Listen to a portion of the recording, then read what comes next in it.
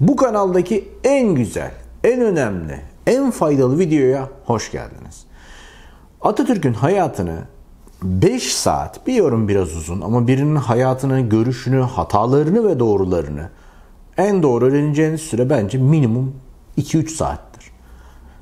Bu 5 saat çok değerli insan Orhan Çekiç hocamla Atatürk'ün hayatını göreceğiz.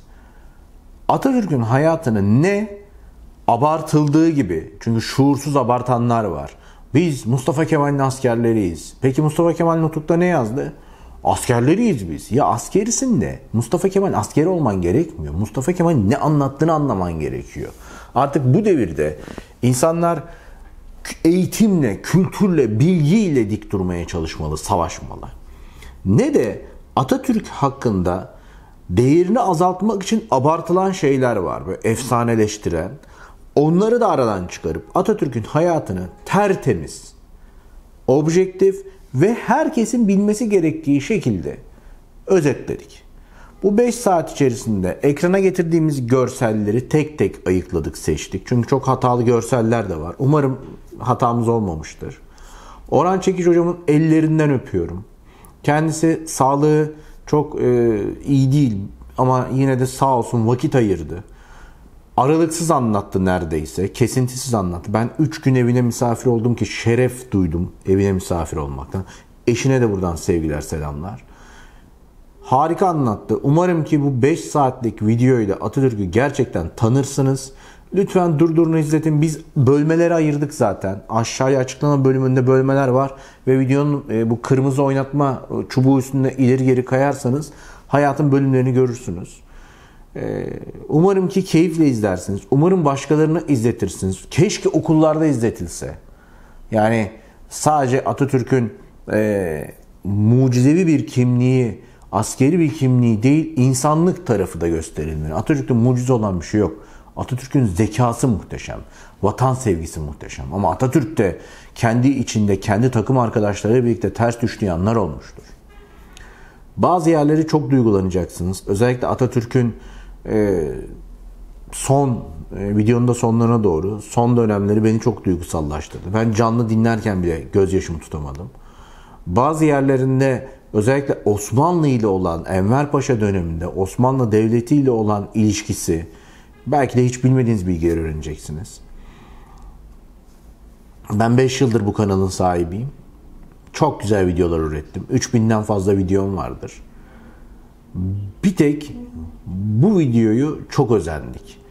Ha en güzelim oldu hayır. Tam 3 aydır montajda bu video. 3 ay. Çünkü içine koyduğumuz arşiv fotoğraflarıyla çeşitli belgelerde hepsini tek tek teyitleyerek, seçerek ilerledik. Umarım hatamız yoktur tekrar söylüyorum. Ee, en güzelim oldu hayır. Maalesef en güzelini yapamadık. Çok gönül isterdi ki müzisyen ekiplerle çalışalım, altına bir şeyler atalım ama umarım gerçekten bu videoyu izleyip Atatürk'ü gerçekten seven, onurlu şerefli vatan evlatları çıkar. Beraber bir belgesel üretiriz. Orada biz alasını da yaparız. Gerekirse Çanakkale'ye gideriz çekeriz. Gerekirse o Bandırma Vapurunun, Samsun'un oraların illüstrasyonunu hazırlarız ama benim kendi bütçemle bu kadar oluyor. Kusura bakmayın. Daha mükemmel anlatılmayı hak ediyor mu Atatürk? Evet ama benden bu kadar. Bu 5 saati umarım çocuklarınızla izlersiniz. Bu 5 saati umarım okullarda izletirsiniz. Umarım bir gün okullarda izletecek e, müfredat olur. Ben Türkiye'deki öğretmenlere güveniyorum. E, her şey çok güzel. E, benden bu kadar. Orhan Çekiç Hoca'ya verelim sözü. Hakkını versin. Mustafa Kemal böyle anlatılır. Mustafa Kemal olarak tanıdığımız küçük Mustafa hiç görmediği iki ağabeyinin aynı yıl içerisinde arka arkaya vefatı üzerine aile tarafından çok büyük bir özenle büyütüldü. Adının Mustafa olmasının sebebi babası Ali Rıza Efendi yıllar öncesinde elbette kendi küçük kardeşi Mustafa'yı Beşik'te sallarken yanlışlıkla kazayen düşmesine yol açtı ve kardeşi vefat etti. Ali Rıza Efendi buna o kadar üzüldü ki sanki kardeşinin, küçük kardeşinin katiliymiş gibisine psikolojik olarak çok uzun dönemler hatta bunun etkisinde kaldı. Ama yıllar sonra kendisi baba olup da bir erkek evladı doğunca ona Mustafa adını verdi. Dolayısıyla Mustafa adının verilmesinin sebebi böyle bir olay. Mustafa abilerini tanıyamadı. Çünkü 1874 yılında bütün ülkede salgın olan bir taraftan göz hastalığı, bir taraftan difteri ve benzeri arka arkaya salgınlar her iki kardeşin de çok küçük yaşlarda arka arkaya ölmelerine yol açtı. Dolayısıyla üçüncü evlat olarak Mustafa doğdu. Daha sonra Makbule gelecek.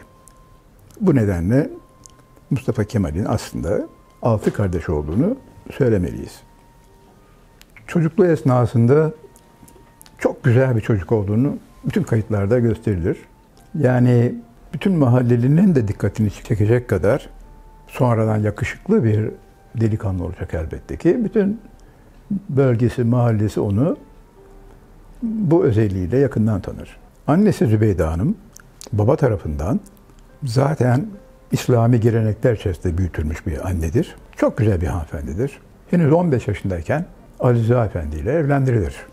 Bu evlilikte üvey dayı, kayıtlarda dayısı olarak geçer ama üvey dayıdır o. Üvey dayısının ısrarı üzerine Ali Rıza Efendi ile evlendirilir. Çünkü Ali Rıza Efendi işte gümrükte bir katiptir. Aralarında önemli yaş farkı vardır. Küçücük sayılan Zübeyde'yi daha 15 yaşındayken evlendirmeye karşı çıkar aile ama dayının ısrarı üzerine bu evlilik yapılır. Ne var ki evliliğin akışı içerisinde özellikle Olimpos dağlarından inen Rum çeteler çevreyi sık sık basma, gasp etme, adam kaçırma gibi eylemlerle tam anlamıyla bugüne getirirsek terörist bir takım yaklaşımlarla çevreyi kasıp kavurdukları için bir defasında da Ali Rıza Efendi'yi kaçırırlar ve çok büyük fidye verilerek Ali Rıza Efendi kurtarılacaktır. Bu Mustafa'nın zihninde, beyninde hem bir taraftan olağanüstü bir korku, bir dehşet hem de babasına duyduğu özlem, onun öldürülmüş olabileceği kaygısı vesaire o küçücük beyninde çok büyük bir iz bırakacaktır babasına yönelik olarak. Ve arkasından da bağırsak veriminden babasının çok küçük yaştayken kaybetmiş olması, çok küçük yaşta derken bazı kayıtlarda bu 5-6 yaşı gibi gösteriliyor. Bu doğru değil. 11 yaşındaydı. Okula başlamıştı ama kendi babası bir öğretmen olduğu için evladının bir dinsel ağırlıklı okulda değil ama bugüne getirecek olursak daha çok layık yaklaşım içerisinde olan bir okulda eğitim görmesini arzu ediyordu. Anne ise Molla Zübeyde adıyla anılıyordu.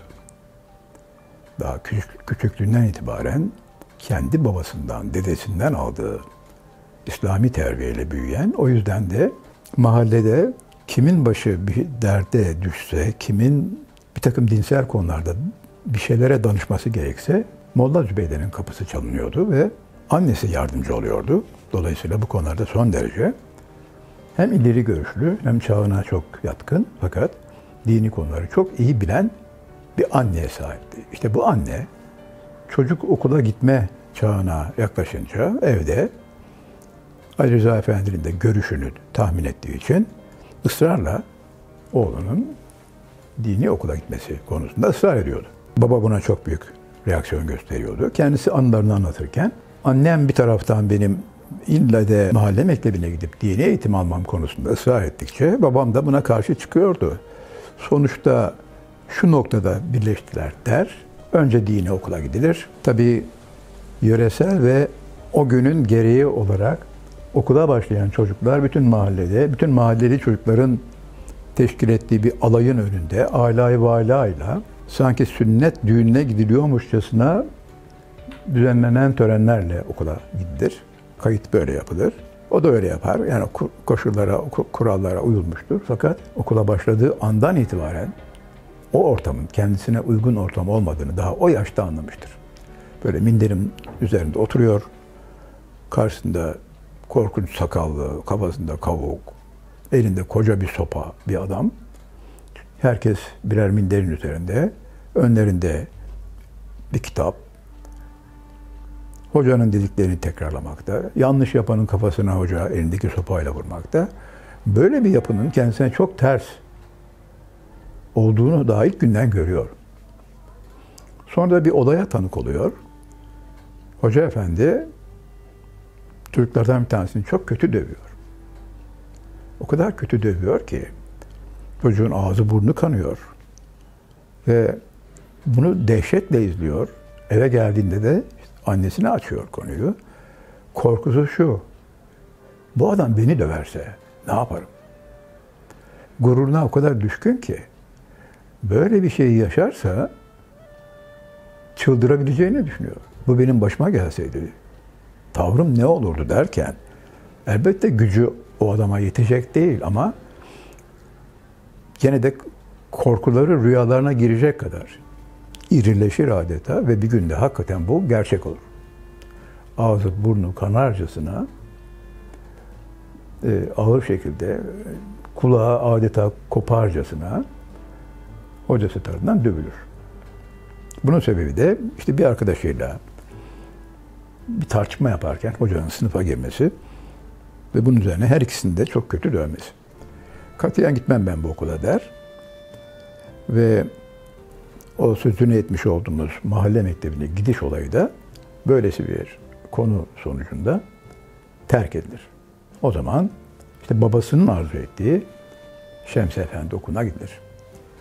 Şemsi Efendi okulu Osmanlı toprakları üzerindeki çağdaş modern okullardan biridir.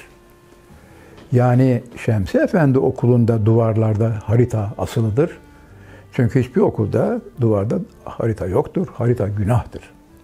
Öyle bir dönemde yaşanıyor ki harita olmadan bir ülkenin dağları, ovaları, nehirleri nasıl anlatılır? Bu akıl alacak bir şey değil ama resme benzediği için İslam'da güya resim günah olduğu için okulun sınıflarının duvarlarında buna benzer öğretici, eğitici hiçbir nesne yoktur.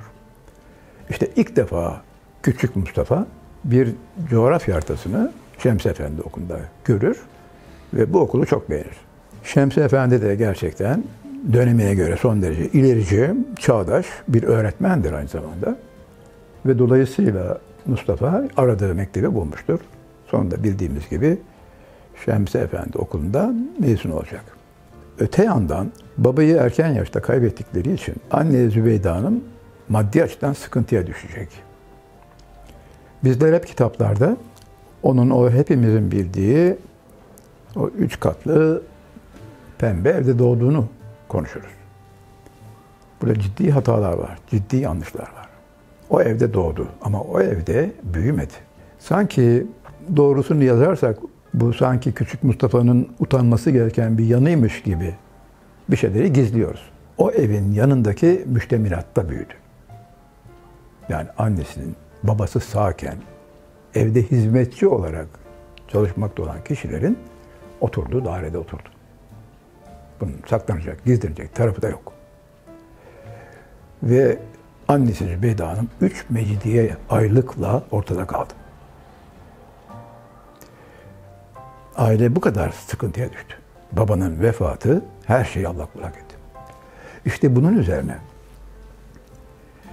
diğer aile mensupları, aile büyükleri arzu etmedikleri ve desteklemedikleri halde bu üvey dayı özellikle ısrarla bu evliliğe rıza gösterdiği için, evlilik biraz da onun zorlamasıyla olduğu için bundan sorumluluk duyan dayı Selanik'e geldi ve Mustafa'yı Langaza'ya götürdü. Langaza, Selanik'e çok yakın bir çiftliktir. Ama kimi kayıtlarda bu dayının çiftliği diye geçer. Değil. Dayı orada çalışan bir subaşıdır ve çiftlikten sorumlu olan kişidir. Yoksa çiftliğin mülkiyet sahibi değildir. Yani görülüyor ki aile öyle zengin bir aile yapılanmasından gelmiyor. Zübeyde Hanım'a olağanüstü bir saygısı var. Buradan geliyor. Çünkü ana sevgi ve saygısıyla vatan, ana vatan, sevgi saygısı özdeşleşiyor. O bakımdan özellikle Zübeyde Hanım'ın vefatına kadar geçen süre içerisinde ne zaman beraber oldularsa annesinin huzuruna çıkarken hep haber verildi Annesi hazırlık yaptı. Onun için üzerine içeri girdi. Annesinin elini öpmeden hiçbir yere gitmedi. O büyük saygının içerisinde elbette ki babasına duyduğu özlem de var. Babası ona bir kılıç hediye etmişti. Kılıç beşiğinin hemen durduğu duvarın üzerinde asılıydı. Gözlerini açıp biraz büyüyüp kılıç nedir algılamaya başladıktan sonra o kılıcı vatanı kurtarmakta kullanacağı bir silah gibi gördü. Ve kafa, o küçücük kafasında tam da o günlerde bütün Balkanlarda herkes birbiriyle savaşırken, herkes birbirinin adeta gözünü oyarken, bunların arasında komşular bile var. Selanik'te herkes yaşıyor. Kozmopolit bir ortam. Bulgar da yaşıyor. Rum da yaşıyor. Arnavutluk öbür tarafta yaşıyor. Makedon öbür tarafta yaşıyor. Bunların hepsi birbiriyle kavgalı. Balkan Savaşları esnasında da birbirlerine girecekler zaten. Dolayısıyla o küçücük beyninde buralarda büyürken bizim ne olacağımızı düşünüyor. Biz de Türk'üz diyor. Mahalle arkadaşlar arasında Rum çocukları var. Dolayısıyla tabii ki Rumcayı biliyor, biliyor dediğim sokak diliyle biliyor. Yani Yunanca'ya o anlamda elbette ki hakim. Çünkü her birimiz doğduğumuz bölgedeki ana dil neyse o dilin eğer kulak misafiriysek bizim kendi ana dilimiz olmasa bile o bir aşinalığımız olur. Dolayısıyla Rumca'ya, Yunanca'ya Mustafa'nın 11 yaşına kadar aynı mahallelerde büyüdüğü için elbette belli aşinalığı var. Konu belki buraya geldiği için tekrarlamalıyım. Çok iyi bir Fransızcası var. O dönemin bütün kurmayları Almanca bilir. Çünkü Almanya, Prusya geleneğinden gelen bir ülke olarak bizim ordumuzla işbirliği haline geldikten sonra özellikle bütün kurmay subaylarımız Almanca bilir. Enver Paşa da bilir, Enver de bilir. Enver Kurmay Mektebi'ni Berlin'de okudu üstelik. Dolayısıyla Fransızca ve Almanca'ya hakimdir. İşte böyle bir Rumcası vardır. Belli bir düzeyde sonradan İngilizcesi olacak. Okumaya karşı son derece meraklı ama aile onu okutacak durumda değil. Dolayısıyla işin bu tarafı son derece hem üzüntü vericidir, acıdır. Çok da fazla sanki bu onunla ailenin bir ayıbıymış gibi de bizim üstünü böyle örtmeye çalıştığımız bir şey. Oysa Zübeyde Hanım ve üvey abisi, dolayısıyla Mustafa'nın üvey dayısı,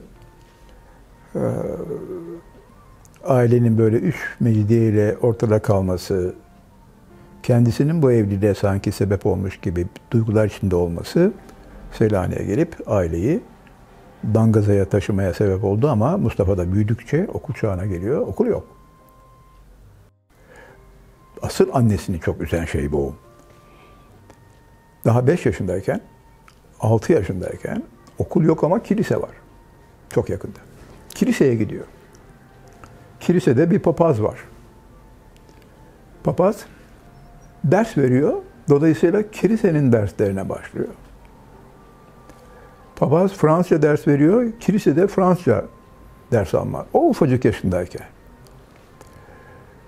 Sonra annesi özellikle artık doğru bir okulda okuması yaş ilerliyor. Çocuk bir çiftliğe mahpus. Sebebi ne? Aile fakir bir durumda. Yoksul bir durumda. O nedenle mutlaka Selanik'e tekrar dönülmeli kararı alınıyor ama gidilecek yer yok. Bunun üzerine Mustafa'yı bazı kayıtlar anneanne diye kaydeder. Doğrusu da odur. Hala denir. Hala ve anne zaten aynı sokakta oturuyorlar. Zübeyde Hanım Mustafa'yı göndermek zorunda kalır. Dolayısıyla ilkokuldan sonraki tahsil hayatı tekrar Selanik'e geldiği zamanki işte mahallesinde tanık olduğu bir subayın üniformalarına karşı duyduğu ilgi ama anne kesinlikle böyle bir şeye aklından bile geçirmediği kadar katı askerliğe karşı çünkü kocasını çok erken kaybetti. Bir erkek evladı var. Onu kaybedeceğini dehşet içinde. Ama çocuk adı Kadri olan o subaydan da yardım alır. Gizlice askeri rüştiye sınavları için kayıt yaptırır. Bunu gizli yapar. Ama bunu yapmadan birkaç ay önce sivil rüştiye kaydını yapmıştır. Yani Mustafa önce sivil ortaokulda okur Selanik'te. Okumaya başlar. O sivil ortaokulda okurken kendi mahallesinde olan adı Kadri Bey olan bir yüzbaşı onun o görüntüleri vesairesi başucunda gözünü açar açmaz gördüğü babanın hediye ettiği kılıç bunları hep birbirleriyle özdeşleştiriyor. Mahallesinde arkadaşlardaki kavgada işte o Bulgar, o Rum, işte Makedon, öteki Yunan, Rum herkes birbiriyle kavgada. Bütün bunlar kafasında bir gün mutlaka benim de vatanım tehlikeye düşecek cevabına erişiyor ve ne yapıp edip mutlaka askeri okula gitmesi gerektiği bilincine varıyor ama bunu anneye açamıyor. Çünkü anne kesin karşı. Anne de son erkek evladı. Ondan sonra bir makbule kaldı elinde. Dolayısıyla annenin duyguları farklı, küçük Mustafa'nın farklı. Sınavlara gizli giriyor. Kazanıyor. Sonuçlar açıklandıktan sonra anneye söylüyor. Ve o Kadri Bey'in de desteğiyle anne ikna edilmek zorunda kalınıyor. İkna edilecektir elbette ki. Ve dolayısıyla askeri ortaokula başlaması böyle oluyor. Askeri ortaokulda dersler çok dikkatini çekiyor ve ama bunun içinde gerçekten de matematiğe karşı çok büyük bilgisi var. Çünkü çok zeki. En zor olan şeylere çok büyük eğilimi var zaten. Öyle kolay şeyleri kolaylıkla hem yani ezberlemek diyorsak ezberlemek. Şiir söylemekse şiir şiirleri çok kolay ezberleyip söyleyebiliyor. Anlaşılıyor ki çok iyi bir hatip olacak bu. Çok iyi bir hatip olacak. Yazıyor, okuyor, ses tonu gayet güzel, tonlamaları mükemmel. Askeri okuldaki öğretmenlerin dikkatini çekiyor. Ve daha ileri aşamada lisede de aynı şey başına gelecek. Artık lisede ama durduracaklar.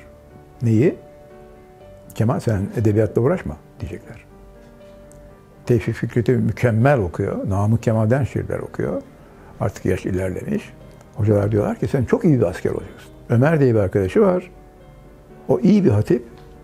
O buna edebiyat kitapları verirken hocalar sen Ömer'le fazla konuşma diyorlar. Gerçekten o bir şair de olabilir, iyi bir edebiyatçı da olabilir ileride ama iyi bir asker hiçbir zaman olamayacak Kemal. Sen sen yolunu çiz. Sen çok başka birisin. İşte o ünlü adı da Mustafa olan matematik öğretmeninin ona işte senin adın Mustafa, benimki de Mustafa ama bir farkımız olmalı. Bundan sonra senin adın Mustafa Kemal olsun diyen öğretmeni bunu çok yıllar sonra kendisi de yazdı. Dolayısıyla bu anılar böyle gelişti. Çünkü öyleydi dedi. Yani en zor soruları en kısa sürede ezbere çözebilen, böyle tahtaya bakarken çözen bir zekaya sahip. Ama hep de annenin en büyük dehşeti işte böyle büyüyecek, yarın subay olacak, öbür günde cephelere gidecek korkusu o kadının daima işte rüyalarını süslemiş olacak. Tam bu arada anne izdivaç yapmak zorunda kalacak. Yani dul bir kadının Selanik'te uzun süre İslam, işte Müslüman anlayışı, yaklaşımı yaşayabilmesi kolay değil. Dolayısıyla babası gibi yani Ali Rıza Efendi gibi gene gümrük dairesinde. Onun için rejide denebilir. Reji dairesinde görevli yapılan bir beyefendi ona talip olduğunda büyük tepki gösterecek. Ve bir süre annesine küsecek. O küsme nedeniyle evi terk edecek Selanik'te. Gelmeyecek eve. Oysa sonradan akıl erdirmeye başladığında gördüm ki diyecek. Evet annem yapayalnız bir kadındı. Çok da güzel bir kadın. E, bütün çevrenin çok sevip saydığı bir kadın. Bu kadının uzun süreler e, yalnız yaşaması zaten mahallelerinin de arzu ettiği bir şey değil. Çünkü adet değil o dönemlerde. O bakımdan buna rağmen içine sindiremeyecek. İşte okuldan eve her gelişinde özellikle Selanik'i terk ettikten sonra bilindiği gibi idadiye başladığında her dönüşünde Ragıp Bey adı, adlı bu beyefendiyle bir araya gelmekten büyük huzursuzluk, rahatsızlık duyacak. Oysa diyecek, bana çok saygılıydı ve çok iyi davranmıştı. Ragıp Bey'in Süreyya adlı bir oğlu vardı. o oğul da Mustafa'ya çok iyi abilik yaptı. Ve dolayısıyla zaman içerisinde o ilk baştaki tepkileri artık kalmayacak. Annesine hak vermiş olacak. Ve sözünü etmiş olduğunuz Ragıp Bey daha varlıklı bir insan. O yoksul hallerinden ancak bu şekilde kurtulmuş da olacaklar. Bunu da bir tarafa koymak lazım. Lise yıllarında arka arkaya Osmanlı Devleti savaşlara girer. 1897 çok önemlidir. İşte o da 16 yaşında. 1897 Osmanlı Yunan Savaşı'dır bu.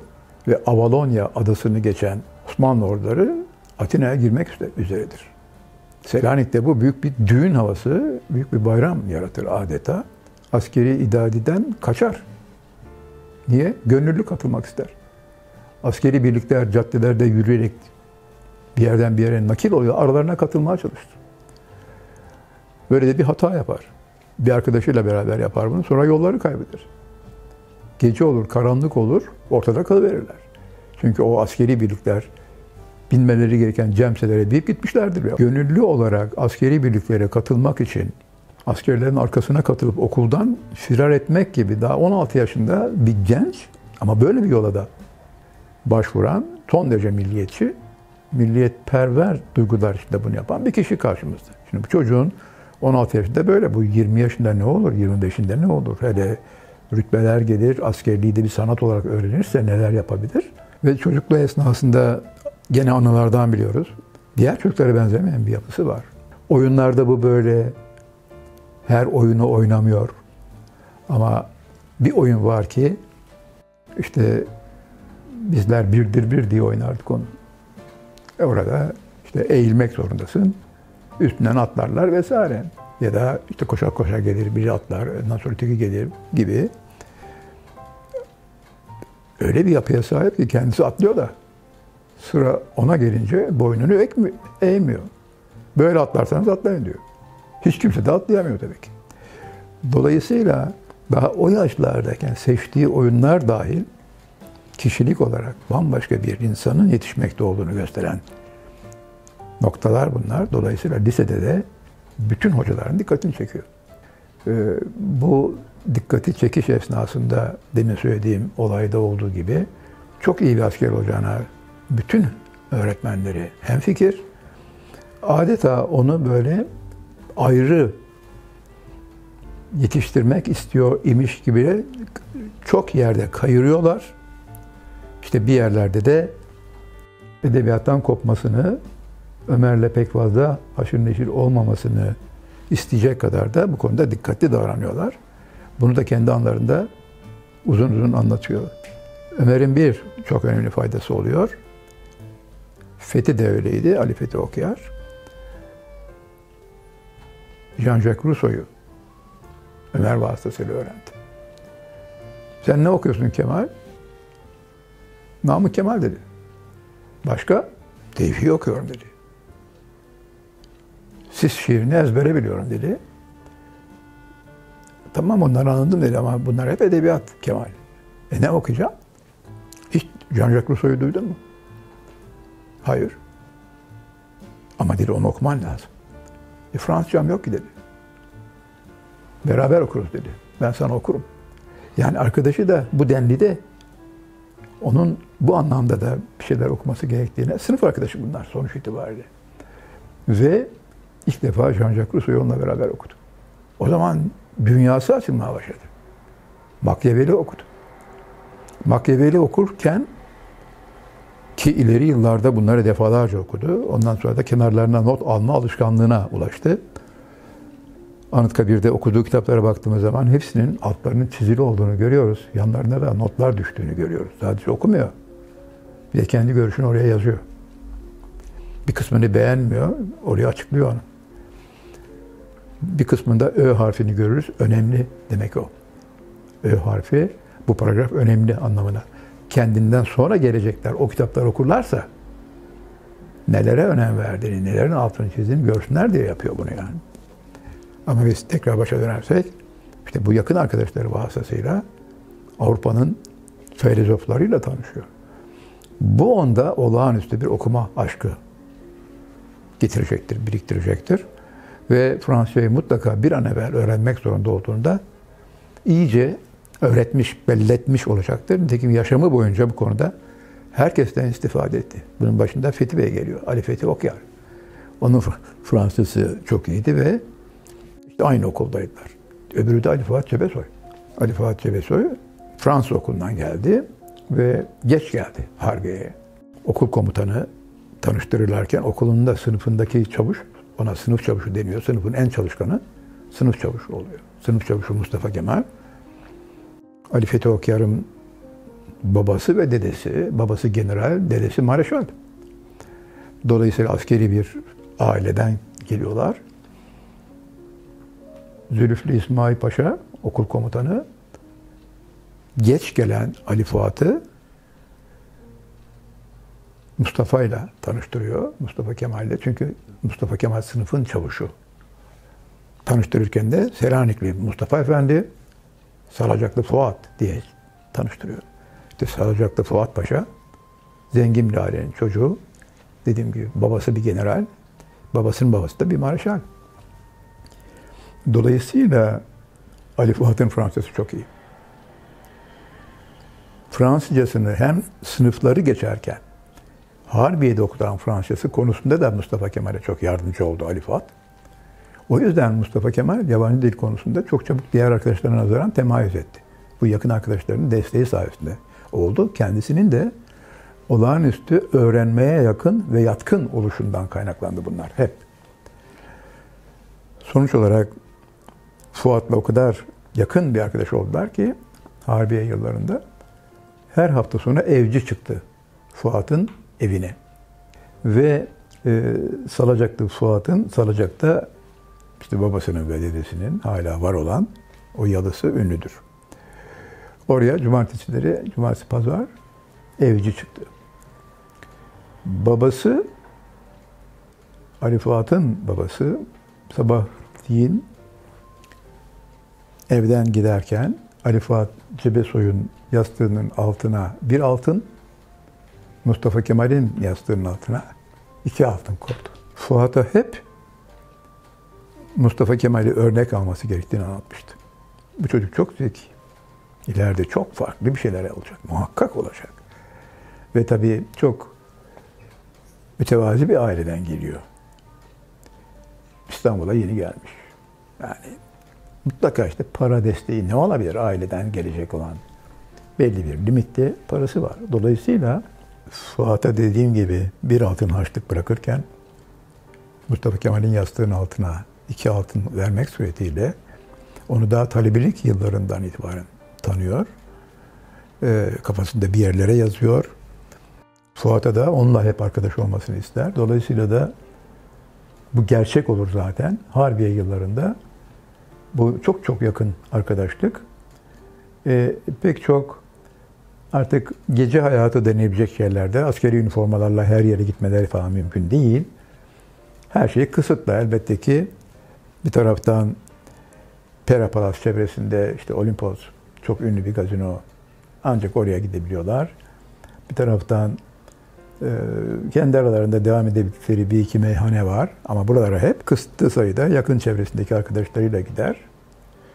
Bu Ali Fuat Cebesoy'un babası çok ileride bütün tahminleri doğru çıkacak ve Mustafa Kemal'in çok farklı bir kimlik ve kişilik sahibi olduğunu ısrarla söyleyen baba daha sonra Sivas Kongresi'nde Mustafa Kemal ile aynı yerde olacak. Yani Sivas Kongresi'ne katılacak. Orada çok güzel bir başka bir anekdot olacak.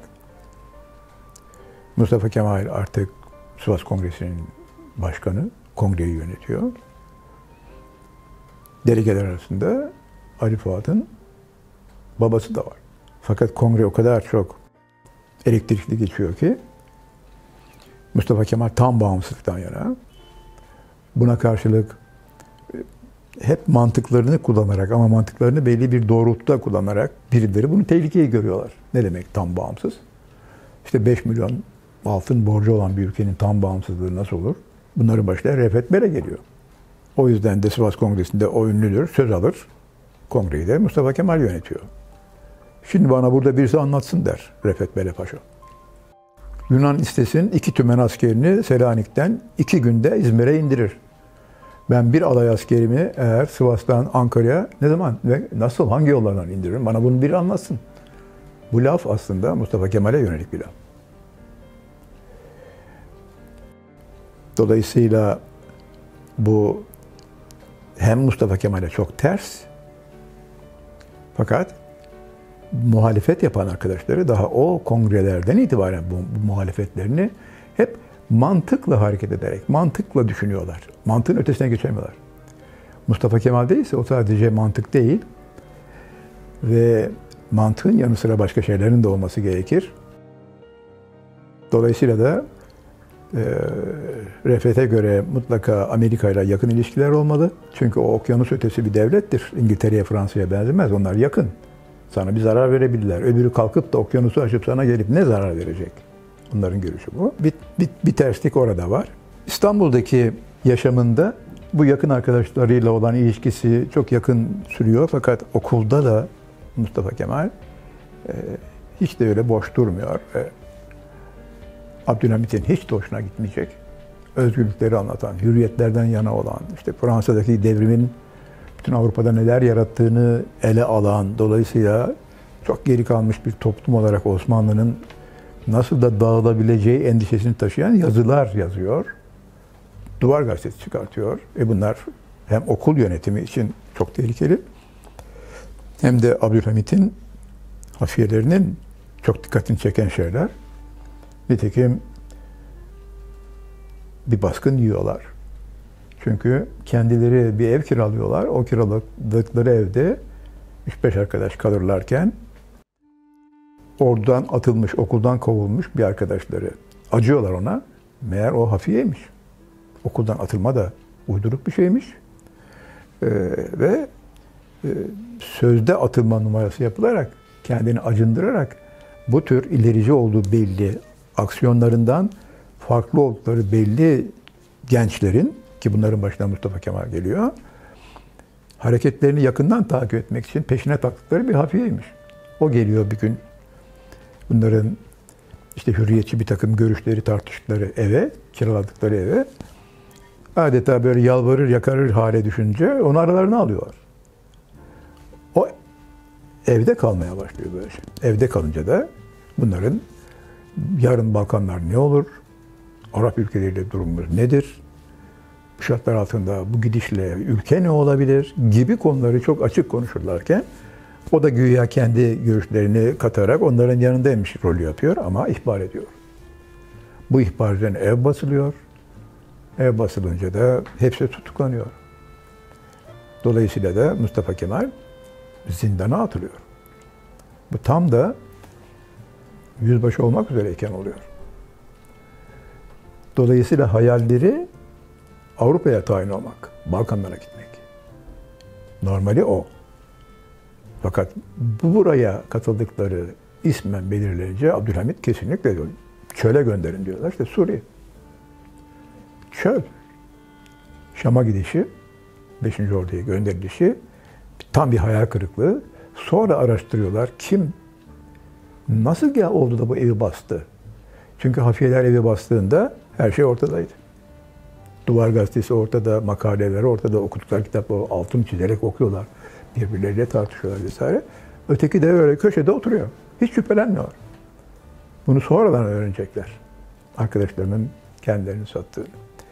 Dolayısıyla tutuklanıp zindana atıldığını duyunca annesi çok büyük acılar çeker Zübeyde Hanım ve kalkar Selanik'ten gider İstanbul'a. O kadar acıdır ki Mustafa Kemal'in sürgüne gönderilirken hali anneyi çocukla konuş, oğluyla konuşturmazlar.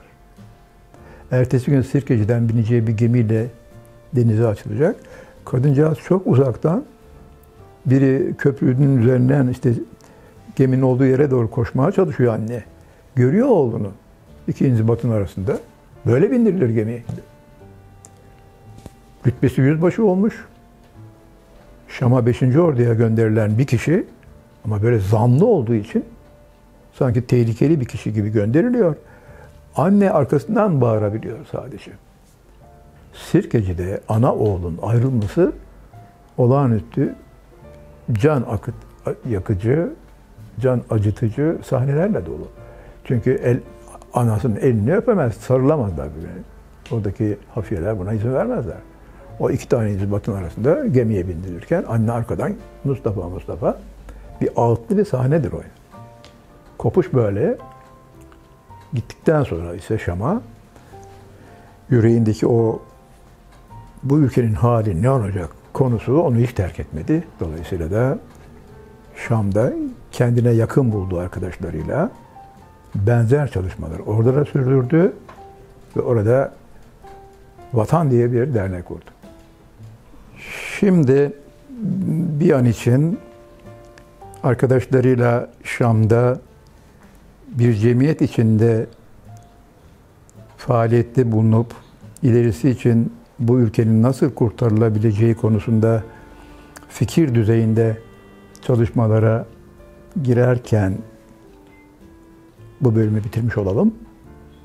Ve bunun hemen arkasında gene kaçak olarak gene komutanlarının himayesi sayesinde kaçtığı bildirilmeyen ama kaçarak kaçak olarak Selanik'e gelişi İttihat Terakki'ye katılışı sonra İttihat Terakki'den neden ve nasıl koptuğu konusuna geçeceğiz. Suriye'de yakın arkadaşlarıyla gizli bir cemiyet kurma girişimi hemen gündeme geldi. Gizli toplantılar vesaire yapılırken aynı zamanda Balkanlarda da özellikle Selanik merkezde olmak üzere benzeri çabalar sürdürülmekte olduğunu haber almıştı. O nedenle bir defasında Şam'dan gizlice kaçtı. Bu kaçış elbette askerlik açısından son derece önemli bir konu çünkü kaçtığı belli olsaydı muhtemelen askerlik hayatı sona erebilirdi. Yakın komutanları onu olayın farkına vardıkları halde idare ettiler. Çok parlak bir kurmaydı. Bir anlamda da kıyamadılar. Haber alınsaydı oradan kovulurdu buna şüphe yok.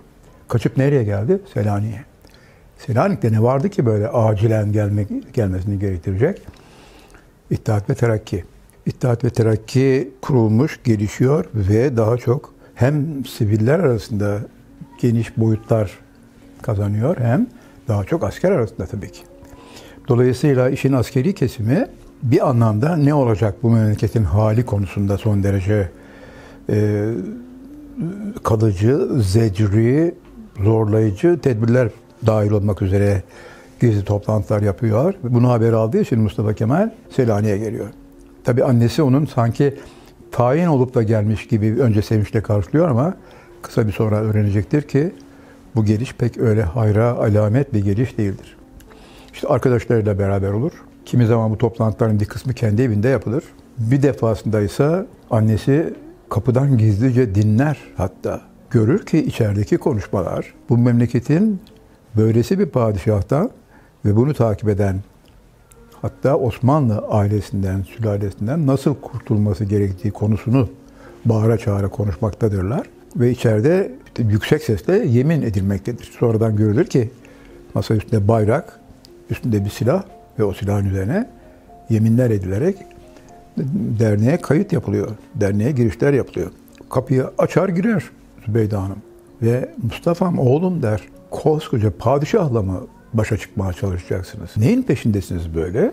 Annesini ikna ederken anneciğim der o çok de, büyük dediğin, çok koskoca dediğin padişah inan ki bizim kafamızın içinde düşlediğimiz gelecek açısından bakılırsa çok küçük, ufacıktır. Göreceksin bir gün mutlaka başaracağız ee, ve bunu başarmak zorundayız. Aksi halde bütün bu vatan elimizden kayıp gidecek anne diye onu ikna etmeye çalışacaktır ama zavallı kadın böyle oğlunun üniformalı asker arkadaşlarıyla evde toplanıp gizli gizli konuşmalar yapıyor olmasından da artık endişe duyup şüphelenmeye de başlamıştır. Kısa bir zaman sonra Mustafa Kemal tabii ki Şam'a tekrar dönmek zorunda kalacak ama daha sonrasında da zaten Selanik'e tayin olacak. O zaman bu birliktelikler daha uzun sürecek. Ne var ki zaman içindeki gelişmelerden Mustafa Kemal İttihat Terakki'nin içindeki dalgalanmaları görecek. Bundan büyük üzüntü duyacak. Çünkü her kafadan bir başka ses çıkacaktır. Mustafa Kemal'e göre arkadaşların en çok itiraz ettiği şey Osmanlı topraklarını bu coğrafyasıyla elde tutma imkanı zaten olmayacaktır. Dolayısıyla bir harita çizilmelidir. Ana vatan sınırları çizilmeli, belirtilmelidir. Onun dışındakilerin kaybedilebileceği varsayılacak ama ana vatan korunacak şekilde yeni düşünce kalıpları üretilmelidir. Bir alır eline kalem kağıdı, işte bugünkü Anadolu'yu çizer. Şaşırırlar, Balkanları da dışında bırakır. Ve ona şaşanlar, Kemal ne yaptın böyle yani Yunanistan, Bulgaristan, Arnavutluk ne oluyor bunlar? E bunlar zaten der elinde kalamayacak ki. Bulgar Bulgaristan'ı kuracak, Yunan Yunanistan'ı kuracak. Yani senin bugün ana vatan dediğin Anadolu'yu kuracak gücün yok. Eğer harp akademilerinde, harp okullarında ders olarak okutulanları doğru öğrendin, onu beynine doğru düz nakşettiysen zaten bu haritanın çok kısa bir zaman içerisinde değişeceğini görebilirsin. Bizim ordularımızın hali belli, işte yerleşim planlarımız belli, düşmanın hali belli. Dolayısıyla da bu mutlak akış böyle seyredecek. Hiç değilse buradan ana vatanı mutlak surette kurtaracak tedbirler alınmalı diye düşünür. İşte bu düşünce tarzı İttihat Terakki'de iki fraksiyon yaratır. Özellikle de derneğin içinde ki bu siyasi partiye dönüşecek daha sonra sivillerle askerlerin görüşleri de birbiriyle paralel değildir. Nitekim kendisi toplantıya giderken yolda gördüğü bir olayı toplantıya girer, kürsüye çıkar ve bağıra bağıra anlatır. Der ki eğer İttihat Terakki bir siyasi parti ise, şimdi ben toplantıyı görüyorum der, şurada bulunanlarımızın yarısı üniformalı. Bu üniformalı arkadaşlarımın burada ne işi var? O zaman üniformalılar kışlalarına dönsün. Siyaset yapacaksak bunu siyasetçiler siyasi açıdan ne düşünüyorlarsa ortaya koyarak yapsınlar. Ama asker kışlasına gitsin. Eğer o asker hayır siyaset yapacağım ben zaten diyorsa onu da üniformayla yapmasın. Şimdi bu çıkış bir kişiyi taraftar olarak arkasında yer almasına yol açar. Bu çıkış ters bir çıkış çünkü. Kısa yoldan da bu, bu olay Enver Paşa'ya iletilir. Enver Paşa İttihat Terakki'nin önde gelen liderlerinden biri ama hem siyaset yapıyor hem asker. Mustafa Kemal'in ya üniformayı seçelim ya siyasi hayata dönelim lafı en çok Enver'i ürkütmüştür. Bu zehirli bir fikirdir. Mustafa Kemal'in derhal uzaklaştırılması gerekir. Dolayısıyla Sofya ateşe militerliği olayı aslında tam bir sürgün olayıdır. Ve bunu ama kitaplarımız böyle yazmaz. İşin özü budur. Nitekim Ali Fethi Okyar, arkadaşı Fethi Bey ikisi de binbaşı ve Fethi Bey çıkar kürsüye ben Kemal'e katılıyorum der. Kemal doğruyu söylüyor. Ben der siyasete atılmak istiyorum. Olayın siyasi kanadında yer almak istiyorum. İstifa ediyorum der. Hemen o gün istifa eder hem de üstelik. Kurmay binbaşı kongrede istifa eder. İttihat Terakki'nin. istifa ettiği için ama bu konuşmalar Enver'i çok rahatsız ettiği için Enver derhal Ali Fuat'ı Sofya'ya büyükelçi yapar. İşte sana siyaset ama bir an evvel uzaklaş. Bu zehirli fikirleri burada saçma. İşte Ali Fethi giderken Kemal bunlar seni yaşatmayacaklar der. Gel beraber gidelim. Çünkü sen bu fikirlerini de orada da savundun. Bu her yere gitti bu fikir bir kere. Benim söylediklerim de gitti. Bak durumum belli. Ben nasıl olsa Romanya için ve Bulgaristan için Sofya'ya tayin olduğum için ateşe militer isteyeceğim. Askeri ateşeye ihtiyacım olacak. Gel benimle beraber der.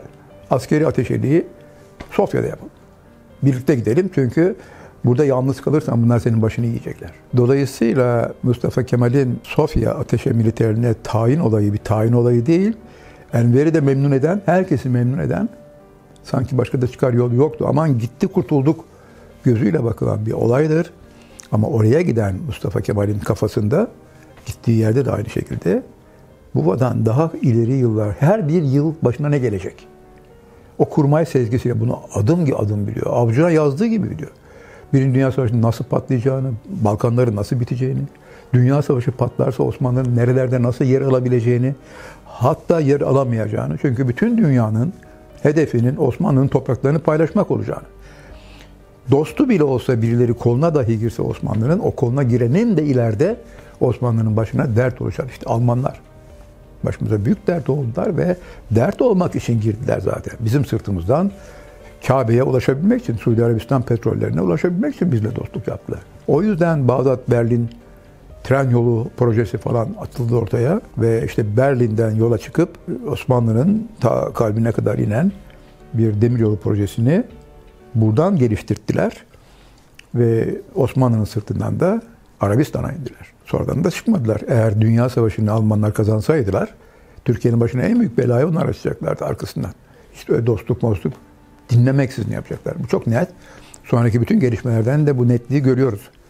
Nerede görüyoruz mesela? Azerbaycan'da görüyoruz mesela. Türk ordusu Azerbaycan Türklerini Ruslardan ve Ermenilerden tam katliam yapılacakken engellediğinde en çok Almanlar karşı çıktı. Ve Almanlar sanki Türk ordusunun oraya Azerbaycan petrollerinin başına çökmek üzere gittiği gibi bir zehaba kapıldı. Çünkü Almanya aynı hedefin peşindeydi. Dolayısıyla böyle kardeşlik, dostluk, mosluk her ülkenin kendi çıkarları söz konusu. Dolayısıyla çıkarlarının başladığı yerde dost ama en ufak onun riske girdiği her yerde düşman olup karşımıza çıkacaktır bunlar. Ve bunu iki acı örneğini yani Mustafa Kemal'in ne kadar ileri görüşlü bir kurmay olduğunu burada da anlıyoruz. Çünkü hem Filistin cephesinde Almanların yaptığı planlar Türk askerinin cesedi üzerine inşa edilmiş planlar. Türk askeri ölecek ki, şehit düşecek ki Alman çıkarları gerçekleşebilsin. Alman çıkarları öne gelebilsin. Bu ne demek? Bu şu demek. Filistin cephesindeki planları Almanya yapıp bize gönderiyordu. Uygulamak bize düşüyordu.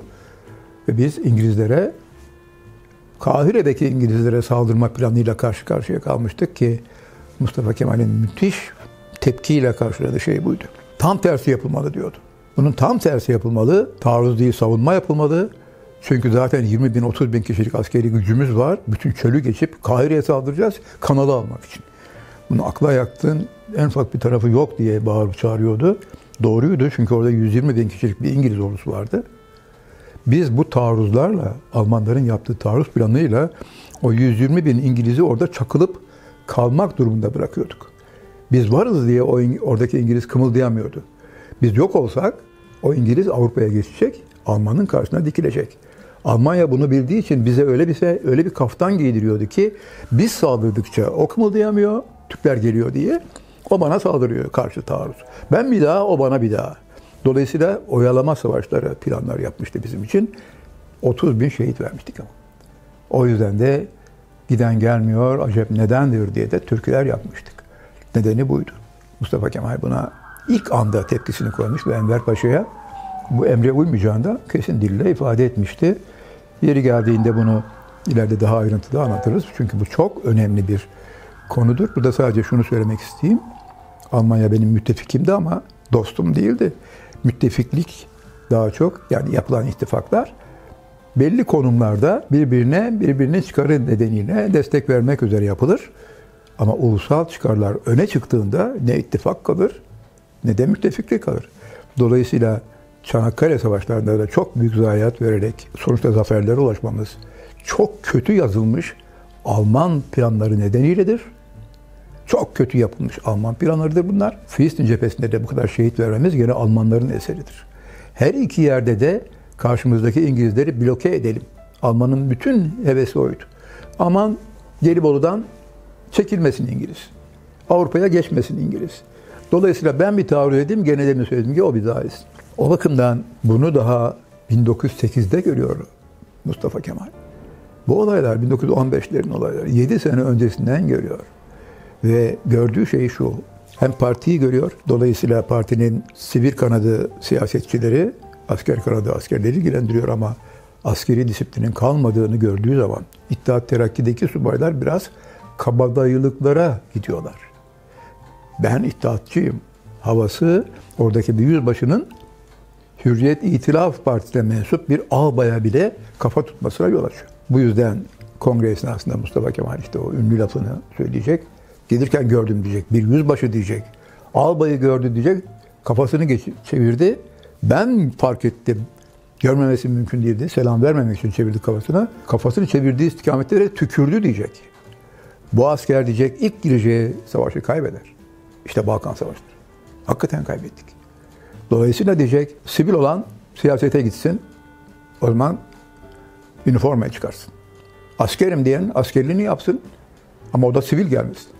Böyle karma bir iddia terki olamazsın deyince ama bu da en çok yukarıda Enver'i yakından ilgilendirdiği için Enver hem siyasetin başı, başkomutan vekili pozisyonlarında hem siyasetin başında hem de bir ordu mensubu. Bu nedenle Enver hem Mustafa Kemal'i hem onun gibi düşünen subayları bir an evvel elimine etmenin çok önemli olduğu görüşüne ulaşacak. Nitekim Mustafa Kemal konuşmasını bitirince hemen yanında okul arkadaşı ileri Cumhuriyet dönemlerinde de başbakanlığımızı yapacak olan Fethi Bey, Ali Fethi Okyar kürsüye gelip ben Kemal'e tamamen katılıyorum diyecek. Ben mesela askerliği bırakıyorum. Bugün istifa ediyorum ve siyasi hayata geçiyorum. İşte siyasi hayata geçiyor oluşu bir bakıma devlete işte biz bunları büyükelçi olarak kullanırız. Peki nasıl bir büyükelçi? Önemli bir merkeze tayin edemezsin çünkü biz büyükelçide olması gereken özelliklerin hepsi bunlarda yok. Elbette yok. Ama buna karşılık da önemli olmayıp yakında olan öyle bir ülkeye gitmeli ki hem o ülke çok önemli siyasi ilişkiler içinde olduğumuz bir ülke olmamalı bir de her an böyle elini atıp hemen müdahale edebileceğin yakınlıkta olmalı. İşte Sofya. Sofya hem ileri bir merkez değil, daha düne kadar bir valiyle yönettiğimiz bir eyalet Osmanlı açısından hem de yakın. istediğin zaman müdahale edebiliyorsun. Önemsiz de bir merkez. Oraya büyükelçi olarak tayin edildiğinde de Fethi Okyar ısrarla Kemal'e mutlaka beraber gidelim Mustafa dedi yani. Bunlar senin başını yiyecekler. Benim ateşe militere ihtiyacım olacak, talepte bulunacağım. Biz beraber gitmiş olalım. Dolayısıyla aslında Enver artı e, Enver'in tavrı nedeniyle Mustafa Kemal ile Fethi Bey'in aynı büyükelçilikte görev yapma olayı böyle bir olayın sonucunda oldu. Ama savaş başladı. Buna rağmen arkasından bir Dünya Savaşı olmadık bir zamanda Balkan Savaşları'nın hemen ertesinde patladı ve Mustafa Kemal Büyükelçilik binasından kendi odasından 8 defa Enver Paşa'ya mektup yazdı. Beni al diye. Lütfen beni al diye. Artık bu iş yalvarıya döküldü. Çünkü dedi sınıf arkadaşlarım şehit düşüyor Enver. Bir defa dedi açık ol. Benim eğer kurmaylık yeteneklerimden şüphem varsa bana askeri birlik emanet edemiyorsan bunu açık yaz. Yok eğer o konuda bir şüphen yok ama beni burada tutuyorsan beni burada çürütme. Benim arkadaşlarım şehit düşüyor dedi. Enver'den cevap yok. Bavulunu topladı. Odasını kilitledi. Anahtarı gitti Fethi Bey'e verdi. Ali Fethi Okyar'a. Fethi ben gidiyorum. Kemal nereye? Bugün ayrılıyorum. Nasıl yani? Kaçak gireceğim dedi. Ya kaçak nereye gidiyorsun ya? Zaten olağanüstü ha savaş başlamış. Dünya savaşı. Bir yerden bir yere göç möç, geçiş, pasaport. Yani her şey bir problem ya. Öyle elini kolunu sallayarak neyi aşıp nereden geçip nereye gidiyorsun? Yani tam o esnada nihayet Enver Paşa'dan bir telgraf gelir. Direkt kendisine gelmiyor. Telgraf Harbiye Bakanlığı'na geliyor. Enver Erzurum'dan Kemal'e söyleyin gelsin diyor. Nihayet lütfediyor. Ve bunun üzerine büyük bir sevinçle kaçak yoldan gelmesine gerek kalmaksızın Mustafa Kemal İstanbul'a geliyor. Birliğini bulamıyor. Harbiye bugünkü İstanbul Üniversitesi rektörlük binasına geliyor. Hiçbir arkadaşı ya evet kulağımızda bir şeyler var ama bir 19 tümen kuruluyor şu ara Kemal. Herhalde sen oralarda falan olabilirsin olsa olsa diyorlar. Çünkü bütün birliklerin adları, sanları, komutanları belirli. Şimdi dışarıdan gelen biri ona bir birlik bulman lazım. Onun bir rütbesi var. O rütbeye uygun bir yer bulman lazım. Yok böyle bir yer. Harbiye'nin böyle bir çalışması da yok. Bunun üzerine ileride de Diyarbakırlı Kazım olarak geçecek olan Kazım İnanç Paşa olacak. Samsun'a çıkışında ona en büyük yardım yapacak olan kişidir Kazım İnanç. Kazım yardımcı oluyor. Kemal diyor bir kere genel kurmaya git. Herhalde vardır orada bir kayıtlar. Gidiyor araştırıyor ediyor. Yok. Yani sen niye geldin der gibiler adeta. Yani nereden geldin ya da niye geldin der gibiler. Sonra işte Kazım inancın aklına geliyor. Kemal diyor Maydos civarında falan bir, bir 19 tümen duydum. Ama çok emin değilim. Belki diyor yeni bir tümen kuruluyordur. Sen oraya verilmişindir.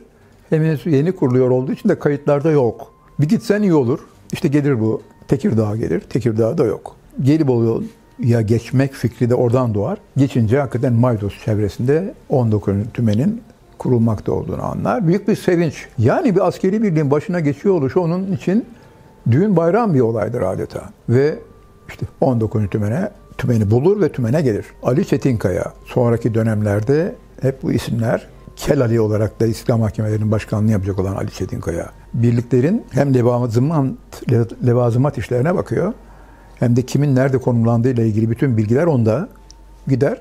Ali der ki Kemal şu işte 19 tümen alayların şunlar. Alayın birinin tamamı Arap ama Vahabi ve bu Vahabiler biz adam öldürmeyiz derler. Talimde sıradan bir askeri talim olayını görür, koşar Ali Çetinkaya'ya. Ali der bu birliklerle ne dövüşüdür ne savaşıdır. Bu kim bunlar yani böyle? Kemal der ne yapacaksın, edeceksin, eğiteceksin. Başka birlik yok elimizde. Bunlar Vahabi. Oradan getirildi. Evet. Hiçbir eğitim görmemişler. Yani o atın sırtında hırsızlık, talan, malan olaylarında elinde kılıcı, kırbacı öylesine dehşet, etrafa dehşet açan birlikler bunlar. Ama bunda askerlik başka bir şey. Ve zerre kadar da buna yatkın değiller. Onu verip bunu değiştir, bunu bana ver, onu ver. Ali Çetinkaya der ki imkan yok ya. Bu çok önemli bir şey. İşte öylesi bir birliğin başında onlarla beraber tabii diğer alaylar da var ama bir eğer muharip birliklerimiz bozulursa geri çekilmek zorunda kalırlarsa takviye edecek bir birliğin başındadır Mustafa Kemal. Pasif bir görevdedir yani. 19. tümen bir ihtiyat tümenidir. Muharip tümen değildir. Muharip tümenler cephede dövüşüyor. Kaçacak olurlarsa destekleyip onunla yer değiştirecek. Ama orada bile gene de güçlü olman lazım. Evde değiştiremiyor. Ali Çetinkaya mümkün değil diyor. Bu tür askeri birlikleri bile çok kısa zaman içerisinde eğitir ve inanılmaz bir e, savunma kafa yapısı itibariyle strateji konusunda dünyanın sayılı kişilerinden biri olarak bilinir. Churchill bu lafı kullandı onun için. Çok büyük bir stratejist idi Mustafa Kemal der. Çünkü Çanakkale haritalarını görüp de muharebeyi yakından izleyince Churchill aynı kanıya varıyor. Bütün generaller öyle. General Harrington aynı şekilde olağanüstü diyor. İşte e, karşısında dövüştüğü bütün komutanların görüşleri budur. Çünkü onları yendi. Onlar niye yenildiklerini bu stratejiler nedeniyle kaybettikleri sonuca vardıkları için yakından takdir ediyorlar, biliyorlar. Dolayısıyla öyle bir tümen ki aynı zamanda direkt ordu komutanına bağlı. Ne demek bu? İnisiyatifi yok demek. Yani ordu komutanı ona şuraya git demedikçe oraya gitmesi mümkün değil. Kendiliğinden yerini terk etmesi mümkün değil. 19. tümene görev olarak verilmiş olan yer Gelibolu Yarımadası'na bakıldığı takdirde daha çok Boğaz kıyısının denize yakın kısmındaki belli bir mıntıkadır. Düşman tam tersi yerden gelmektedir. Dolayısıyla tabii bu elbette kasıtlı değil, elbette tamamen tesadüf ama koskoca Çanakkale Yarımadası'nda bizim e, birliklerimizin, ordumuzun daha doğrusu başkomutanlığı karargahı en kuzeyde, Liman Fontanders orada bulunuyor. Mustafa Kemal'in 19. tümeni böyle inen bir yarımadanın bize göre sağ tarafında ve denize çok yakın yerinde bir yer. Düşman ise en soldan çıkıyor ve buradan denizden çıkıyor. Yukarıdaki ordu komutanlığı bir emir vermedikçe Mustafa Kemal'in yerini terk etmesi yasak. Üstelik de askerlikte yasaklar çok farklı boyutlara götürebilir insanı. Kurşuna dizilmek bunun içindedir yani. Elbette ki. Ve işte kendi askerini kendisi eğiterek, o sözünü ettiğim Vahabileri işte vuruşabilir, dövüşebilir, süngürleşebilir bir asker haline getirerek. ilk haftalarını böylesine yoğun bir tempoda geçirdikten sonra ama karargahta yapılan toplantılarda hep Esat Paşa ile beraber, Esat Paşa Türk üst rütbeli komutan, kolordu komutanı, başında bir ordu komutanı var, Liman von Sanders Paşa. Liman von Sanders, harekat planlarının görüşüldüğü toplantıda kıyıları rahat bırakın der. Ne demek o? Kıyılardaki der askeri birliklerin sayısını azaltın. Alayla, tümenle korumayın. Evet, taburla koyun. Esat Paşa der ki, ekselans böyle şey olur. Yani niye bunu yapıyoruz yani? Böyle yapıyoruz çünkü bırakalım çıksınlar yukarı. Yukarıya çıktıklarında ordu birliklerimizi yukarıda bulundururuz. Evet. Karşı taarruda denize atarız. Mustafa Kemal der ki ben bunun tersini yaptım ekselans. Ben Libya'da bunun tam tersini yaptım. İtalya'yı plaja çıkartmadım. Çıkamadı. Çünkü kıyıları sağlam tuttum. Çünkü der eğer yukarıdaki karşı taarruzda atamayacağımız kuvvette bir birlik yukarı çıkmışsa ne yapacağız? Arkası İstanbul. Niye riske sokuyoruz İstanbul'a? Böyle bağırarak. Niye İstanbul'u riske sokuyoruz? Çünkü Liman von Sanders'in hesabında umurunda bile değil İstanbul. O işte bunlar kıyılardan çıksınlar. Ben yukarıda kapışayım. Bu binlerce şehit vereyim anlamına geliyor. Binlerce şehit vereyim tamam. Ama İngiliz de tutayım orada. İngiliz bir daha çıksın. Bir daha tutayım. Arkadan Anadolu'dan takviyelerle ben yukarı en yukarılarda hep gelen İngiliz'i duvara çarpmış gibi hep geri göndereyim. Çünkü bu oyuna her gün ikişer bin Anadolu'dan takviye geliyor. Dolayısıyla hep yukarılarda böyle güçlü bulunayım. Geleni hep atayım. E böylece de İngiliz'i hep orada tutayım. Filistin cephesindeki o planlara yaptığı itirazın temeli Çanakkale'de de aynen oldu. Almanlar hep bu kafadaydılar.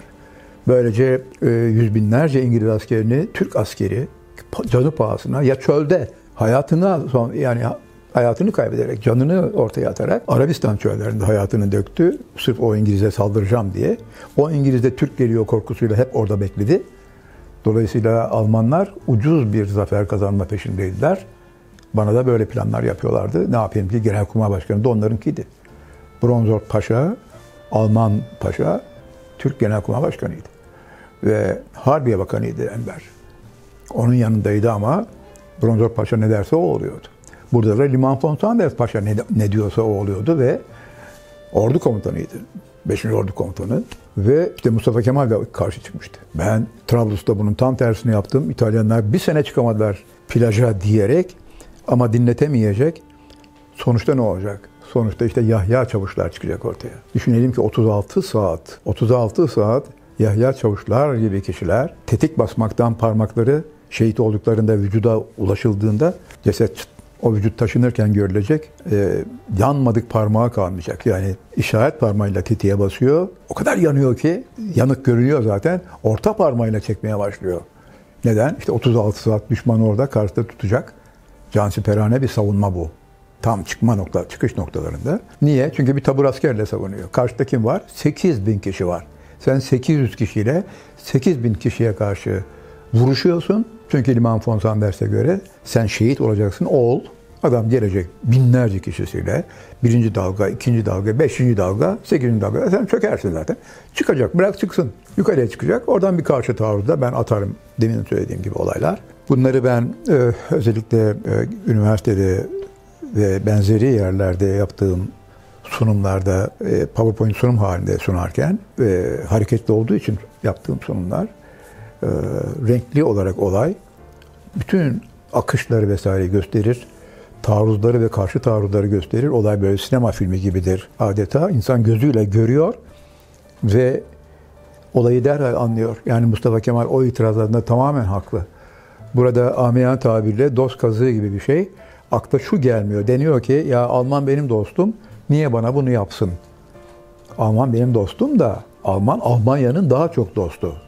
Almanya ve Alman kendi memleketinin de milletinin de e, menfaatlerini çok daha fazla önceliyor doğal olarak. Böylece istiyor ki Türk askeri gerekiyorsa şehit olsun. Tabii ki 800 kişi 8 bin kişiye dayanamayacak şehit olacak elbette ki. Şehit olsun öbür 800 gelsin o da şehit olsun. Ama bu İngiliz'i hep burada muhafaza etsin, tutsun. Bütün olay bu. Hep o saldırmaya devam etsin, bu savunmaya devam etsin. Bu, de, bu bir daha saldırsın, bu bir daha savunsun. Ee, işte çölde olduğu gibi orada da binlerce Mehmetçik çöl topraklarına hayatlarını versinler ama e, 120 bin kişilik Kahire'deki İngiliz birlikleri orada kalsınlar, hiç ayrılmasınlar. Olay bu tarz şeyler üzerinde döndüğü için Almanya'ya karşı hiçbir sempatisi kalmamıştır. Liman von Sanders'e karşı vesaire dahil, dahil olmak üzere. Esat Paşa'yı kendi komutanını desteklemesine rağmen ama işte ilk başlangıç, başlangıçta e, maalesef e, Gelibolu'ya karaya asker çıkaranların e, arka arkaya yaptıkları bu seferler bizlerin çok büyük kayıplar vererek onları ancak durdurmamıza imkan sağladı. Ama bu ortaya bambaşka bir şey attı. O bambaşka şey Mustafa Kemal'dir. Şartlar o kadar kötü gitti ki o yukarıya çıkabilen İngiliz'in karşısına Mustafa Kemal dikildi. Hiç mi başka arkadaşı yok? Olmaz olur mu? Bütün tümenlerin başında sınıf arkadaşları. Herkes yarbay. O da yarbay. Ama öylesine bir dahi ki kısa bir zaman sonra kendi komutanının kendisine verdiği emrin dışına çıktı. Tam tersini yaptı. Tam tersini yaptığı için icabında askeri mahkeme verir, kurşuna bile dizilir. Çünkü bütün ordu bunu görüyor. Tam tersini yapılmakta olduğunu. Ne yaptı mesela? E, yerini terk etti mesela. Emir almadan. Maydos'ta bulunuyordu. Kendi komutanı daha kuzeyde karargah olarak. Düşman tam öbür taraftaki deniz kıyısından çıktı. Gelibolu'nun tam öbür tarafından çıktı. Bulunduğu yeri derhal terk etti. Ve yanında bir yaveri var sadece. Ve bir batarya var. Belli bir yolu izleyerek top seslerinin gelmekte olduğu yere doğru yöneldiği zaman kısa bir zaman sonra işte benim e, balıkçı damı denen bugün de var olan o balıkçı damları hala muhafaza edilir. 800 kişiyle savunuyoruz. Karşıda 8 bin kişi var. Sabahın 5'inden itibaren düşman baskınıyla başladı olay. O 800 vatan evladı canını dişine takmış 8 bin kişiye karşı saatlerdir dövüşüyor. Top sesleri iyice yaklaşınca Maydos'tan duyulunca bu ve de kendi arkadaşların bir, bir yarbayımız 50, 57. alay komutanı Onu uyarınca Kemal düşman arı bundan çıkıyor. Bilgin olsun denince derhal oraya gittiğinde işte o kaçan, kaçan demeye dilimiz varmıyor. Geri çekilen askerle karşılaştı. Nereye diye bağırdı. Düşman dediler. İşte 161 rakımlı tepeden o 8 bin kişi sabahın 8'ine itibaren hareket halinde zaten tepelere doğru tırmanıyor. Gördü böyle düşmandan kaçılmaz. Mermimiz bitti paşa. Ağabeyim. Merminiz bittiyse süngünüz var. Süngü tak emrini verdi. Ve bu esnada yaverini geriye göndermişti zaten.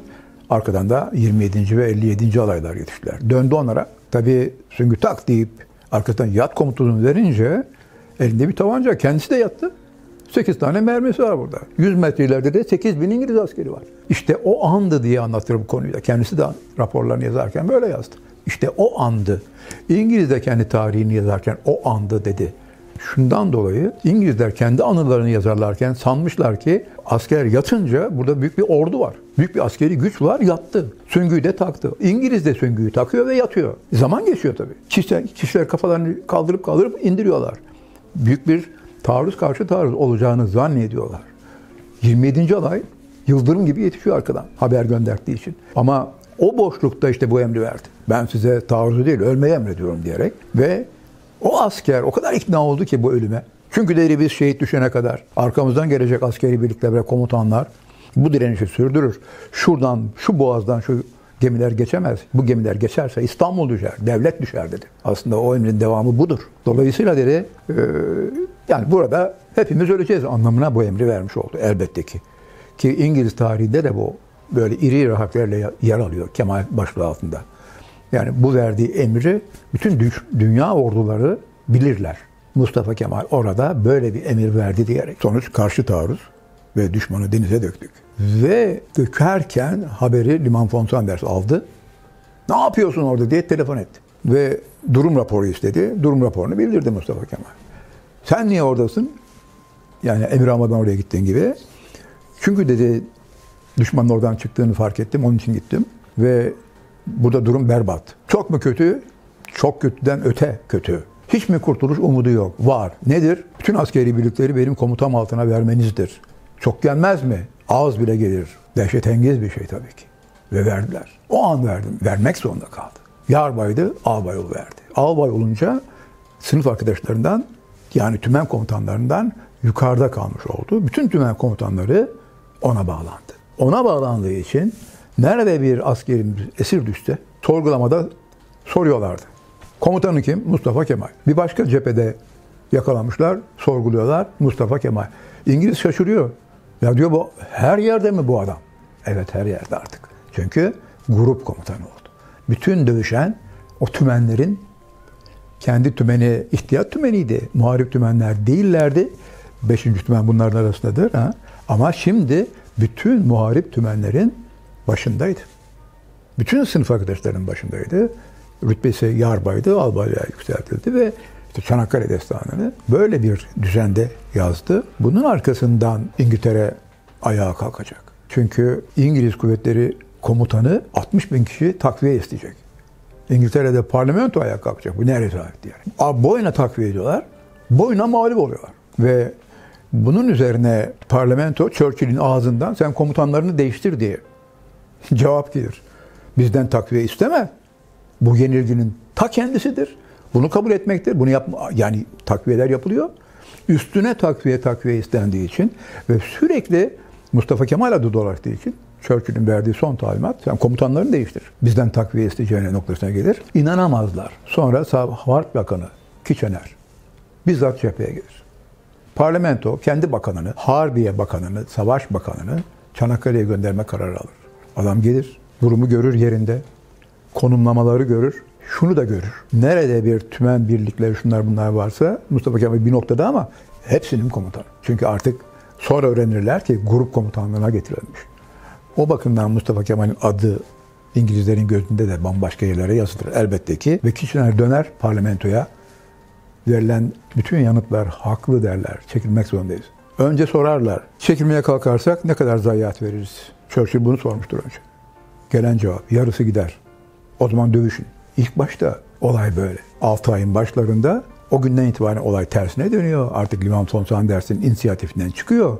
Ortalıkta bir albay var, öteki orgeneral gibi ta baştaki bir başkomutan. Ama hiç kimsenin umurunda bile değil başkomutan. Benim bütün birliklerim al, albay olan Mustafa Kemal'in emrinde. Öyle bir savaşıyor ki orkestra şefi gibi. Gelibolu'nun, Yarımada'nın solundaki kıyı, sağındaki kıyı fark etmiyor. Ortasındaki merkez hiç fark etmiyor. Ha arı burnu olmuş, ha anafartalar olmuş hiç fark etmiyor. Her yerde mutlaka bir askeri birliğe gelen raporlara göre harekat planını yapıyor ve uyguluyor. Her defasında yeniyor. Her defasında yeniyor. Dolayısıyla e, inanılmaz bir olağanüstülükle karşı karşıya kaldıklarında görürler. Ama kayıplar o kadar artar ki ölüleri toplayamıyorlar. Buna vakit yok. Savaş o kadar çetin ki cesedini toplayamıyorsun kokmaya başlıyor. Bunun tarihi 10 Ağustos. Ateşkes ilan ederler. Taraflar birbirlerine gönderdiği mesajlar bir gün ara verelim derler. Onun için Çanakkale Savaşları'na Centilmenler Savaşı denir. Ve 10 Ağustos günü bir gün ara verilir. Herkes pazumentini takar. Biz Kızılay'ı takarız, o Kızılhaç'ı takar gibi. Subaylar karşıdan böyle tanınsınlar diye.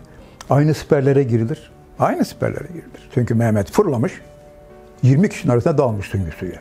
Dolayısıyla iki yüzbaşı bulunur. Birbirini aynı anda süngülemiş. Aynı anda süngülediği için ikisi de aynı anda ölmüş. Bugün cesetler ayrılıyor. Bir yandan gömmel başlamış. Bir yerlere taşınıyor. Orada mezarlıklar oluşacak. İşte çikolata, sigara ikramları başlamış birbirlerine. Biz daha çok su veriyoruz vesaire. Böyle şeyler başlamış bir taraftan. Dolayısıyla mezarlıklar yavaş yavaş oluşacak. İşte Fransızlar için bir yer ayrılıyor. Öteki oraya taşıyor. İngiliz buraya taşıyor vesaire. Bunu ne yapalım diyorlar. Ayıralım birbirinden. Sonra diyorlar ki ayırmayalım biz bunları. İki süngü anıtı diye bir anıt var Çanakkale'de. Orada yatıyorlar. Ve o yüzden bir taraftan da centilmenler savaşı diyorlar. Neden? Biz zehirli gaz kullanmadık. Kullanabilirdik. Bu imkanımız da vardı. Ama bunun insancı olmadığını biliyorduk. Dolayısıyla savaşın cereyanı esnasında İngiliz'in kendisinin kayıt altına aldığı o kadar çok olay var ki çıldırıyorlar Türk askerinin karşısında yani. Süngülemiş, üstüne düşmüş ceset, kan fışkırıyor. Gömleğini hemen çıkartıyor, yırtıyor, basıyor yere. Kurtarmaya çalışıyor. Bakıyor ki kurtarabilir. Süngüsü bir tarafta dağılmış vesaire. Sırt diyor. Oradan kan akıyor. Adamın kendi gömleğinden çıkarttığı kumaş parçası onun yarasına takılı. Sırtını alıyor götürüyor. Karşı cep cepheye. Çünkü cepheler arası 8 metre. Bu yüzden bu anıtlar da var İngiltere'de böyle taşırken başka. Bunların hepsi doğru. Böyle bir Mehmetçik var karşısında. İngiliz bunu elbette ki unutamıyor. Ve dolayısıyla Çanakkale Savaşı sonunda bir tek mesaj çok önemli. Dardanelles, impassable. Bu kelime sözcük olarak kulağa impossible'la karışabilir. Impossible zor demek, imkansız demek. Impassable geçilmez demek. Geçilmez diyor. Sonradan da niye yenildik denince işte başbakan çünkü Mustafa Kemal'i yenemedik diyecek. Türk ordusunu yenemedik değil. O bakımdan Çanakkale'nin bizde çok farklı yeri var.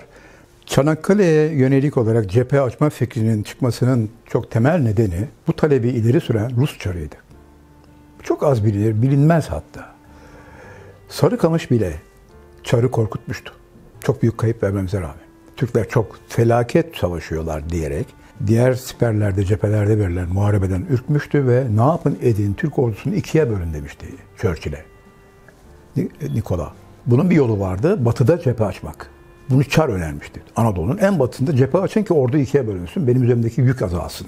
Nikola e, Türk askerinin doğuda büyük sıkıntılar içinde olduğu halde az güçle çok geniş imkanlara sahip birlikler nasıl savaştığını görünce endişeye düştü ve Churchill'e başvurarak orduyu ikiye bölme planlarını hazırlayın dedi. Bana göre dedi Çanakkale'de cephe açın. Churchill bunu meclise götürecek, parlamento onaylayacak ve Çanakkale'de siper cephe açma fikri buradan doğacak.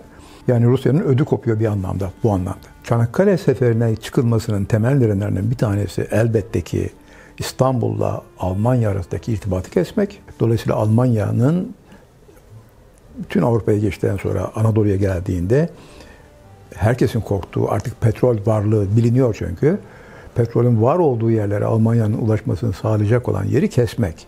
O hatları kesmek. Araya işte Almanya'nın o topraklara ulaşmasını engelleyecek bir bölgelerde savaşı kitlemek. İşte bu Çanakkale. Kazanılırsa aynı zamanda sadece Almanya'nın Arap ülkelerindeki petrol yataklarına yaklaşmasını engellemekten çok aynı zamanda İstanbul'a girip Boğaz'dan çıkıp Kırım'a ulaşmak.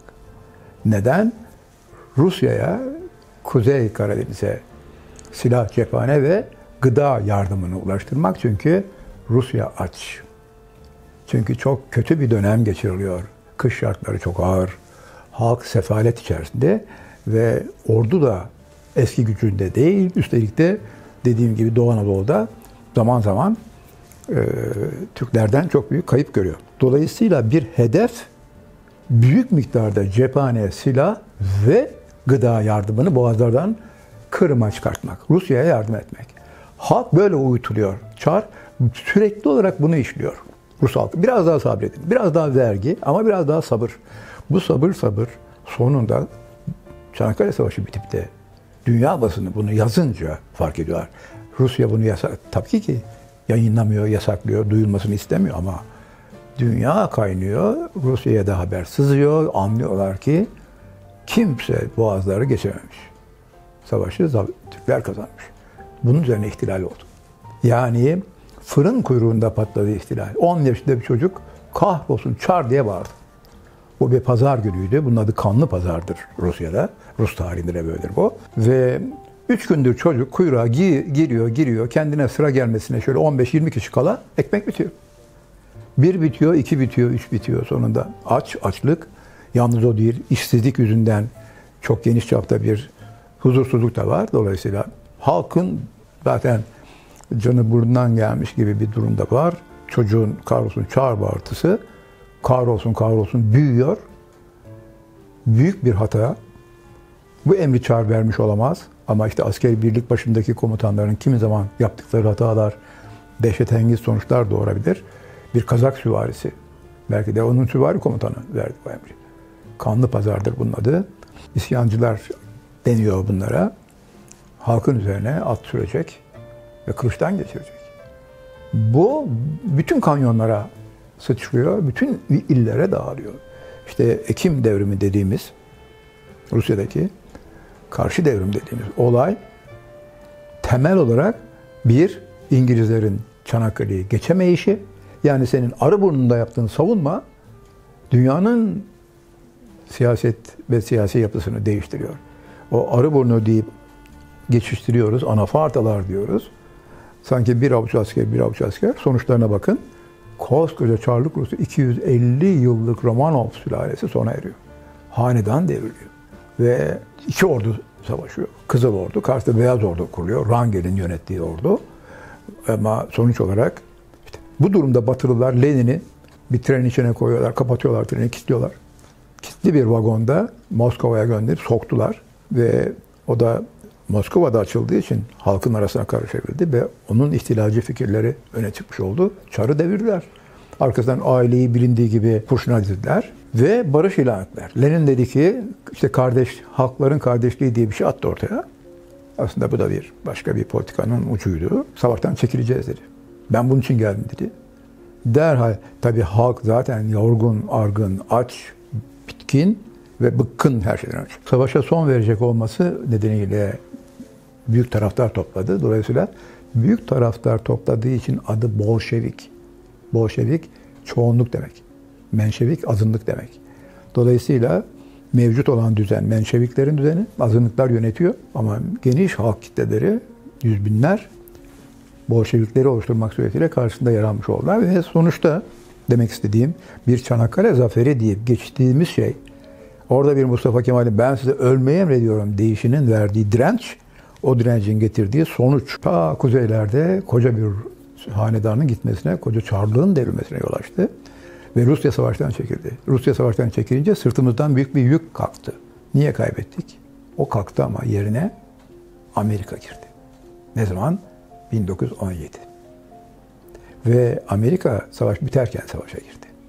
Bu bambaşka, apayrı, çok önemli özellikleri olan ve bizim kesimin yaptığı hatalardan kaynaklanan, Almanların yaptığı hatalardan kaynaklanan sebeplerden ötürü Amerika Birleşik Devletleri savaşa girdi. O denge yeniden sağlandı.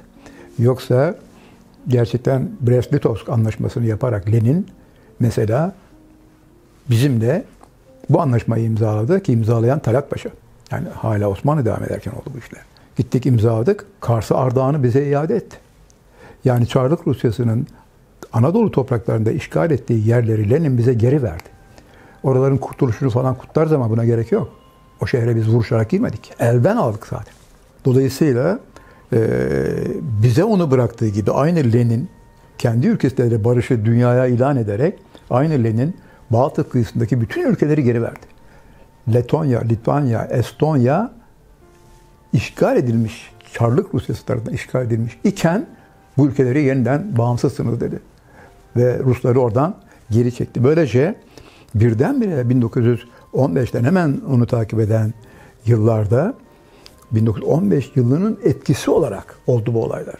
İşte 16 arkasından 17 Rusya'daki ihtilal olayı. O olunca işte Baltık kıyılarının tam tersine döndürülüp Çar zamanında Rusların girdiği her yerin yeniden iade edilmesi gibi bir olaylar yaşandı. E, bu bütün gelip dayandığı noktaya bakarsanız bütün bunların ucunda bile Mustafa Kemal'i görüyorsunuz. Çünkü onun Çanakkale'de yarattığı o savunma savaşı ve savunmanın vermiş olduğu sonuçlar Türkiye'nin dışındaki ülkelerde bu denli farklı sonuçların doğmasına yol açacak.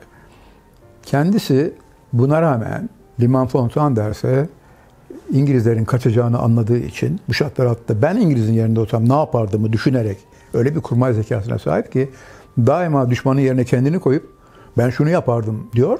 Türk olarak da kendisi evet o zaman ben de bunu yaparım diyor. Böyle hep karşılıklı muhasebelerden geçiriyor. Dolayısıyla kaçacağını biliyor İngiliz. Yani İngiliz telgraf çekerek Churchill'e sordu ama ne yapalım diye. Ee, Churchill o zaman dövüşün dedi. Yani yarı yarıya zayiat varsa ama Mustafa Kemal de durumu gördükten sonra bu İngiliz'in dayanamayacağını ve kaçacağını biliyor. Liman von Sanders'e yazılı olarak bir taarruz planı sundu. Sonders reddetti. O kadar üzüldü ki buna. Zaten sıtmadan titriyor. Bütün savaş boyunca sıtmayı çekti. Sürekli titreme halindeydi. O avurtların çöküşü, yüzü simsiyah, zayıf, zayıf bir vücut. Gözetleme kulelerinde şurada burada görürken gördüğünüz bütün fotoğraflar esnasında aslında olağanüstü ateşler içinde yanan bir kişidir o. Bir aylığına Ankara'ya gel, e, İstanbul'a geldi. Beşiktaş Akaretler 76 numara. Annesi Zübeyde Hanım evine. Annesi onu tedavi etti. Bir ay tedaviden sonra tekrar Çanakkale'ye döndü. İşte bu arada Liman von Sanders Enver Paşa'ya başvuracak. Onun Beşiktaş'a geldiği zaman diyecek ki Enver Paşa sen Çanakkale'ye geldiğinde askeri birlikleri ziyaret etmişsin. Tüm sancaklara altın madalyayı takmışsın. 19. tümene uğramamışsın. Mustafa Kemal buna çok üzülmüş. Gerçi tek sebep bu değil ama diyecek kendinin yaptığını da koyacak ortaya. Yani bir taarruz planı yaptı. Ben reddettim. Küstü. İstanbul'a gitti. Bunu ikna edin diyecek. Kurmay son derece kıymetli bir kurmay. Derhal Çanakkale cephesine geri gönderin. Burada işler tersine dönebilecek bir safhaya girdi deyince hem Enver rica edecek hem kendisi de kalkıp gelecek ama maalesef o verdiği plan uygulanmadığı için İngiliz tek bir zayiat vermeden gidecek. Sonra tarihlerde yazacaklar. Gelibolu Savaşları'nın İngiltere tarafından, İngiliz açısından, İngiltere açısından en büyük önemi ve zaferi nedir? Kayıpsız çekilmek diye de cevabını kendiler koyacak. Yani kaçtık ama kaçarken kayıp vermedik. Dolayısıyla bu bir nükte değil, bir gerçek olarak İngiliz tarihindeki yerini alıyor. O yüzden İngilizler üzerinde de, İngiliz komutanlar üzerinde de çok büyük etkisi oluyor Mustafa Kemal'in. Böylece bugün onu Çanakkale'de böyle bırakacağız. Ama hiç bilmediğimiz ya da çok az bildiğimiz bir başka noktaya önümüzdeki çekimlerde geçeceğiz. Neye geçeceğimizi de söyleyeyim. Çanakkale'de bırakacağız rütbesi albay ve biz onu genelde Çanakkale Savaşı'ndan sonra kaybederiz. Nerede olduğunu bilmeyiz. Ne zaman general olduğunu bilmeyiz. Niye general olduğunu bilmeyiz. Ne oldu da paşa oldu bunu bilmeyiz. Çünkü Çanakkale'nin hemen arkasında başka bir zaferimiz yok. Peki niye paşa oldu? Mutlaka paşa olabilmeniz için çok önemli bir şey yapmış olmanız lazım.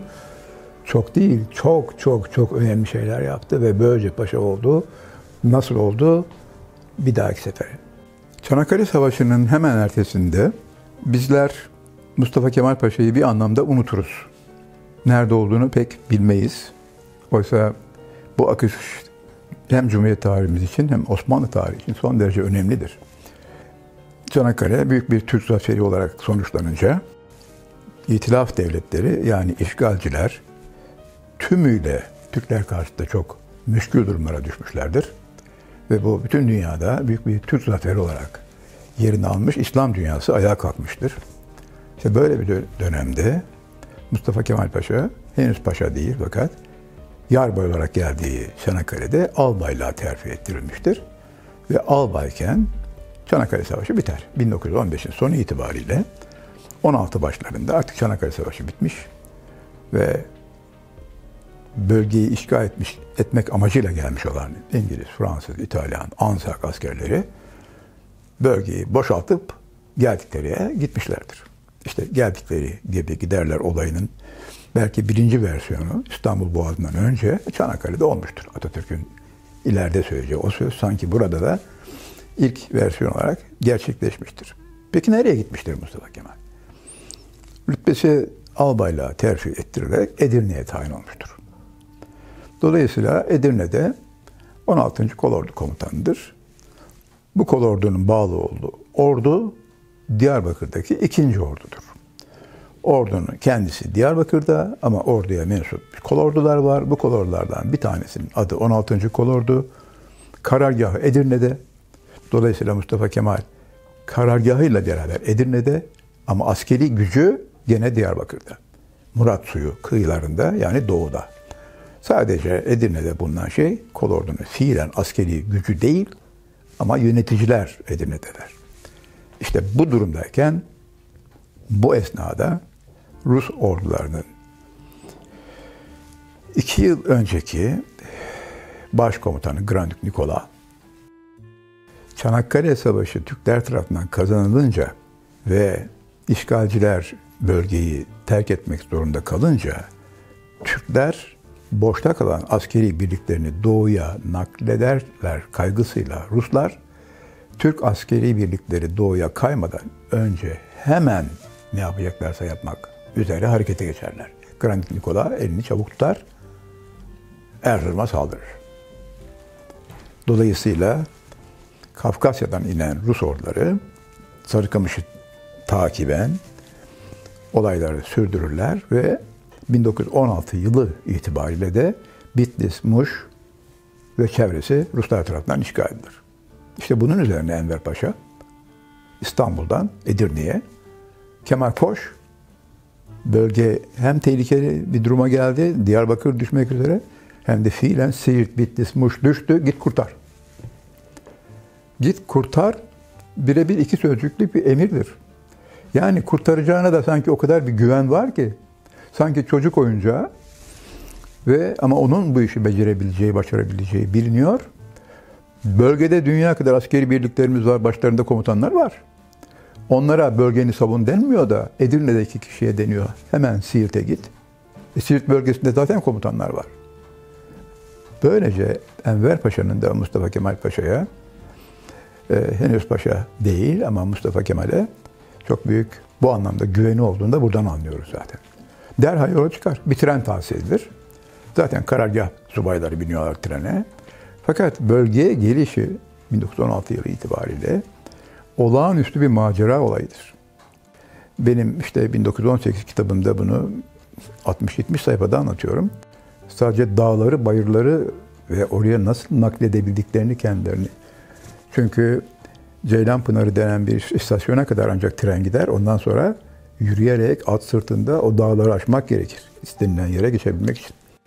Gidebilmek için. Tam da bu esnada üstelik bir yandan tifüs bir salgındır. Öbür yandan da işte Ermeni tehcir olayı dediğimiz zorunlu göç dönemine rastlar.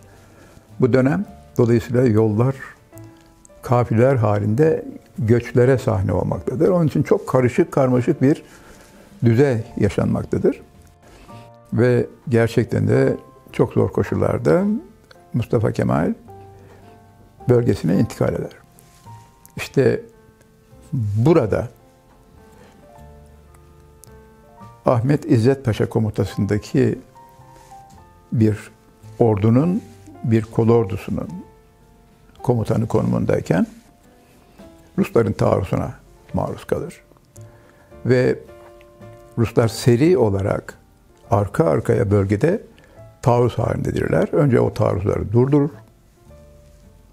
Ama arkasından öylesine zekice tasarlanmış bir plan olduğunu anlıyoruz. Çünkü planın ne olduğunu Rus Genelkurmayı algılayamıyor, anlayamıyor. Bizim Genelkurmayımız da algılayamıyor ve anlayamıyor. Ama kazanan biz oluyoruz. Bu bir geri çekilme hareketidir.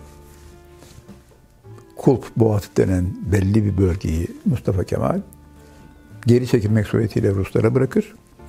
Bu geri çekilme harekatından sonra bir daha geri çekilme harekatı yapınca da İstanbul'da Genelkurmay hesap sorar. Yani resmen divanı harbe verilmek gibi bir riskle karşı karşıya gelir Mustafa Kemal. O kadar meşguldür ki ama. Hem yaptığı planla onu tam can alıcı noktadan vurmak üzere hazırlanmakta. Dolayısıyla bölgeden ayrılması mümkün değil. Fiilen kendisinin gelip hesap vermesi mümkün değil. Ama yüzbaşısını gö- gönderip haritalarla vesaire olayı yüzbaşının gidip savunmasını sağlar. Ama kendisi planını uygulamaya devam eder. Gördüğümüz manzara şudur. Karşı taarruzla Rus ordularını Bitlis'ten de, Muş'tan da, Siirt'ten de atar. Ve Şavşat'a kadar da kovalar.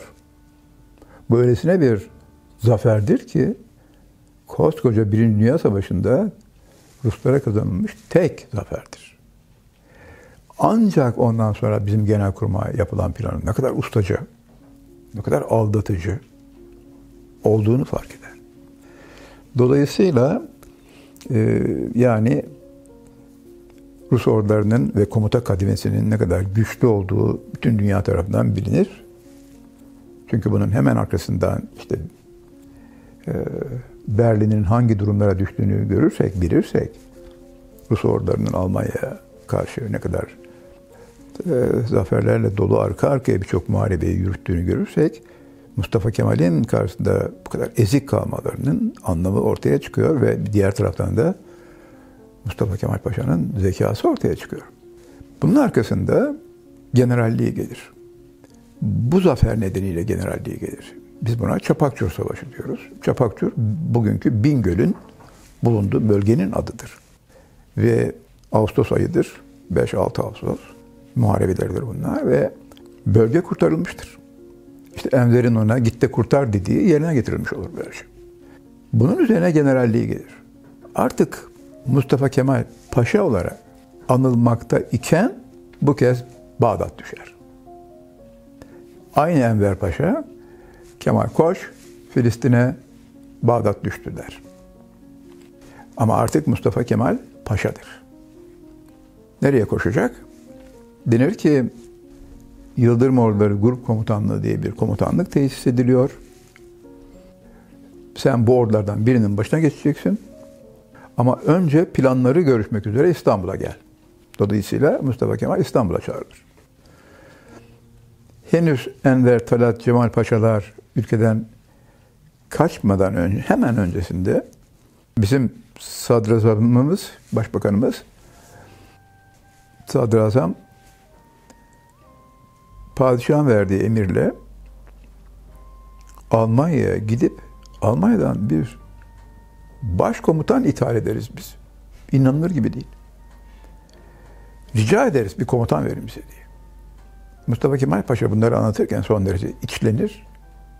Bizler komutan değilmişiz gibisine Talat Paşa, Sadrazam Talat Paşa Berlin'e gidecek. Ve açıkça Almanlardan hem bir komutan hem maddi yardım isteyecek. Bunun üzerine Almanya 5 milyon altın ve Mareşal Falkenhayn'ı belli bir kadroyla Türkiye'ye gönderir. Böylece bizim genel kurmayımız Almanlaşmaya başlar. Birinci Dünya Savaşı'nın çok büyük bir bölümünde Genelkurmay Başkanımız Alman Bronzort Paşa'dır. Fiilen emirler ondan gelmektedir.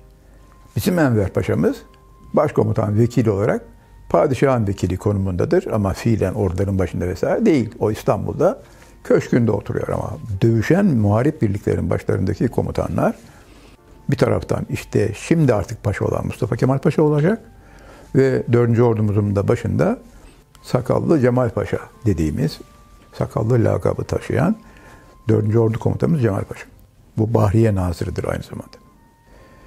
Dolayısıyla bir yandan Almanya'ya biz başvurarak hem para yardım istedik hem de Alman komuta heyetinden destek istedik. Hem bir sonradan marşal olacak olan Falkenhayn'i verdiler. Bir de onunla beraber pek çok sayıda albay ve generaller onunla beraber karargah olarak geldiler. Mustafa Kemal Paşa İstanbul'da bugünkü Gümüşsuyu'nda bulunan Alman başkonsul binasında aynı binada yapılan toplantıda yapılan savaş planlarına itiraz etti. İlk ağırlığını ortaya koyduğu ve tersliğini ortaya koyduğu toplantı oldu. Şimdi bir tarafta 30 yıllık general. Lütfen kabilinden getirilmiş Almanya'da. Ama onun önünde bu yapılan planların yanlış olduğunu iddia etti. Bunun böyle olmaması gerektiğini, yapılması gereken her neyse tersinin yapılması gerektiğini. Çünkü gelen plan Türk ordularına bir taarruz emri vermekte olan bir plan. Biz taarruz edeceğiz. Düşman nerede? Kahire'de. Düşman nerede? Kanal'da. Ve aynı zamanda Bağdat düşmüş, Irak'ta. Ama bizim askeri gücümüz çölü böyle aşıp oralara taarruz edip oradan dolayı Bağdat'ı kurtarmak falan gibi Mustafa Kemal'e göre çok lüks ve yapılması, uygulaması son derece zor bir konuya uygun değil. Bunun uygun olmadığını masada hem bütün komuta heyetine karşı Almanca olarak konuşarak elbette ki savunur. Bir kriz doğar. Daha dün albay olan Mustafa Kemal bu anlamda 30 yıllık generallere, Alman generallere ve onların kurmay heyetine karşı çıkmaktadır haritaların üzerinde.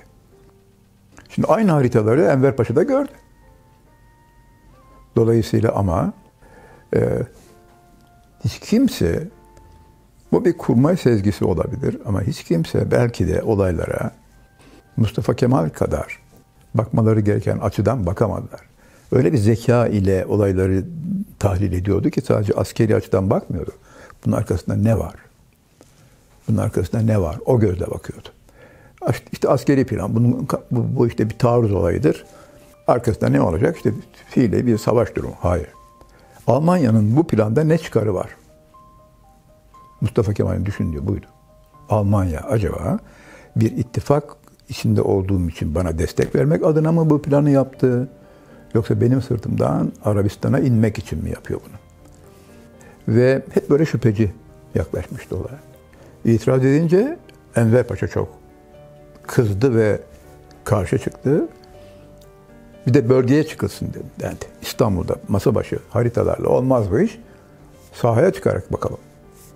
Sahaya çıkıldı, Halep'e gidildi. Sonra bölgeye gidildi. Aynı tepki gösterdi. Ben bunun altına imza atmam dedi. Bunu yaparsak dedi, 30 bin Mehmet'i burada kuma gömeriz. Filistin cephesine kaybederiz. Bu toprakları kaybederiz. Kaldı ki dedi, yapılan paylaşıma göre 4. Ordu Komutanımız Sakallı Cemal Paşa'mız var orada. Ama onun dışında o Halep'te onun dışında ama 6. 7. ve 8. ordular teşkil ediliyor. Tepesinde Marşal Falkenhayn. 6. Ordu Komutanı Ali İhsan Sabiz Paşa. 7. Ordu Komutanı Mustafa Kemal Paşa. 8. Ordu Komutanı Albay Kres diye bir albay sonra general olacak. Bu üç ordu sahayı paylaşıyorlar kendi aralarında elbette ki. Ama Mustafa Kemal'in itirazı Kudüs'ü nasıl olur da diyor bir Alman'a bırakırsınız bir Alman savunur. Bunu Alman generale söylüyor. Almanya'ya nasıl bırakılır bu diye. Bu benim vatanım diyor. Sebebini de açıklıyor Enver'e açıklarken. Enver Paşa'ya. Bir an için düşün Enver diyor. Niye bir Hristiyan Alman Hristiyanlar için çok kutsal olan Kudüs'ü savunsun? Savunmak demek bombardımana uğramak demek. Sen ateş edeceksin, o ateş edecek. Savunuyorsun çünkü. Madem savunuyorsun o da sana saldırıyor. Kudüs diye bir şey kalır mı ortada? Kalmaz. E bu adam bunu yapar mı? Alır şehri teslim eder. İsa'nın türbesini korur. İsa'nın kilisesi der. Şurada yürümüştü der. Burada çarmıha gerilmişti der. Doğru düz bir şehir savunması yapmaz. Ama aynı Kudüs benim için de kutsal. Ben de Müslümanım. Onu bir Türk generali, bir Türk birliği, Türk komutanları savunma bölgeyi der. Akıl kârı değil bu işte. Çünkü bu adam der yarın çekip gider bu benim vatanım. Dolayısıyla tepedeki komutan bir kere Alman olmamalı. İşaret ettiği kendisi de değil. Çünkü kendisi daha birkaç aylık bir general. Biliyor kendisine kıdem olarak böyle bir şey gelmez. İşaret ettiği 4. Ordu Komutanı Cemal Paşa. Ama Enver verdiği cevapta Kemal işte hep onu teskin etmeye çalışıyor. Senin gibi düşünmüyorum Kemal. Sonuçta bu bizim müttefikimiz. Senin göremediğin bir şey muhakkak vardır. En azından deneyimiyle, tecrübesiyle karşındaki muhatabın olan bu planları yapan kişiler yılların generalleri, genelkurmay başkanları. Koca Alman ordularının başkomutanlığı yapmış kişiler bunlar. Senin gördüğün kaygıları muhakkak o da görüyordur. Dolayısıyla bu kadar fazla olayın üzerine gitme diye. Bu kadar fazla olayın üzerine gitme denen telgrafların sayısı 7'ye çıkar. Demek ki 6 kere itiraz etti. Gelene cevap verdi. Bir daha geldi, bir daha cevap verdi. Sonunda istifa etti. Sonunda da ben istifa ediyorum. Bu o kadar önemli bir şey ki Türk kamuoyunun bilmediği, kitapların yazmadığı, Atatürk'e en büyük saldırının yapıldığı yer şimdi geldiğim yer. Filistin çökerken komutan Mustafa Kemal değil. İstifa etti. İstanbul'a döndü. Mustafa Kemal Filistin cephesindeyken tek bir mermi yakılmamıştı. Kitaplarımız bunu yazmıyor. Ve Mustafa Kemal karşıtları en çok buradan vurmak üzere akılları ona erdiği için hep şunu söylediler. Sakarya Savaşı deyince, Büyük Taarruz deyince yere göğe koymazsınız. Ama kardeşim bu devlet güneyden çökmedi mi? Güneyden çök. Evet çöktü. E bak bakalım kitapta ne yazıyor? Kitaplarda, kayıtlarda ne yazıyor? 7. Ordu Komutanı kim? Bak Alman işte İstanbul'da toplantı yapılmış. Bölünmeler yapılmış. 7. Ordu'ya kime verilmiş? Mustafa Kemal'e. Demek ki mağlup olmuş ki İskenderun'dan girdi İngiliz sonuçta. Yani biz güneyden çöktük. Güneyden çöktüğümüze göre niye Sakarya deyince, Büyük Taarruz deyince ölmeyi biliyorsun da bunun hesabını sormayı bilmiyorsun? Aslında bunun hesabı verildi mi? Hesabı soruldu mu Mustafa Kemal'e diye saldırırlar. Oysa komutan Mustafa Kemal değil. Ne yaptı? Bir kere bu karşılıklı giden telgraflarla Enver Paşa'yla bu emri yerine getirmeyeceğini kesin ortaya koydu. Enver Paşa da tavrını koydu. Çünkü bir taraftan gelen 5 milyon altın para var. E bu para hatır için gelmedi. Yani komutanı iade etsek bu parayı bizde bulundurmaları mümkün değil. Ve kaldı ki o paraları da Türkiye'de kullanma yetkisi Alman generallere verilmişti. Para şartlı verilmişti. Mustafa Kemal bundan da şüphelenmişti. Kendi vardığı sonuç şuydu. Bu sonucu 19 Eylül 1916'da yazdığı uyarı mektubunda aynen yazdı. Bu paralarla rüşvet dağıtacak Almanlar Arabistan'da, Filistin'de, orada burada. Bölgenin Arap şehirlerini satın alacak ve ileride bizim sırtımızdan o bölgeye gelecekler. Petrol yataklarına gelecekler. Sonra da belki de gerekiyorsa aminen tabiriyle bir tekmeyi bana vuracaklar. Kendiler bölgeye gelmiş olacaklar. Dolayısıyla o paranın bir tek kuruşunu bir Türk general istediği inisiyatifle kullanamıyor idi. E peki bu para niye kullanılacaktı o zaman? Nereye kullanılacaktı ve niye? İşte bu amaçla bölgedeki rüşvete çok yatkın olan Arap şeyhlerini satın almada kullanacaktı. Bu olaya böyle bakılınca oturdu 19 Eylül tarihinde bir uyarı mektubu yazdı Atatürk. İşte yani Mustafa Kemal Paşa. Henüz Atatürk değil. Bu mektubu 5 nüsha yazdı. Bir kopyayı, bunun, bunların beşini de kendi yaveri Cevat Abbas Kürer'e verdi ve elden İstanbul'a gönderdi.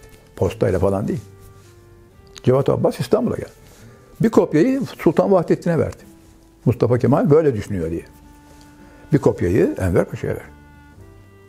Ve ordu komutanına verdi. Hep dağıttılar. Bir kopyayı da Marşal Falkenhayn'ın kendisine verdi. Ben senin için böyle düşünüyorum diye.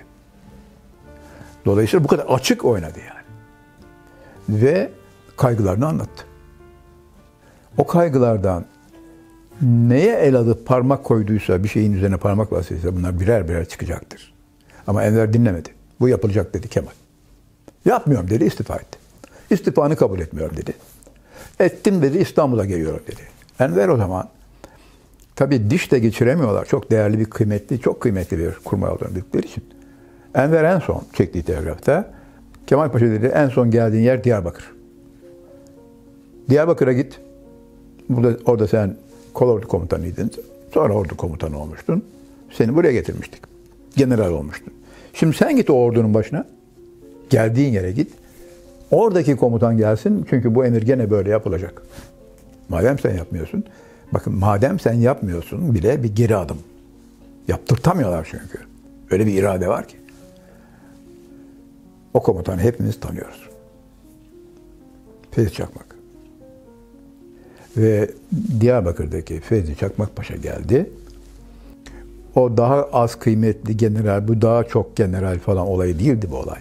Plan yanlıştı. General kim olursa olsun bu savaş kaybedilirdi. Kaybettik. Ama Allah'tan Feyzi Çakmak geldi ama böylece ilk yazılanda 7. Ordu Komutanı Mustafa Kemal Paşa gibi görülüyor ama fiilen bu ordunun başında 10 dakika dövüşmedi ve söylediğim gibi İstanbul'a geliyorum dedi. istifa etti ve İstanbul'a geldi sonuçta Mustafa Kemal. Şimdi ordunun başına Feyzi Çakmak geldi. Hala ama bildiğimiz çöküntülerin henüz başında değiliz. Çünkü fiilen o denli bir savaş başlamış değil. Feyzi Çakmak hasta. Rapor aldı İstanbul'a geldi. Olay kime patladı? Nihat Paşa'ya patladı.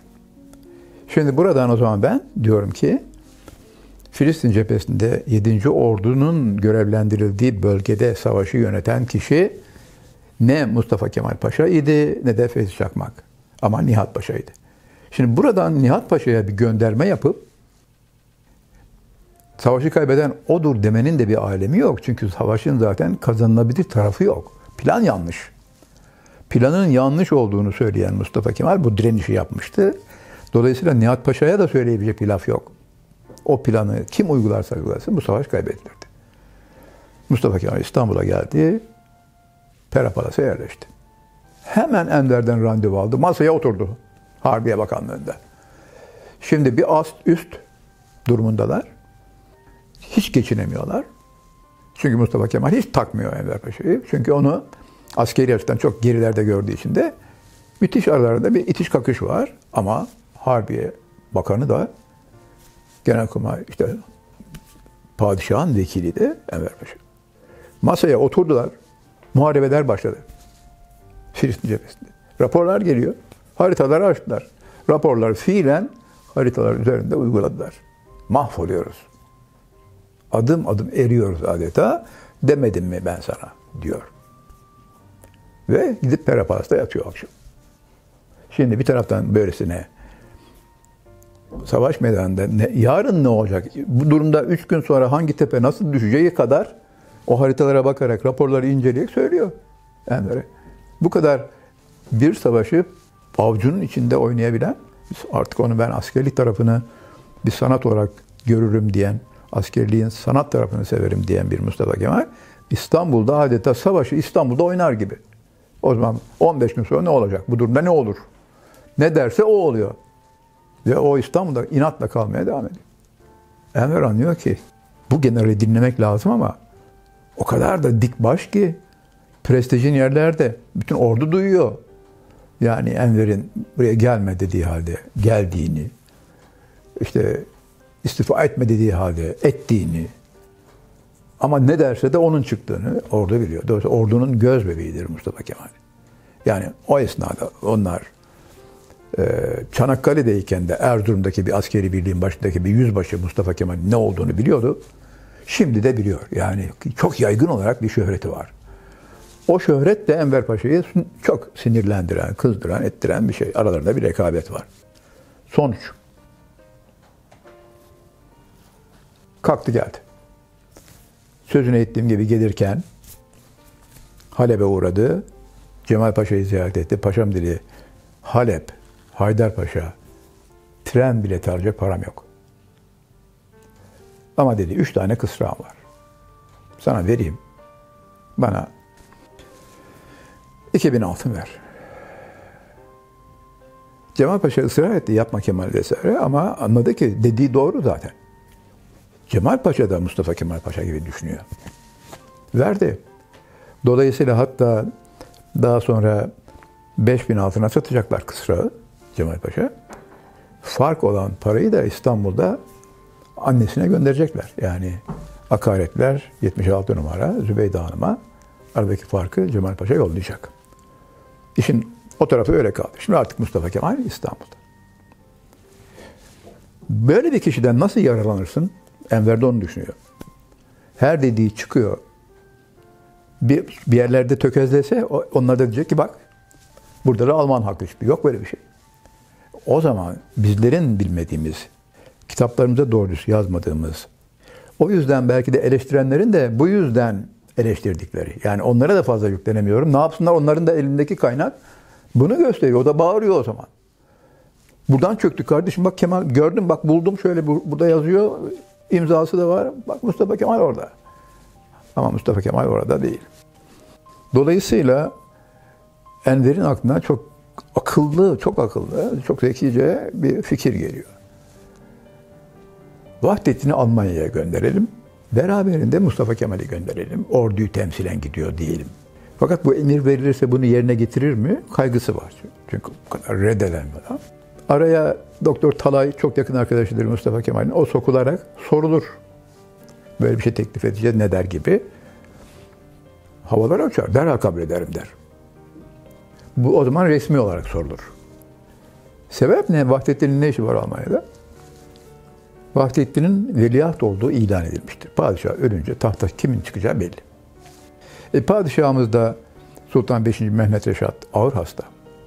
Ölmek üzere. Savaşın başından beri. Alman İmparatoru 2. Wilhelm 3 defa Osmanlı topraklarını Mekke'ye, Medine'ye kadar olmak üzere, Kudüs'e kadar olmak üzere ayrı ayrı zamanlarda ziyaret etmiş. Gelirken de bizim bugünkü Topkapı'daki Alman çeşmesini de beraber getirmiş hatta. Alman çeşmesi odur. O böyle kitler haline getirildi, birleştirilerek o çeşme oluştu. Gelişlerden birinin kutlaması adınadır o. Dolayısıyla ama biz iade edememişiz.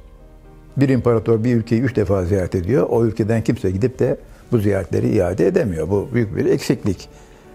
Enver'in aklına geliyor. Ya şimdi diyor veliaht madem padişahımız hasta gidemeyecek belli. Padişahı temsilen veliaht gitsin. Gitmesi hiç önemli değil ama asıl Mustafa Kemal gitsin onunla beraber. Gidince bu planları yapan kim? Başkomutan olarak öyle görülüyor imparator, ikinci Wilhelm ve yanındaki generaller. İşte Ludendorff, Ribbentrop gibi generaller. Tam karargaha gönderelim. O generaller Mustafa Kemal'i ikna edebilir. İkna edebilirlerse o zaman Mustafa Kemal döndüğünde mutlaka bir cephede değerlendiririz. Öyle düşünüyor Enver. Yanlış da düşünmüyor bu anlamda bakarsanız eğer. Ve işte bu vesileyle Mustafa Kemal'in gitmeden önce Vahdettin'le tanışması istenir. İlk defa bir araya gelecekler. Bu hazin sayfalardır bunlar. Yani e, zaman çok hızlı akıyor ama kimi zaman diyebiliriz ki ya bilmesine de fayda var. Ayrıntı bunlar ama çok önemli ayrıntılar. İşte Vahdettin'le ilk beraber olduklarında gencecik bir adam, zayıf. Odaya girdiğinde gözleri kapalı, oturduğunda kapalı, ayaklarını uzatıp oturan bir adam ve gözleri kapsusuyor. Sonra açıyor. Almanya'ya beraber gidiyormuşuz. Evet efendim. Tekrar kapıyor.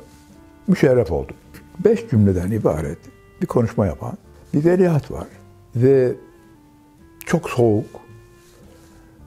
Mustafa Kemal oradan çıktıktan sonra bu Talay dediğimiz doktor Talay arkadaşı gene beraberler. Onunla beraberler. Soruyor Talay. Nasıl buldun veliahtı? Ya diyor meczup mudur nedir anlamadım bile. Girdim kanepeye oturdum. Ben bana bir yer gösterdi. Karşıda oturdum. Gözlerini yumdu. Bir süre açmadı. Sonra açtı. Kesik kesik böyle kelimelerden oluşan bir kelime bir cümle gibi. Ben de ona çok kısa cevaplar verdim. Ve sonra da der Talay. Sonra Efendi Hazretleri lütfen işte askeri üniformayla gelin dedim. Ayrıldık bu kadar. Ama şuna çok takıldım. Bu adam mı bu ülkeyi yönetecek? Ya bu Osmanlı Devleti bu hallere mi düşecekti?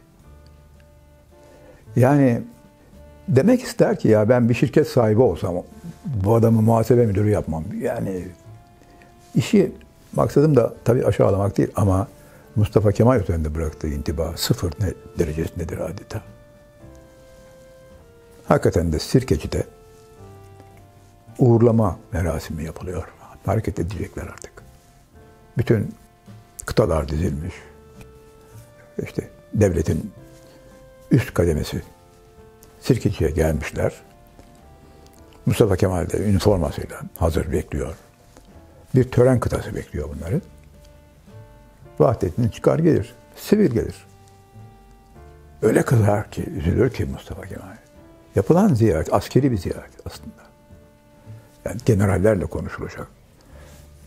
Planlar üzerinde konuşulacak vesaire. Ama e, öyle gelince saraydan bir görevliyi çağırır. Ben der haber yollamıştım. Üniformayla gelmesini istemiştim. Niye sivil geldi? Efendim biz söyledik ona. Ama sivil giymeyi tercih etti. Neden diye sorar tekrar. Niye sivil? Kolordu komutanı gibi kor general üniformasının kendisine verileceği düşünülmüş.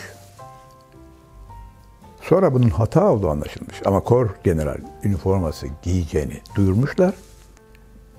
Ama sonra Tu generale inmiş bu. Bu da buna küsmüş.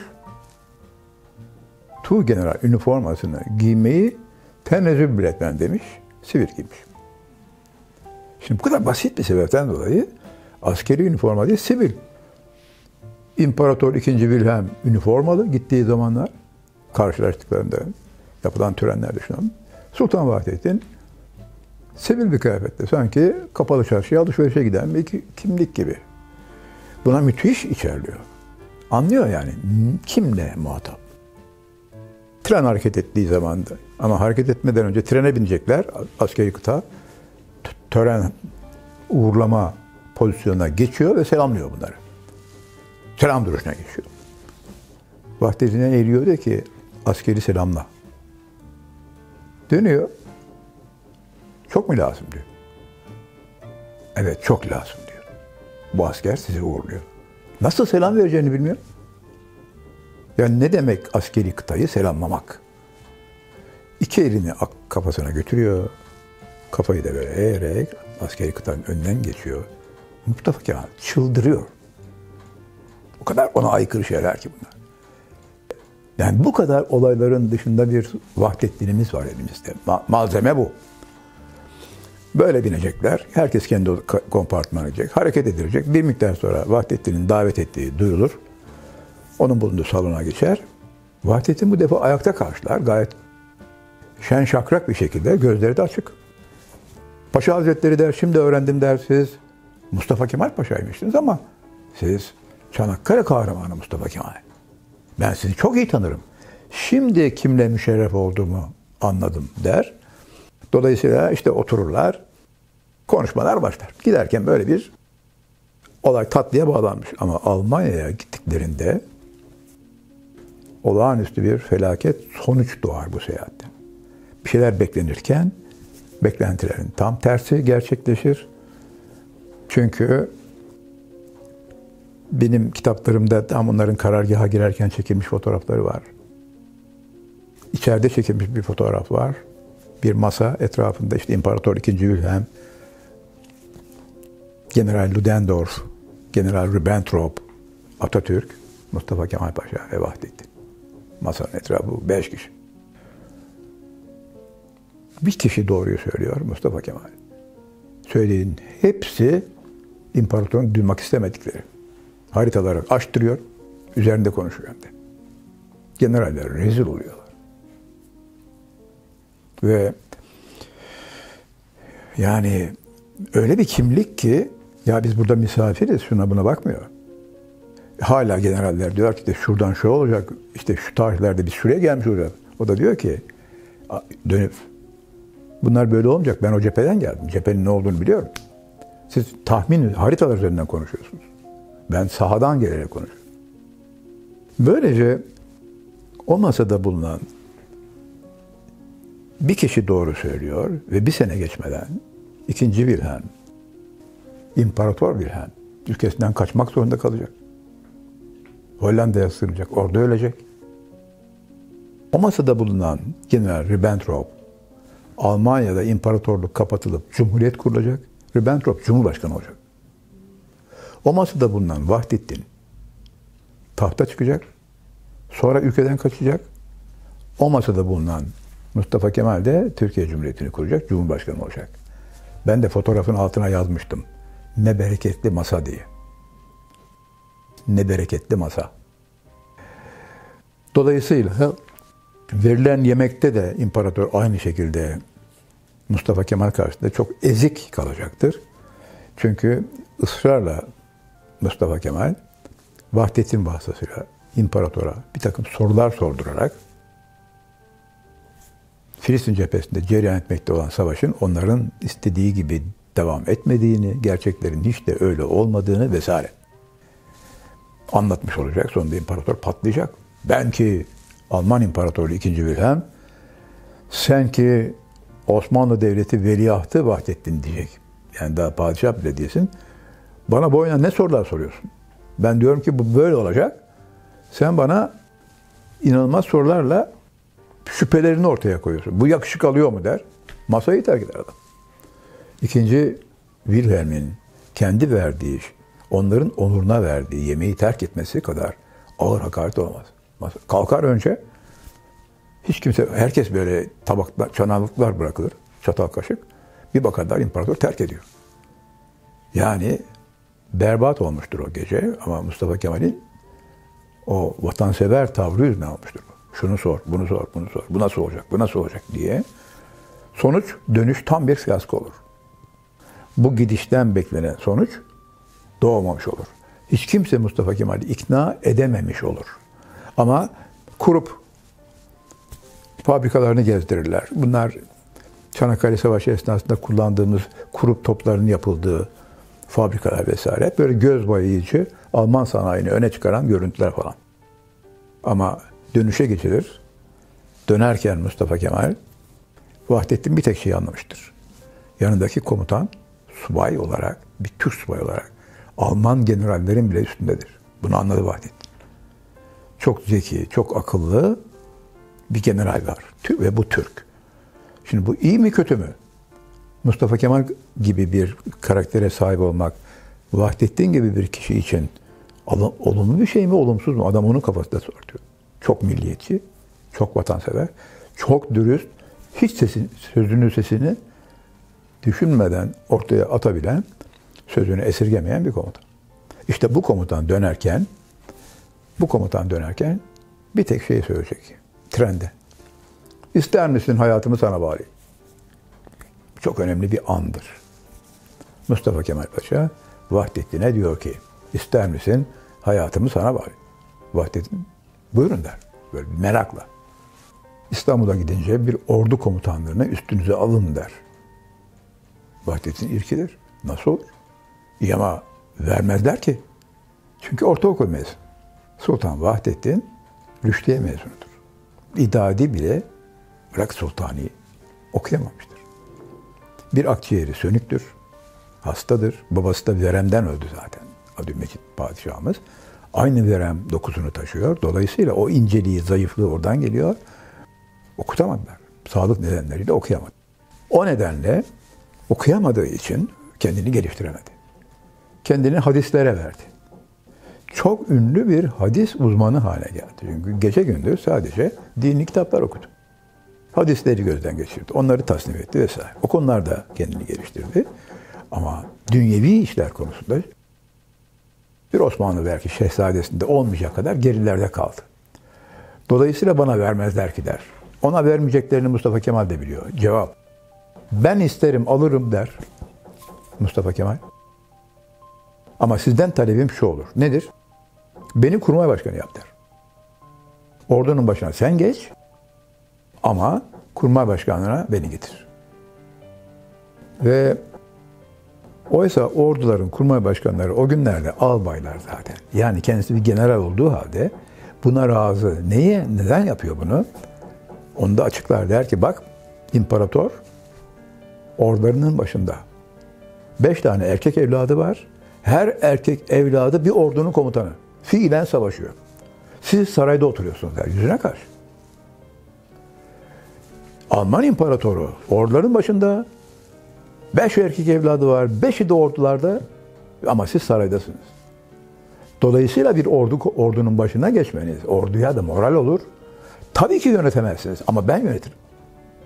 Ama siz ordu komutanı görünürsün. Yani çok olumlu bir yaklaşım aslında. Ama kurmay başkanına beni getirin demek de aslında Enver Paşa'nın da yolunu kesmektedir. Öbür taraftan bakarsan.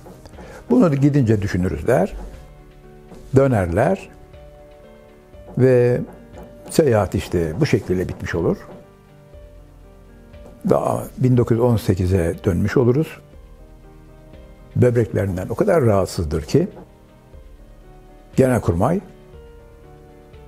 böbreklerinin tedavisi için yurt dışına gitmesine karar verir. Ve bu defa 1918'in daha birinci ayın Ocak'tayız. Mustafa Kemal bu defa Karlsbad'a gönderilir. Karlsbad, Avusturya. Bir ara Paris. Termal sulardan yararlanılarak böbrek tedavisine başlanır. Bütün bunlar şunu gösteriyor. Bu esnada da Filistin'de savaş devam ediyor. Filistin'in F'sinde yok Mustafa Kemal. Hele şimdi daha dün geldiler İstanbul'a. Ertesi gün gidiyor nereye? Kazba'da. Ne kadar süre? 6 ay. O halde bu nasıl bir yalandır bu? Filistin cephesinde 7. Ordu komutanı olarak Mustafa Kemal Paşa dövüşüyordu. Yalanı kadar büyük bir yalan olabilir mi?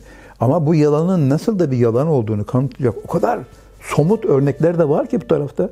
Ya bunlar gazetelerde, o günün gazetelerinde, manşetlerde yazılıyor zaten. Mustafa Kemal Paşa böbrek tedavisi için Genelkurmay tarafından Kazba'da gönderildi. Gittiği tarih belli.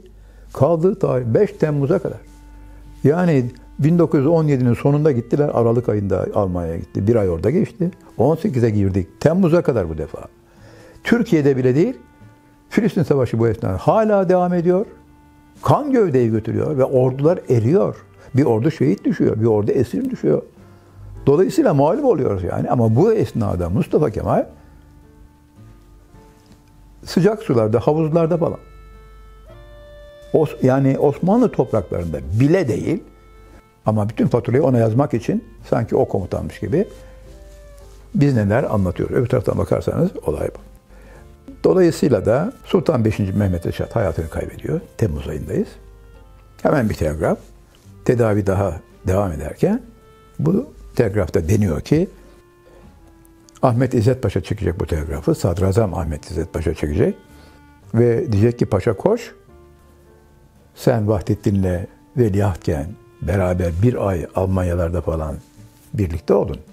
Şimdi saltanata, saltanat ona geçiyor. Padişah tahta oturmak üzere. Gel törene katıl. Belki bir fırsatlar doğar. Bir yeni oluşumlar olur. İstanbul'da bulun. Tam o esnada da sen İstanbul'da bulun. Tedaviyi keser. 5 Temmuz'da gelir. Ocak ayında gitti. Temmuz'da döndü. Filistin ne oldu? Filistin bitti zaten. Demek ki Filistin savaşlarında bu anlattıklarımın bu kadar ayrıntıya girmenin sebebi Filistin düşerken bırakın başlarken de yok Mustafa Kemal.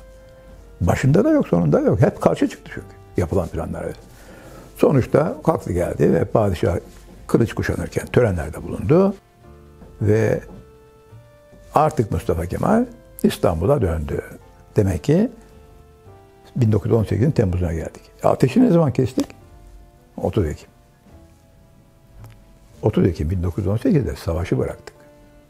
Mustafa Kemal Paşa 1918'in Temmuz'unda Viyana'daydı. Yeni döndü. Peki biz onun işte geri çekilme harekatları, Halep, Malep birçok şeyler biliyoruz doğru. E ona ne zaman oldu? İşte o bundan sonra oldu. Nasıl yani bundan sonra oldu? Temmuz'da döndü. Evet.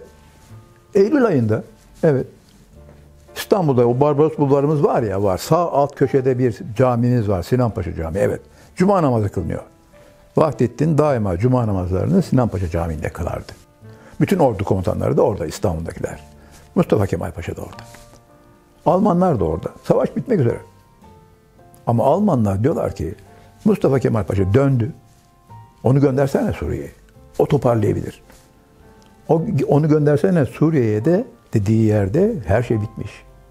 O bir sene önceden istifa etmiş. İşler kötü gidiyor. Böyle yapmayın. Plan yanlış demiş zaten. Şimdi sen onu bir daha aynı yere gönderiyorsun. Neyi değiştirdin de onu gönderiyorsun? Bir de arka arkaya cepheleri de kaybetmişsin. Ama gönderirler. Vahdettin çağırtır falan. Gelir tabii ki. Hayır demesi mümkün değil. Bunu yaptıran da Enver Paşa. İlk defa padişaha direkt olarak bir generale emir verir. Paşa der, derhal gidiyorsun Filistin'e. Orada işler kötü gidiyormuş. Orada işler kötü gidiyormuş dediği tabloda bir ordu şehit düşmüş. Öbür ordu esir düşmüş. 60 bin kişi olması gereken birliklerin toplam sayısı 20 bine düşmüş. Nihayet padişah diyor ki kötü gidiyormuş. Derhal Halep'e gidiyorsun. Oradan bu tarafa sınırlarımızdan içeriye bir tek düşman askeri girmiyor. Bu kadar akıl dışı bir emir. Hayır demesi mümkün değil. Çünkü bu Osmanlı'da adab gereği de mümkün değil. Padişaha karşı herhangi bir şey tartışmak mümkün değildir zaten. Dolayısıyla ikinci gidişi bu söylediğim sebepten dolayı oluyor. Eylül ayında oluyor. Ağustos'ta gitti. Eylül'de 19 Eylül günü İngilizler bütün dünyada taarruza kalktılar. Bütün dünyada. Her cephede kalktılar. Filistin'de de kalktılar. Hala böbreklerinden hasta çadırında yatıyordu. Bir İngiliz yüzbaşı esirdi. O sorgulanıyordu. Onun sorgulanmasından anladı ki 19 Eylül akşamı dünyanın her yerinde İngilizler genel taarruza kalkıyor. Uyuyor numarası yaptı. Adam sorgulandıktan sonra götürülünce hemen fırladı. Açtı telefonu. Karşında İsmet Bey yani İsmet Paşa'mız olacak. Ve Ali Fuat Cebesoy Paşa. Biri 4. kolordunun başında, öbürü 16, 15. kolordunun başında. Her ikisiyle temas kurdu. Dedi ki dikkat edin 19 Eylül gecesi taarruz başlıyor. Hazırlığınızı yapın. Genel karargaha bildirin. Genel karargahın başında Liman von Sanders Paşa'mız var. En baştaki gibi. Liman von Sanders o kadar bunu ihtimal dışı görüyor ki Kemal de diyor bunları nerelerinden uyduruyor ki?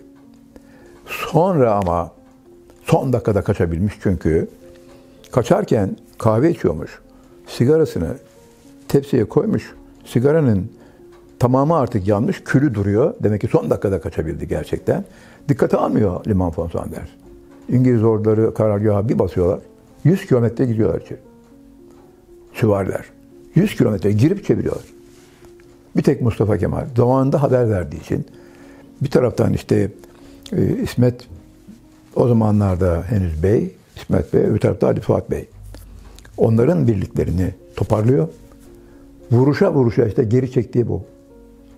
Düşmana esir etmeden en son kalabilmiş 20 bin civarında. Üç ordunun 20 bin, 60 bin olması lazım. Demek ki 40 bini kaybetmişiz zaten. Kalabilini toplayıp vuruşa vuruşa geri çekiliyor. İşte İskenderun'a geliyor. Adana'ya gelip konumlanması bu.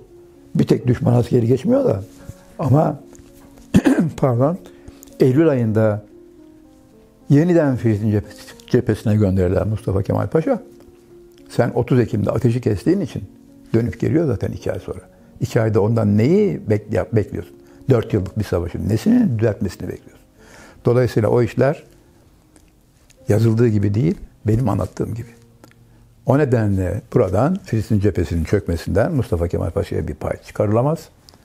Aksine eğer o dinlenilseydi Filistin kaybedilmezdi. Bu sonuç çıkarılır. Böylece Birinci Dünya Savaşı'nın son yılları, son aylarında genel tablonun ne olduğunu görmüş olduk. Üç ordumuzun büyük bir kayıpları uğradığını artık biliyoruz. Bir ordu şehit, bir ordu esir, diğer ordu darmadağın edilmiş vaziyette. Ancak Mustafa Kemal Paşa son hamleyle 19 Eylül'den itibaren yeniden gittiği Filistin'de toparlayabildiklerini Türkiye'ye getirebilmiş ve bunlar Ankara'da bir kolordu teşkil etmişler. Biz buradayken Dünya Savaşı'nın sonuna geliyoruz.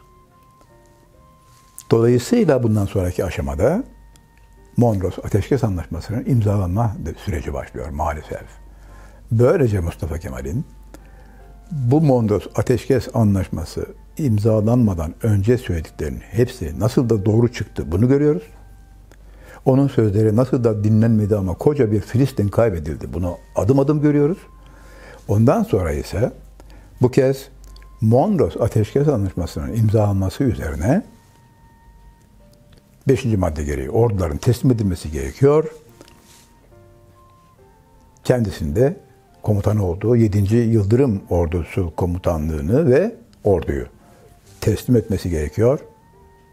Bu noktada kalıyoruz. Onun bir isyanına tanık olacağız çünkü. Bu emri dinlemeyecek. Bunu yapamam diyecek. Çünkü bu emri yapmaya yaratılışım müsait değil diyecek. Bunu padişah diyecek. Yani demek isteyecek ki padişahım sen ve oradaki komutanlar orduları teslim etmişler, İstanbul'a gelmişler. Mondros böyle dediği için herkes orduyu teslim etmiş, komutanlar İstanbul'a gelmiş. Saraydalar. Padişah da orada. Aynı emir ona da gidiyor. O da İskenderun'da. 7. Yıldırım ordusunu teslim et Kemal Paşa. Emir bu. Verdi cevap. Bu emri yapamam. Çünkü bu emri yapmaya yaratılışım müsait değil. O nedenle İskenderun sancağını da 7. Yıldırım ordusunu da kendisine teslim edeceğim bir Türk komutanın adının tarafıma acilen bildirilmesini hassaten istirham ederim diyor. Ben yapmam bu görevi diyor. Padişah dönüyor salgasama. Ne yapacağız biz Kemal Paşa ile? Nasıl başa çıkacağız? Kemal Paşa başa çıkılacak bir paşa değil. O kadar büyük bir yurtsever ki. Öyle bir vatan sever ki onunla başa çıkamazsın. Eğer vatanı aynı ölçüde sevmiyorsan nasıl Mustafa Kemal Paşa ile başa çıkartırsın ki? Sonuç olarak 1918 yılının Ekim ayına doğru evrilirken bugüne kadarki açıklamalardan görmüş olduk ki Filistin cephesinin hiçbir aşamasında Mustafa Kemal Filistin'de değil. Bu savaşlar olurken Mustafa Kemal Paşa yapılan savaş planlarına itiraz ettiği için bölgeyi terk etmişti. Hatta daha sonra da İstanbul'a gelmişti. Hemen arkasından Sultan Vahdettin ile beraber bir Almanya seyahati, bir, bir aylık süreyi de orada harcamıştı. Ve 1918 yılının Ocak ayına kadar ki süreç böylece dolmuştu. İstanbul'a birlikte dönmüşlerdi. Sultan Vahdettin'le beraber. Tabi giderken sultan değildi henüz veliahtta ama geldikten sonra da 5 Temmuz itibariyle Veliaht Vahdettin artık Osmanlı tahtında oturan bir Osmanlı sultanıydı. Ama bu esnada Mustafa Kemal neredeydi? Tekrar dönmemizde büyük yarar var. 1918 yılının Ocak ayından itibaren Veliaht Vahdettin ile beraber bir Almanya seyahati bir ay kadar süren bu seyahatten sonra dönüşün hemen ertesinde de bu defa rahatsız olduğu için böbreklerini tedavi ettirmek üzere tam 6 ay İstanbul'da bile değil, Türkiye'de bile değil, bırakın Filistin'i. Savaş meydanlarında değil, hastanelerde. Mustafa Kemal'in bu yönünü bilmediğimiz için, ayrıntıyı da bilmediğimiz için ki bu süreç esnasında acaba Filistin'e gitmiş olabilir mi? Filistin savaşları hala devam ediyor çünkü o bölgede. Oradaki komutan o olabilir mi? Hayır olamaz. O 5 Temmuz'da 1918'de tekrar İstanbul'a geldi. Demek ki artık İstanbul'da. Savaş hala Filistin'de devam ediyor ama. Ağustos ayına kadar İstanbul'da. Dolayısıyla 1918'in Ağustos ayında Sultan Vahdettin Mustafa Kemal Paşa'yı Filistin cephesine yeniden gönderdi. Bunun altını yeniden çiziyorum, yeniden gönderdi. İkinci defa gönderdi. O birinci defa gönderdiği zaten tam bir fiyasko olmuştu. Onu defalarca anlattık. Çünkü yapılan planlar yanlıştı, ona itiraz etmişti, hiç savaşa bulaşmamıştı. Onun nasıl bir hizmetle sona ereceğini zaten biliyordu, rapor etmişti, dinleyen olmamıştı. Ama kendisi seyirci haline gelmişti. Kalkıp İstanbul'a gelmişti. Şimdi ise savaşın son yılındayız. Bu defa bir aylık veliahtla beraber Almanya seyahati, seyahat bitti geldi. 18'in ilk haftası Mustafa Kemal İstanbul'da. Sonra sonra Karlsbad'da, Viyana'da, Paris'te termal sulardan istifade etmek üzere böbreklerinin tedavisi peşinde. Nereye kadar? 1918'in Temmuz ayına kadar. Bu esnada savaş Filistin cephesi de zaten bitti. Osmanlı devleti de bitti. Osmanlı orduları da maalesef bitti. sözünü hep ettiğim gibi söylerken de çok üzüldüğüm bir ordunun tümüyle şehit düşmesi ne demek? Öbürünün esir düşmesi ne demek?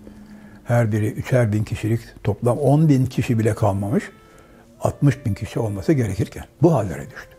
İşte bu hallere düşmüşken de Mustafa Kemal'in hala bu cepheyle zerre kadar ilgisi yok.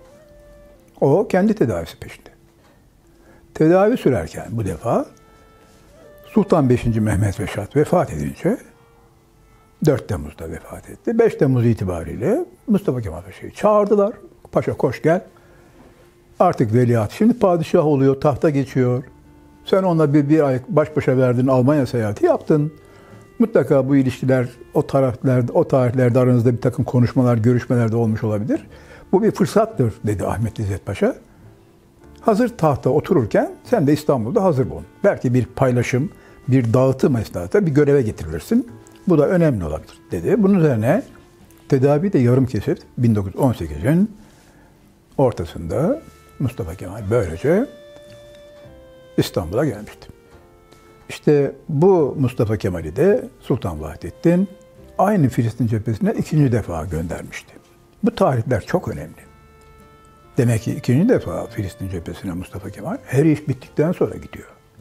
Ordular esir düştükten sonra, şehit düştükten sonra gidiyor. O berbat hale gelmiş konumdan bari toplasan tek bir ordu çıkarabilir mi? Onu Anadolu'ya getirebilir mi? Gibi bir amaca gidiyor. Onu gönderen iyi şeyler bekliyor ama işte iyinin en iyisi de bu. Yapabilecek en iyi şey kalanı acaba korumak, kurtarmak mümkün mü? Oysa Vahdettin'e göre sanki her iş orada doğru gidiyor imiş.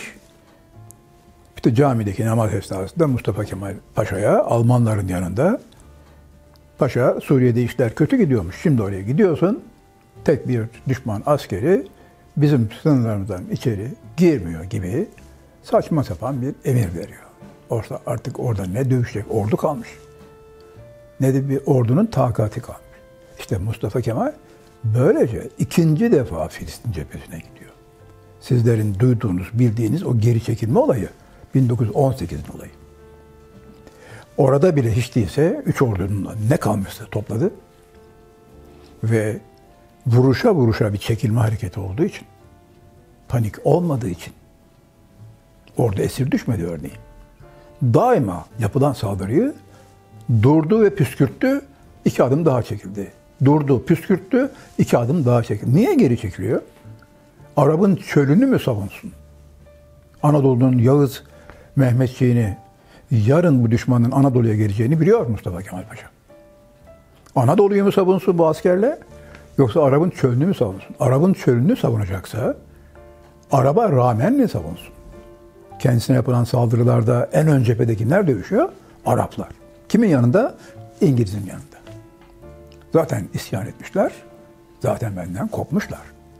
Yani Birinci Dünya Savaşı boyunca bu zaten böyle cereyan etti.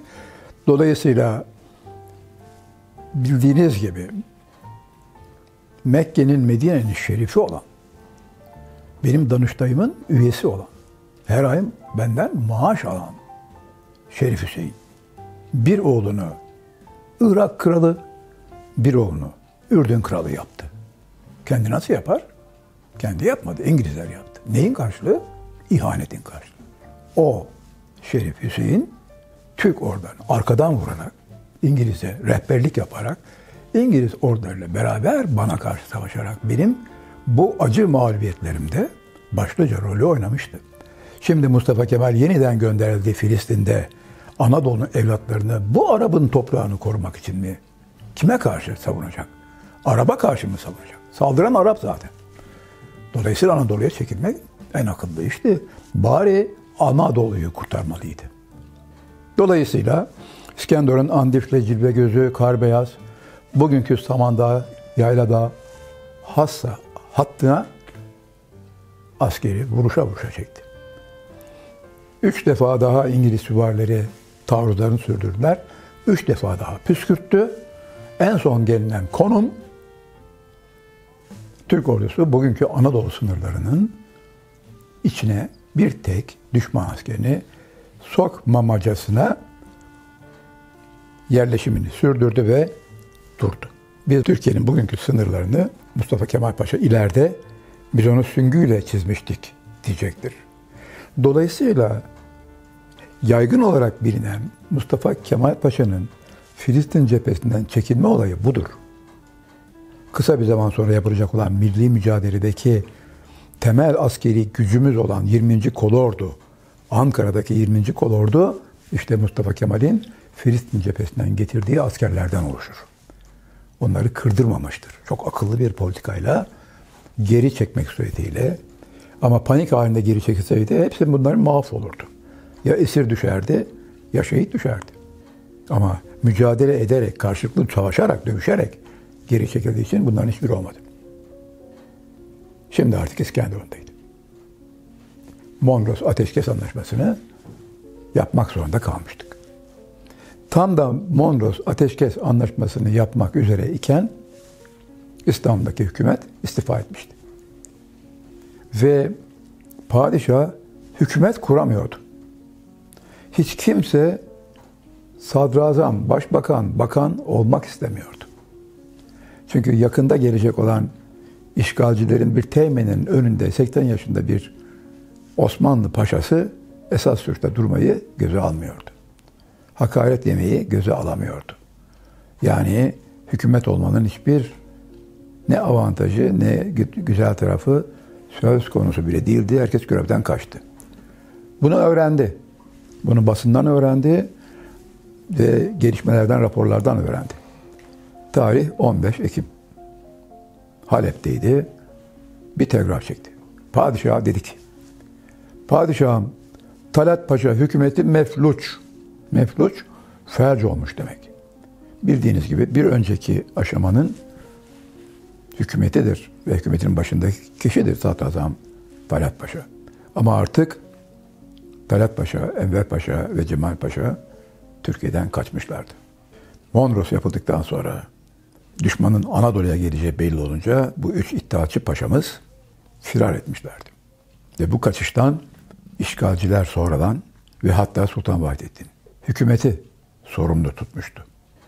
Gereken tedbirler niye alınmadı? Bu paşalar nasıl kaçtı? Noktası gündeme gelecektir ileride. Ama artık kaçmışlardı. Biz sonuçtan gidelim. Kaçtıkları için çünkü işgalciler geldiğinde bunları yakalayıp idam edeceği için bu belli. Kurşuna dizeceği için aşağılayacakları için her ülkede de bunu yaptıkları için bu paşalar kaçtılar. Şimdi yerine bir hükümet kurmak gerek. Bu hükümet kurulamıyor. Kimse sadrazam da olmak istemiyor, bakan da. Bu şartları Halep'te gözlemledi. Tarih 15 Ekim. Telgraf çekti.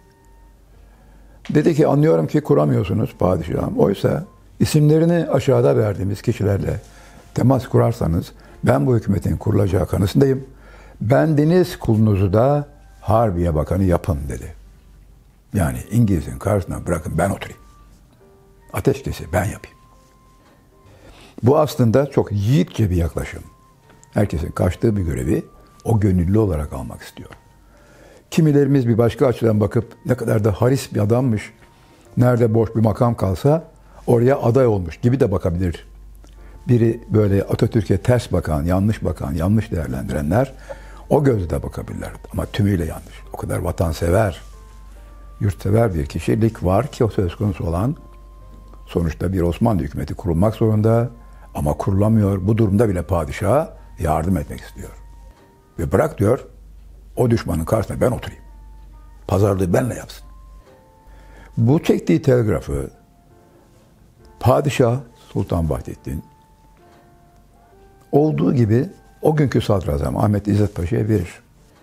Kemal Paşa'nın telgrafı bu. Bunu değerlendir istiyorsan der. Ahmet İzzet Paşa verilen listedeki isimlerle temas kurar. İşte Rauf Bey bunlardan biridir. Ali Fethi Okuyar bunlardan biridir. Azmi Bey, Cezmi Bey gibi kişiler bunlardan biridir. Ve kendisini de ortaya koymaktadır. Sonuçta bu isimlerle temas kurulur. Gerçekten hükümet kurulur. Çünkü bu kişilerin hepsi işin içinde Mustafa Kemal var zannederler. Onun arkadaşlarıdırlar. Onunla ölüme de giderler. Ama görülür ki Mustafa Kemal Paşa kabineye alınmamıştır. Ahmet İzzet Paşa hükümeti teşkil ederken Mustafa Kemal Paşa'yı dışında bırakır. Buna o kadar üzülür ki. Yani böyle bir makama layık görülmediği hissine kapılır, müthiş üzülür. Onun bir Ömer binbaşısı var. Ömer binbaşı İstanbul'a gönderir, hesap sorar. Binbaşı der gideceksin Rauf Bey'i bulacaksın ve soracaksın. Ben niye kabineye girmedim? Bunun üzerine Ömer Bey gelir İstanbul'a ve Rauf Bey'i bulur. Soruyu tekrarlar. Rauf Bey şaşkınlık içinde verecek bir yanıt da yok.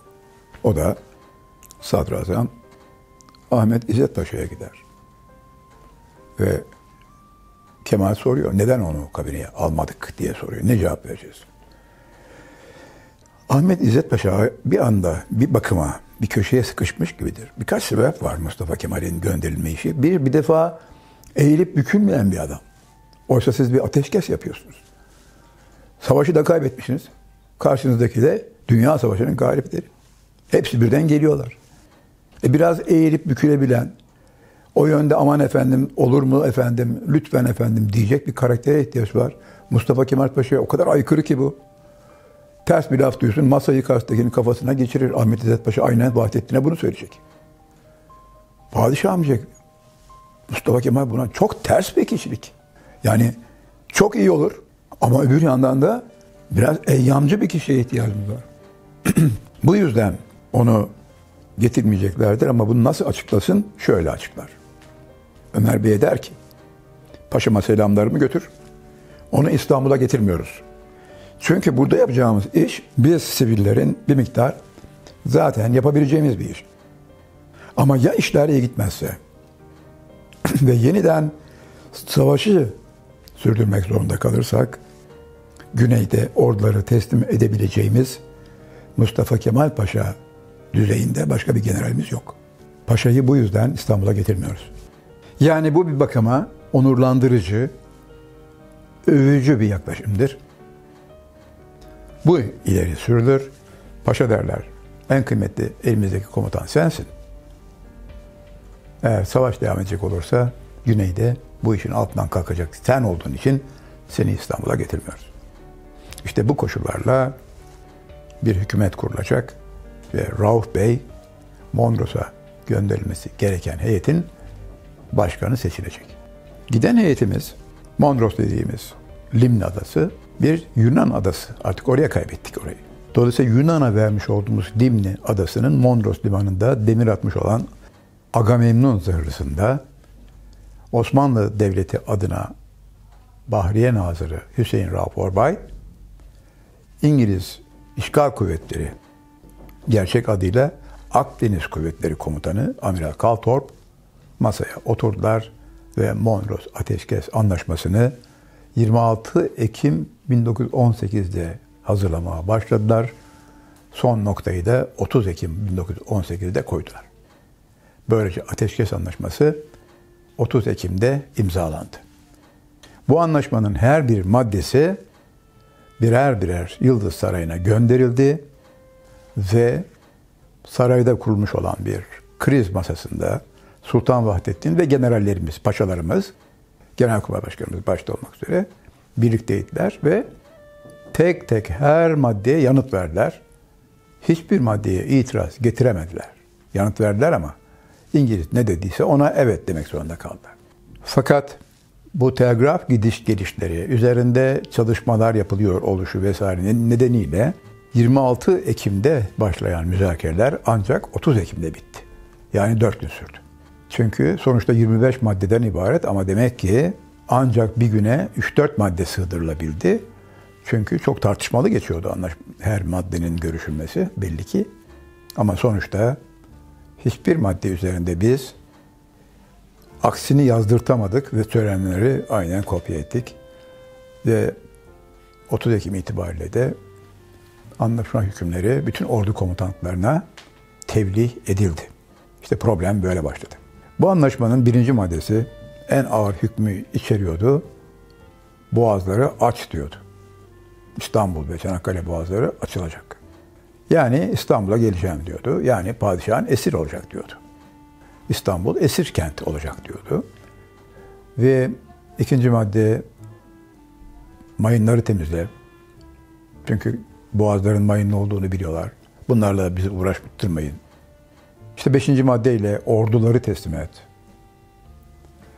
Yedinci maddeyle itiraf devletleri güvenliklerini tehlikede gördüğü her yeri işgal hakkına sahiptir.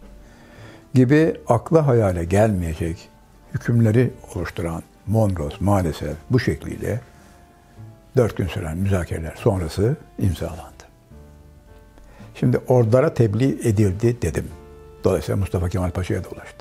Ve daha müzakereler sürerken birçok maddeye itiraz etmişti. Sakın ha, aman ha, bu koşulları bu şekliyle kabul etmeyin. Bunu böyle kabul ederseniz yakın bir zamanda bu ülke baştan aşağı işgal edilir deyip Sultan Vahdettin'i de Sadrazam Ahmet İzzet Paşa'yı da hükümeti de uyarmaya çalışmıştı ama onu kimse dinlememişti. En sonunda da şimdi işte artık ordular teslim ediliyordu. Buna verdiği telgraf cevabında o kadar ağır bir hüküm kullandı ki bu emri yapmayacağım dedi. Çünkü bu verdiğiniz emri yapmaya yaratılışım müsait değil. Böylece Mustafa Kemal Paşa kendisine gönderilen telgrafa neden uyamayacağını yanıtını vermiş oldu. Ben bu emri yapamam dedi. Ama bu verdiğim yanıtla söylediklerimin askerliğe sığmadığını kabul ediyorum dedi. O zaman beni görevden alın dedi. Sultan Vahdettin bu şartlarda ne yapabileceğini Sadrazam Ahmet İzzet Paşa'ya sorduğunda neye karar verildiğini 8 Kasım 1918 günü gönderilen telgraftan anlıyoruz. İki satır bir telgraf bu. 7. Yıldırım Ordusu lağvedilmiştir. Yani kaldırılmıştır. Yani ey Mustafa Kemal Paşa sen şimdi bir onbaşı bile değilsin. Çünkü onbaşının on tane eri olur emrettiği. O yüzden onbaşıdır o. Yüzbaşının yüz tane eri olur. Çünkü yüz kişiye komuta etmektedir. Binbaşının bin tane eri olur. Bu isimler buradan gelir. Senin ordun kaldırıldı. Şimdi senin ordun mordun yok. Senin emiri erin bile yok. Aynı anda üç tane yaverin de işine son verildi. Üç otomobil vardı. Otomobillerine el kondu. Şimdi geldi İstanbul'a dendi. İşte Mustafa Kemal Paşa İstanbul'a bu şartlar altında geldi. Ama o da gelirken zaten böyle bir yanıt geleceğini tahmin ediyordu. Her şeyi göze almıştı. O bir vatanseverdi. Vatanını kendi eliyle, kendi vereceği imzayla satamaz. Ordusunda düşmana teslim edemezdi. O bir karakter olarak zaten bu karakterin insanı değildi. Bunu o güne kadar da kanıtlamıştı. Hele bundan sonraki yapacaklarıyla zaten onu bin defa tekrarlayacak bir kişilik sahibi olduğunu hepimiz biliyoruz. İşte Mustafa Kemal böyle bir kişilikti. Kalktı geldi. Çarşamba günü trene bindi ve 10 Kasım günü Adana'dan hareket etmeden önce Nihat Paşa'yı çağırdı ve dedi ki Nihat Paşa ben İstanbul'a dönüyorum. Ordunun yarısını Ulukışlı'ya kaçır. Ordu yürümeye başlasın. Çok kısa bir zaman içerisinde işgalciler buraya da gelecekler ve esir alacak. Buna imkan vermemek için orduyu yürüt. Tümünü yok etmek mümkün değil, ondan şüphelenirler. Ama yarısını gönderebilirsin. Gönder. Sonra da Ulu Kışla'dan da Ankara'ya yürüt. Çünkü vereceğimiz milli mücadelenin merkezi Ankara olacak. Anlıyoruz ki onun kafasında zaten bir direniş var. Böylece İstanbul'a geldi. Böylece Haydarpaşa da trenden indiği zaman onu en yakın arkadaşı Talay, Doktor Talay karşıladı gene. Ve tam da bu esnada düşman donanması İstanbul'a giriyordu. Bunu Haydarpaşa'nın merdivenlerinin hemen yanındaki çayhaneden çok üzgün bakışlarla izlemek zorunda kaldı. Yani Çanakkale'den geçit vermediği düşman donanması 55 parça, boyu 5,5 kilometre, bir ucu Dolmabahçe'de, diğer ucu adalarda çelik bir duvar gibi boğazın ortasına gelip yerleşiyordu. Dolayısıyla karşıya geçmesi mümkün değildi. Bekledi. Yeni bir siren sesiyle sivil teknelerin karşıya geçmesine izin verilecek ana kadar o gemileri seyretmek zorunda kaldı. Son derece üzgündü elbette ki. Sonra bildiğimiz gibi Kartal İstimbot'a binip karşıya geçerken karşısındaki yaveri Cevat Abbas Gürer gözleri bir noktaya takılmış. Baktı ki gözyaşlarına hakim olamıyor. Mustafa Kemal Cevat Abbas'ın nereye baktığına dönüp kendi baktı. Yunan, Averov zırhlısı demir atıyordu. Onun yanından geçiyorlardı. İşte buna tahammül edemeyen Cevat Abbas da ağlıyordu. İşte o ünlü söz bunun üzerine söylendi. Ağlama çocuk. Bir gün geldikleri gibi giderler. Bunun üzerine Cevat Abbas aslında konuşmayı sürdürdü. Yani biz olayın sadece sloganlaşmış bölümünü biliyoruz. Oysa anekdot bunda kalmadı. Cevat Abbas cevap verdi.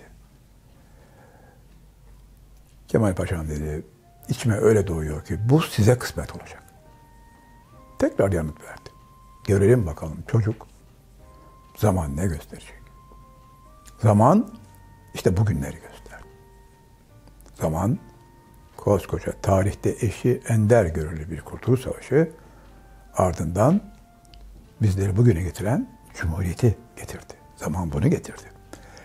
Ama o denizin ortasında, o düşman donanmaların aralarından slalom yapar gibi geçerken bunları söyleyebilmek ancak çok üstün vasıflara sahip bir insanın söyleyebileceği laflardı. Buna hiç şüphe yok. Nitekim karşıya geçtikten sonra Perapalas'a yerleşti. Yani Beşiktaş akaretler 76 numara annesi Zübeyde Hanım'ın evine gitmesi gerekirken normal koşullarda yıllardır görmediği annesine gitmesi gerekirken o İngilizlerin karargahı olarak kullanıldığını bildiği Perapalas dedi. Perapalas'ın iki katı otel hizmeti veriyor. İki katında ise İngilizler karargah olarak o mekanı kullanıyorlardı. Yani yani beni yenemediniz. Ben gene buradayım demek istercesine İngiliz karargahının da içinde yer aldığı Perapalas'a gitti. Üç gün içerisinde de randevu aldı. Bu gelişi çarşambadır. Cuma olmak üzere.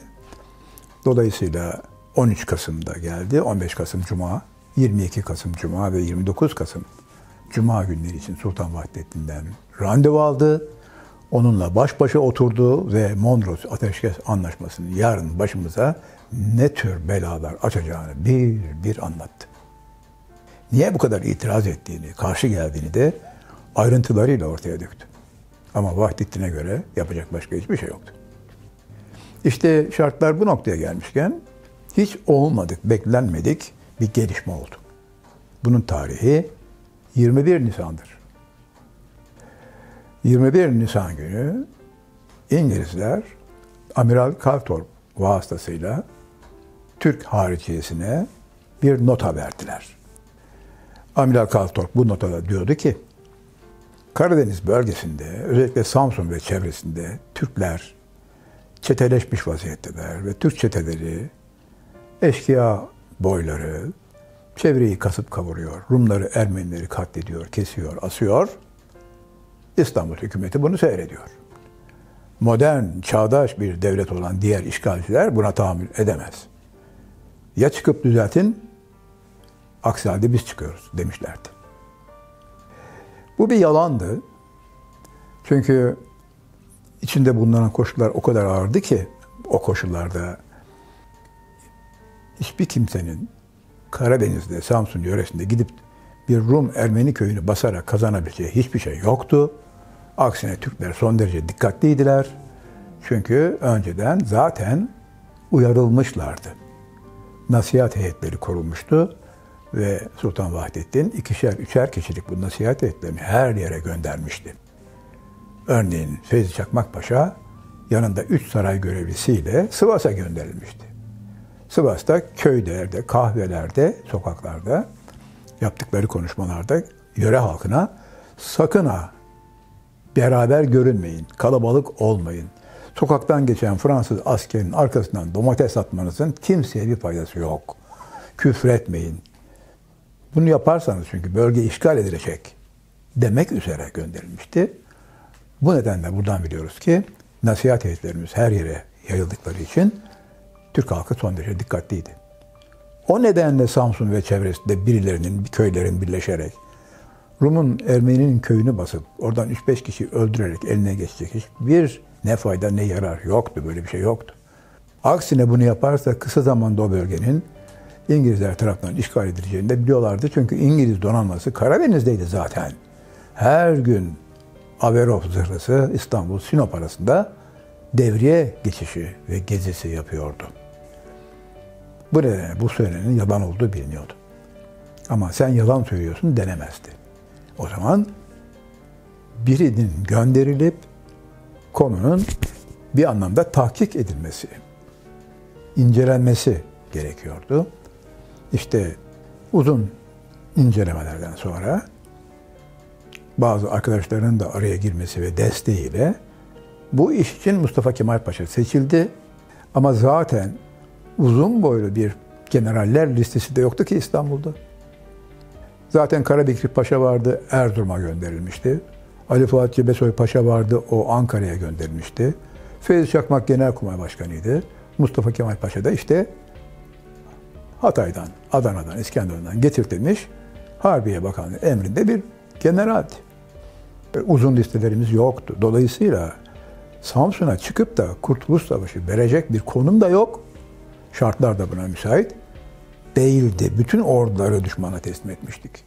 Eğer Sultan Vahdettin'in bir Kurtuluş Savaşı yapma iradesi var olsaydı neden 6 ay önce 430 bin vatan evladını düşmana teslim etti? Biz o günlerde İran'da, daha sonra İran'ın kuzeyinde ama hemen arkasında Azerbaycan'da olan 3. ordumuzu bile çekip Türkiye'ye getirdik ve teslim ettik. Dolayısıyla bir generali adı Mustafa Kemal de olsa 18 kişiyle Samsun'a gönderip de bir Kurtuluş Savaşı başlatmasını istemenin ya da beklemenin mantığı, aklı olabilir mi? Bu yalan 100 senedir bu ülkede ısrarla söylenmeye devam ediliyor. Mustafa Kemal oraya 18 kişiyle bir Kurtuluş Savaşı yapmaya gitti demek binnet getirmekten çok daha ağır, çok daha farklı ve izah mümkün olmayan bir şeydir. Bu denemez bu laf. Ama 100 senedir deniliyor. Hala televizyon kanallarında zaman zaman bu tartışmalara tanık oluyoruz. Oysa işin gerçeği çok açık.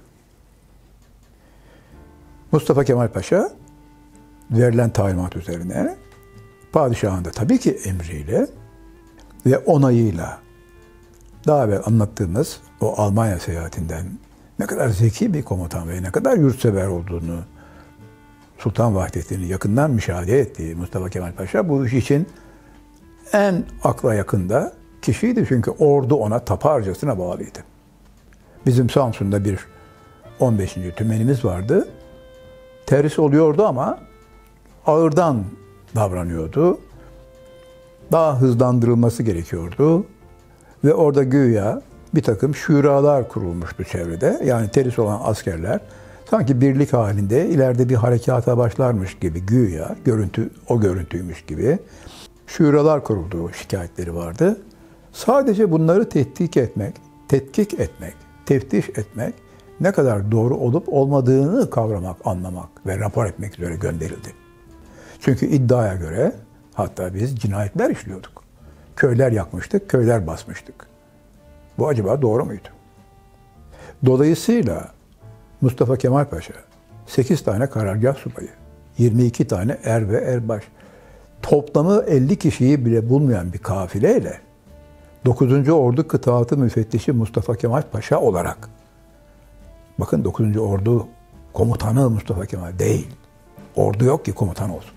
9. Ordu kıtaatı, kıtaları müfettişi. Demek bir şeyi teftişe gidiyor.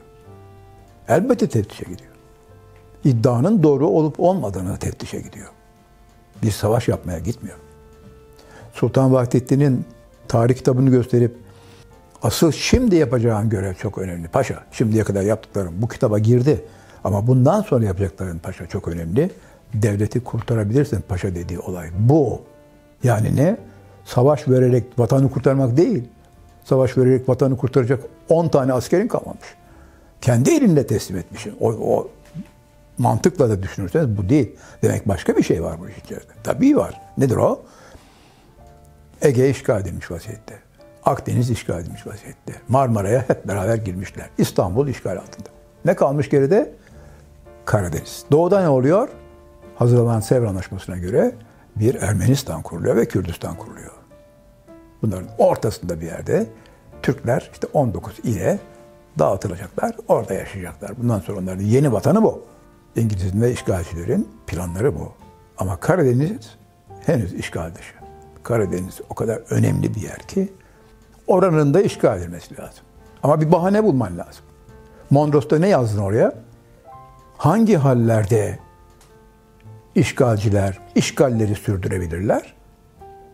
Herhangi bir şekilde isyan edersen, işte kıyımlar başlarsa, ona buna saldırılar vesaire olursa demiş idi Mondros Ateşkes Anlaşması'nı işte Sivas, Erzurum, Van, Bitlis, Elazığ, Diyarbakır'ı derhal işgal ederiz ve burası Ermenistan'dır diye ilan ederiz demişlerdi. Hangi hallerde olacaktı bu? Eğer bir isyan hareketine Türkler girişir, bir bağımsızlık hareketi gibi ayağa kalkar, işte Rum köyünü, Ermeni köyünü basarsa yapacaklardı bunu. Yoktu ki böyle bir şey. Olmaması için de büyük titizlik gösteriliyordu. Çok dikkatliydik. Dolayısıyla söylenen yalandı. Ama kişiye dönüp sen yalan söylüyorsun demek mümkün değil bu gibi hallerde. Bunu kanıtlamanız gerek. İşte bunu kanıtlamak üzere Mustafa Kemal Paşa Samsun'a gönderildi. Kanıtlayabilse idi o zaman Anadolu'yu kurtaracaktık. Anadolu'nun işgaline gerek kalmayacaktı. Devleti kurtarmak buydu. Yoksa Osmanlı İmparatorluğu'nu kurtarmak anlamına elbette gelmiyordu bu. Çünkü İstanbul'un dahi bize verilip vermeyeceği sonraki koşullara bağlıydı. Anadolu'nun neresine yerleşeceğiz? O 19 il yarın 6 ile inse kim engelleyebilir buna? Kimse engelleyemez. Dolayısıyla söylenen sözlerin yerine getirilebilmesi için bizim sağlam ve güçlü durmamız gerek. İşte devleti kurtarmak bu. Bir devlet olarak varlığımızı sürdürüyor olmamız gerek. Aksi halde her bir yalanla İngilizler, Fransızlar, İtalyanlar Anadolu'nun başka parçasını her gün işgal edebilirler. Bir başka başka bahanelerle. Bunu kestirip atmak lazım. İşte kestirip atmak üzere. iddiaların yanlış olduğunu kanıtlamak üzere Mustafa Kemal Paşa 8 tane subayla Samsun'a gönderildi. Hepsi bu. 22'si er ve erbaş getir götürüşlerine bakıyor. Ama giden adam o kadar zeki ki kendisini karşılayan yüzbaşı Hurst de dedi ki yüzbaşı yarın süreye dikkat edin yarın verdiğiniz notada iddia ettiğiniz Türklerin yakıp yıktığı Rum ve Ermeni köylerini göreceğim dedi. Burada binlerce insan katledilmiş. Katledenler Türklermiş. Türklerin katlettiği iddia edilen Rum ve Ermeni köylerini göreceğim, mezarlarını göreceğim dedi. Hurst şaşırdı. Ama böyle bir şey yok ki dedi. Ha öyle mi? O zaman şuraya bir imza atın dedi. Hearst bir belgeye imza atmak zorunda kaldı. Tarih ne?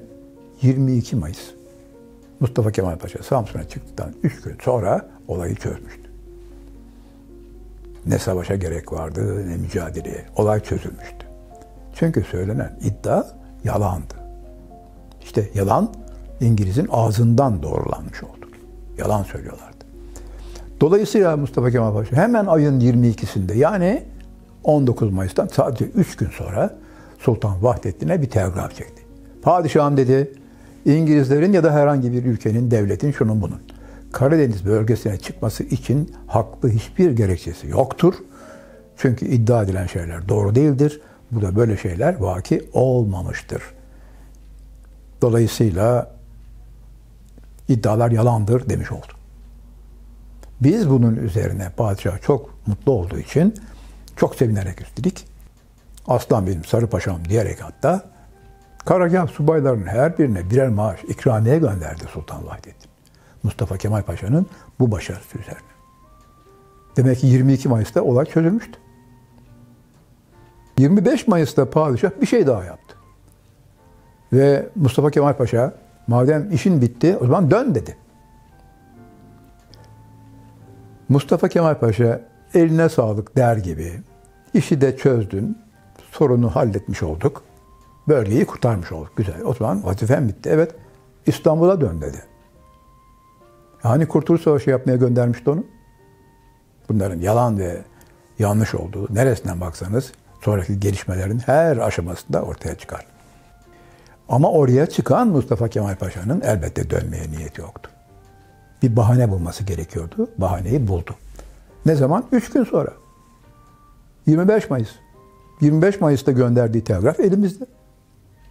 Ve bu telgrafta da padişah dedi ki, padişahım döneceğim ama dağlarda bir eşkıya olayı var.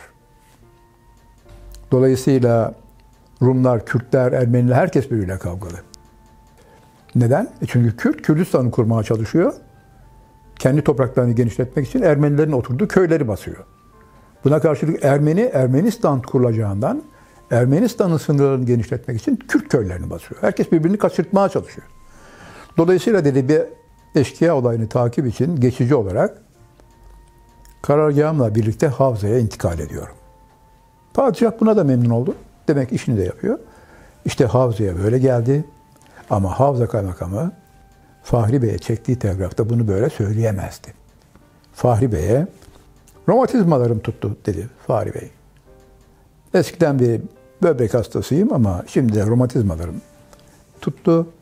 Havzanın sıcak sularından istifade etmek için Havza'ya geliyorum dedi. Ve Havza'ya 25 Mayıs'ta geldi.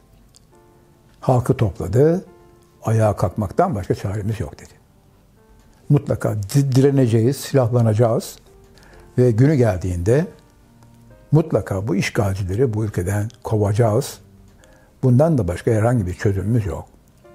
İşte bunun üzerine dinleyiciler arasında bulunan bir Ermeni papazı durumu hemen İstanbul'a telleyince İngilizler ertesi gün sarayı bastılar ve Vahdettin'e Mustafa Kemal Paşa'yı derhal getir dediler. Bu adam böyle konuşuyor dediler. Sultan Vahdettin az çok bir takım şüpheler taşıyordu ama şimdi yeniden o şüpheleri depreşti maalesef ve eyvah dedi Mustafa Kemal galiba ikili oynuyor ve Harbiye Bakanı Şakir Turgut Paşa'ya Mustafa Kemal Paşa'nın derhal geri getirilmesini talep etti. Şakir Turgut Paşa çektiği telgrafta emrinizdeki istimbotlardan biriyle İstanbul'a avdetiniz rica olunur dedi. Verdiği cevapta birkaç gün kazanmak için döneceğim ama emrimdeki istimbotların kömürü yok. Kömür tedarik ettiğimde geleceğim tabidir diye bir cevap verdi. O cevap öyle gidesi dursun, kendisi Anadolu'daki valilere gönderdiği telgraflarla ayağa kalkmaktan başka, direnişe geçmekten başka hiçbir şansımız yok. Sözünü de kullanmış oldu. Ama İstanbul hükümeti Mustafa Kemal'in gerçek amacının ne olduğunu artık elbette anlamıştı. Birkaç gün zaman kazandıktan sonra Amasya'ya geldi. İşte Amasya genelgesi. Amasya halkı onu çok iyi karşıladı. Ama özellikle belediyenin balkonda yaptığı konuşmada her olayı çok açık olarak ortaya koydu. Amasya genelgesi iplerin koptuğu noktadır. Yani bunun da Sultan Vahdettin Mustafa Kemal'in gerçek amacının ne olduğunu çok net, kesin anladı çünkü. Daha birinci maddesinde vatanın bütünlüğü, ulusun bağımsızlığı tehlikededir diye bağırıyordu. Amasya Genelgesi'nin birinci maddesi. Ama ikinci madde İstanbul hükümeti diye bağırdı. Aymazca olayları seyrediyor. Yani şaşkınlık içinde aklı kafasında olmayan kişiler aymaz bir şekilde olayı sadece seyrediyorlar. Buradaki hakaret padişahıydı. Çünkü hükümet padişahın hükümetiydi. Bu, bu milleti yok saymadır dedi. Üçüncü maddede. Bu, bu milleti yok saymaktır. Dörtte de söyleyeceğini söyledi.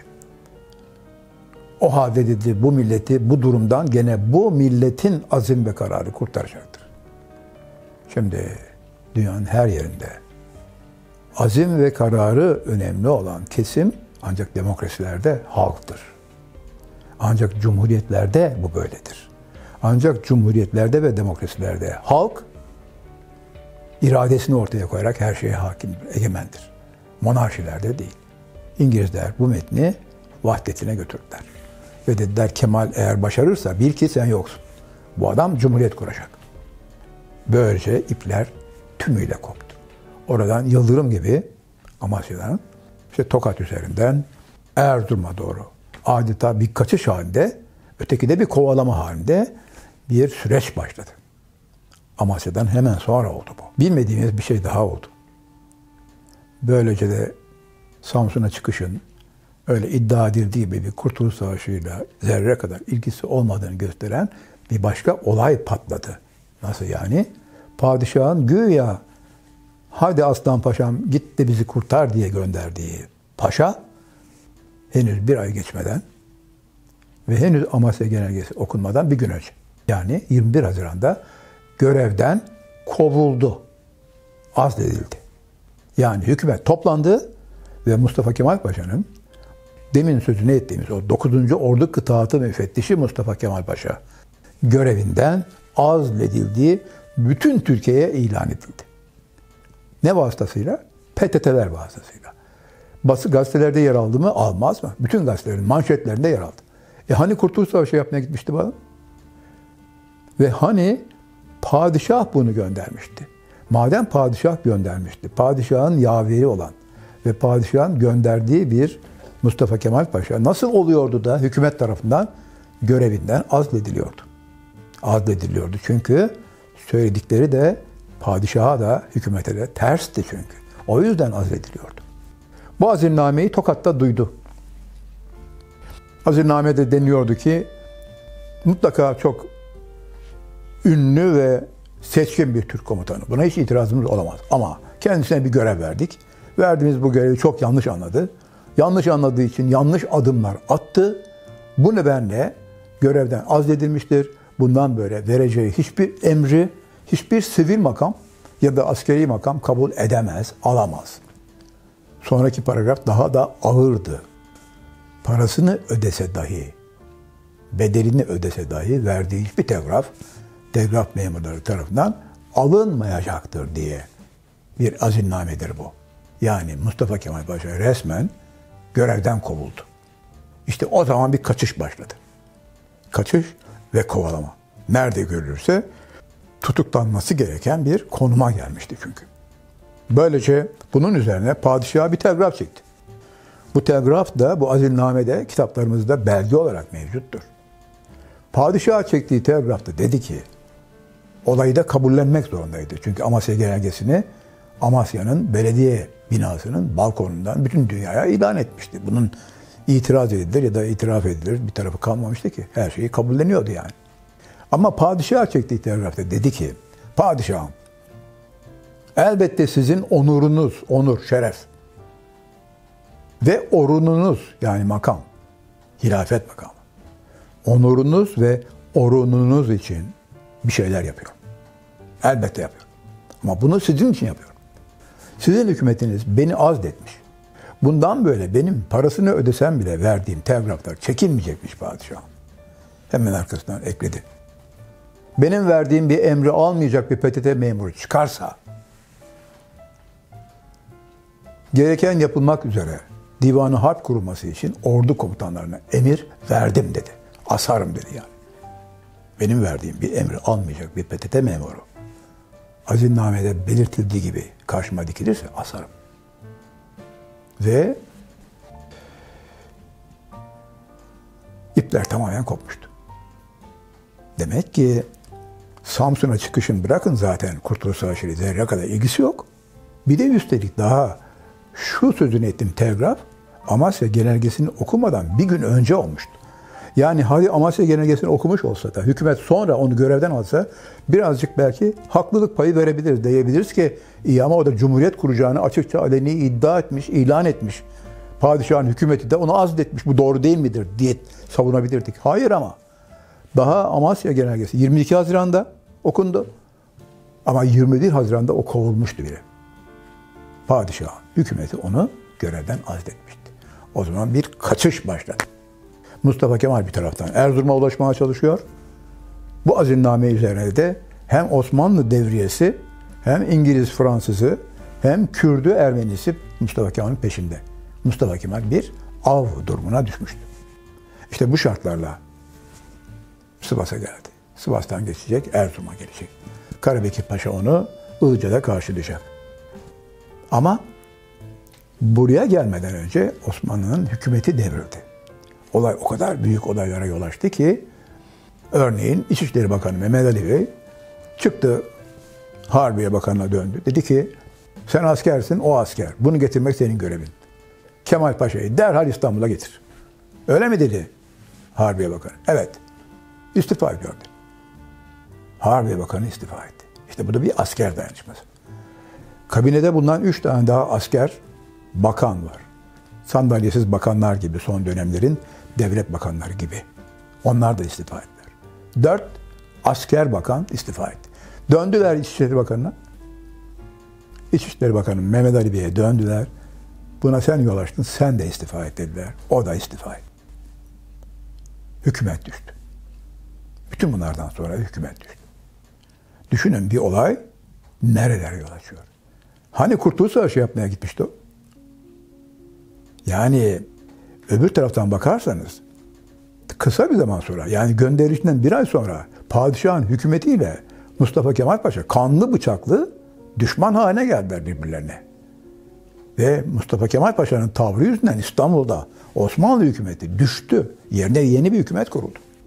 İşte yeni hükümet kurulunca yeni bir Harbiye Bakanı geldi. Ve ceberrut bir adam geldi, Nazım Paşa. Nazım Paşa peşine devriyeler soktu tabii ki Mustafa Kemal. Arkasından kovalama başladı. Ve Mustafa Kemal Paşa Erzurum'a geldiğinde onu karşılayan Kazım Karabekir Paşa karşılama anında Ilıca'da cebinden bir telgraf çıkarttı. Telgrafta Harbiye Bakanı, yeni Harbiye Bakanı Nazım Paşa diyordu ki Mustafa Kemal Paşa Rauf Bey ile beraber geliyor. Kolordunun gücünü kullan, derdest tutukla İstanbul'a teslim et. Neyin Kurtuluş Savaşı değerli dostlar? Padişah onu git de bizi kurtar demiş. Ne haller oluştu ve bir buçuk ay içinde oluştu.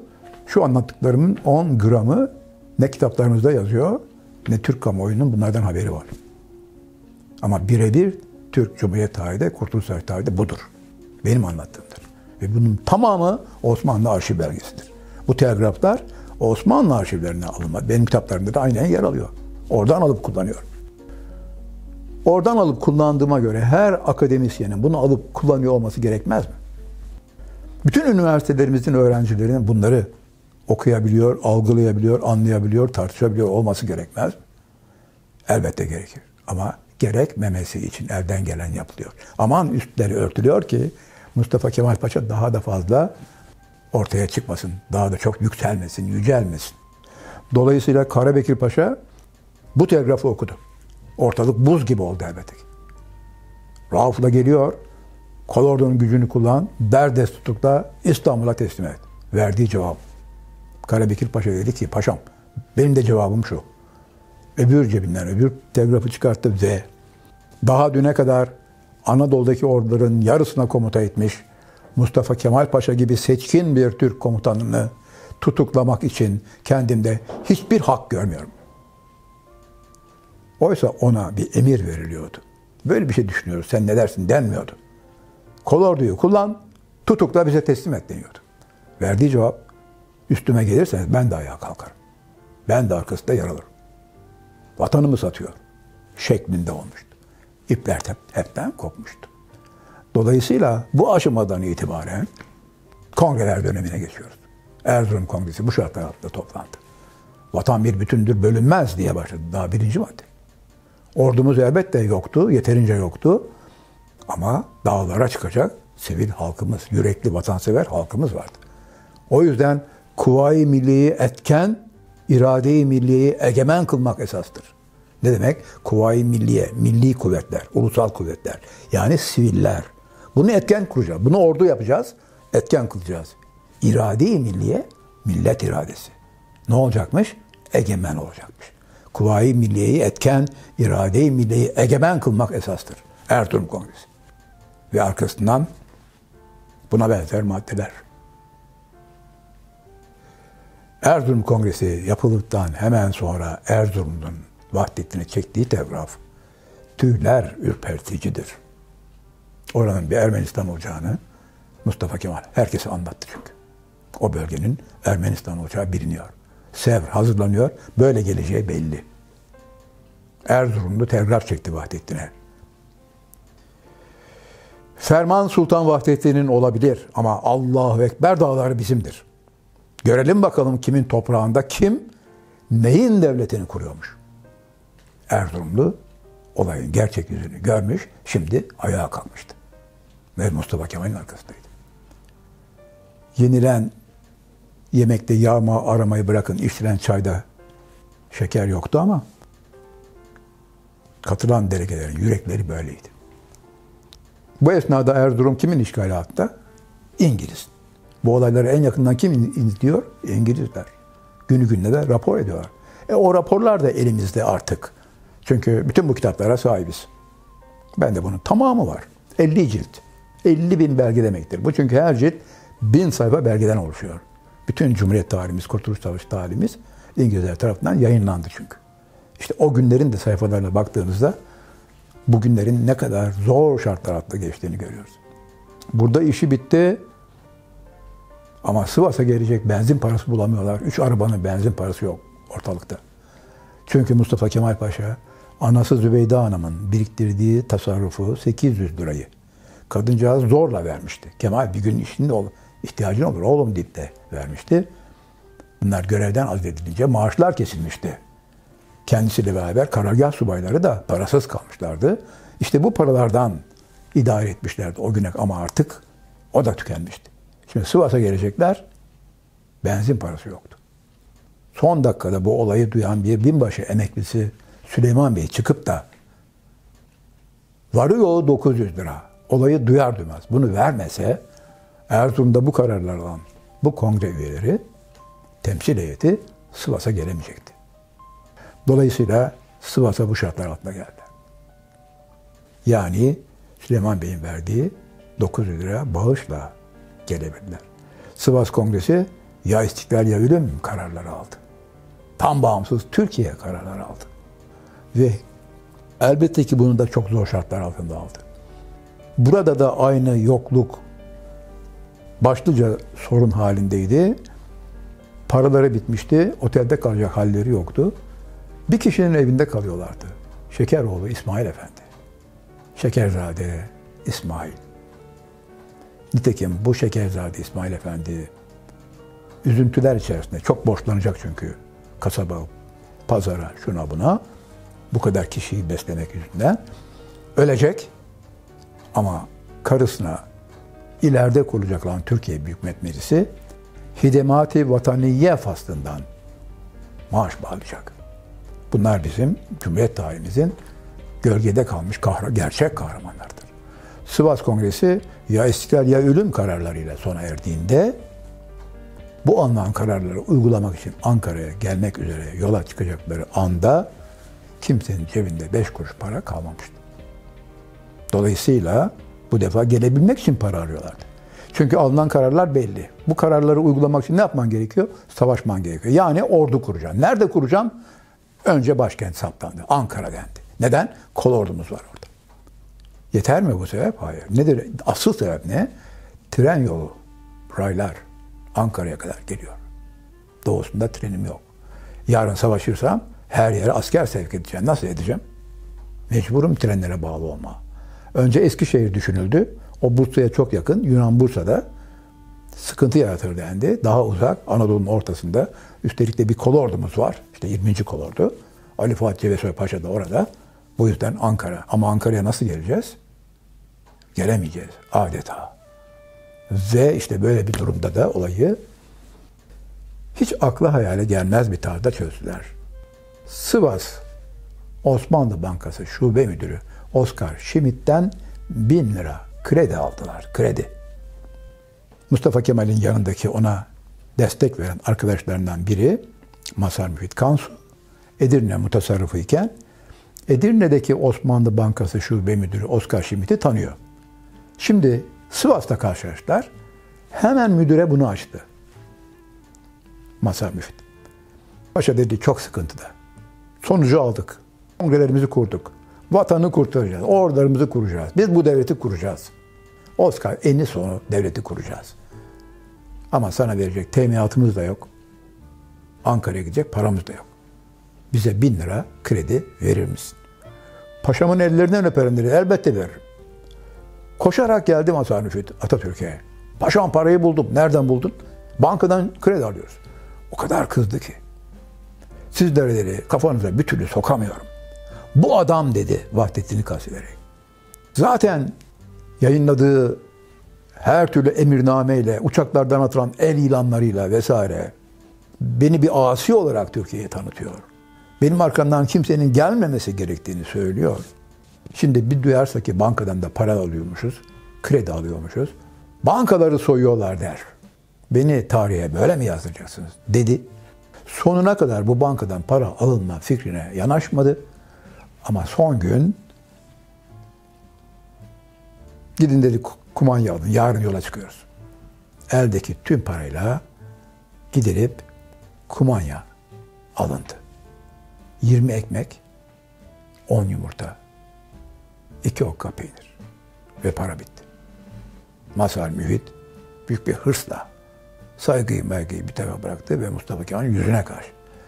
Paşam dedi işte gerçek bu masada duruyor şu an. Bak 20 ekmek, 10 yumurta, 2 okka peynir ve biz burada oturuyoruz. 5 kuruşumuz da yok. Nasıl gideceğiz? Ben size diyorum ki bankadan bu kredi alalım. Siz diyorsunuz ki beni hırsız mı ilan ettireceksiniz? Yani şartlar bu. Dolayısıyla hazır banka müdürü buna evet demişken bunu kullanmaktan başka çareniz yok. Mecbur kalmıştı.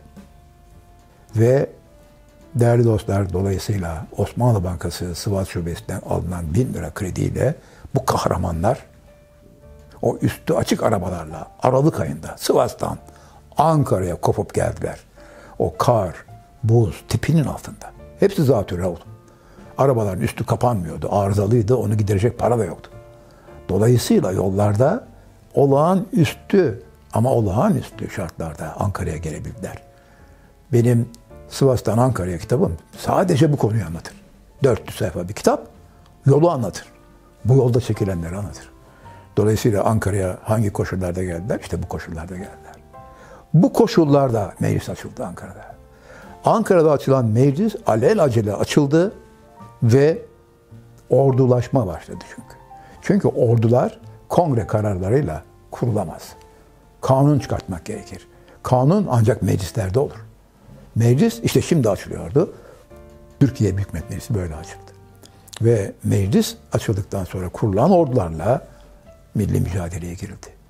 Ardı ardına yapılan o savaşların bir tanesinde tökezleme olsa Cumhuriyet gelemezdi.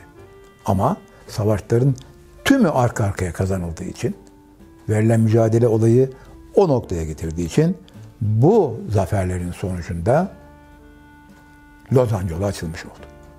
Önce Mudanya ateşkesi imzalayarak Mondros'un öcü alındı. Mondros'ta onlar bize yaz demişlerdi. Madde bir. Boğazları aç. Şimdi biz onlara dedik. Yaz madde bir. Trakya derhal boşaltılacak. Tahliye edilecek. Dolayısıyla Mudanya Ateşkes Anlaşması'yla Mondros'un revanşı alındı. Arkasından Lozan yolu açıldı ve Lozan bize Türkiye Cumhuriyeti kapılarını açtı. Bu noktadan itibaren Mustafa Kemal Paşa artık Ankara'daydı. Türkiye Büyük Millet Meclisi açılmıştı ve fiilen bir milli mücadele hareketi başlamış. Arka arkaya savaşlar verilmekteydi. Atatürk'ün yaşamında 19 Temmuz 1921 tarihinin çok önemli bir ayrıcalığı ve yaşamı boyu hiç unutmadığı bir yanı var. Bunu mutlaka dile getirmekte fayda görüyorum. Çünkü o günlerdeki gelişmeleri yakından gözlemleyebilmek için meclis içindeki en yakın silah arkadaşlarının hangi düşüncelerde olduklarını ortaya mutlaka koymak gerekir. Düşünelim ki birinci İnönü, ikinci İnönü savaşları kazanılmış, bitmiş. Sakarya Savaşı kazanılmış. Dolayısıyla gelişmeler Türkiye Büyük Millet Meclisi'nin ve Türkiye Büyük Millet Meclisi ordularının lehine gelişirken hala komuta kademelerinde bulunan en yakın silah arkadaşları bunun sonucunda eğer Cumhuriyet gelecekse bu tam bir felaket olur. Dolayısıyla gerektiği takdirde yüz yüze konuşarak en son verilecek olan meydan muharebesi ise meydan muharebesi.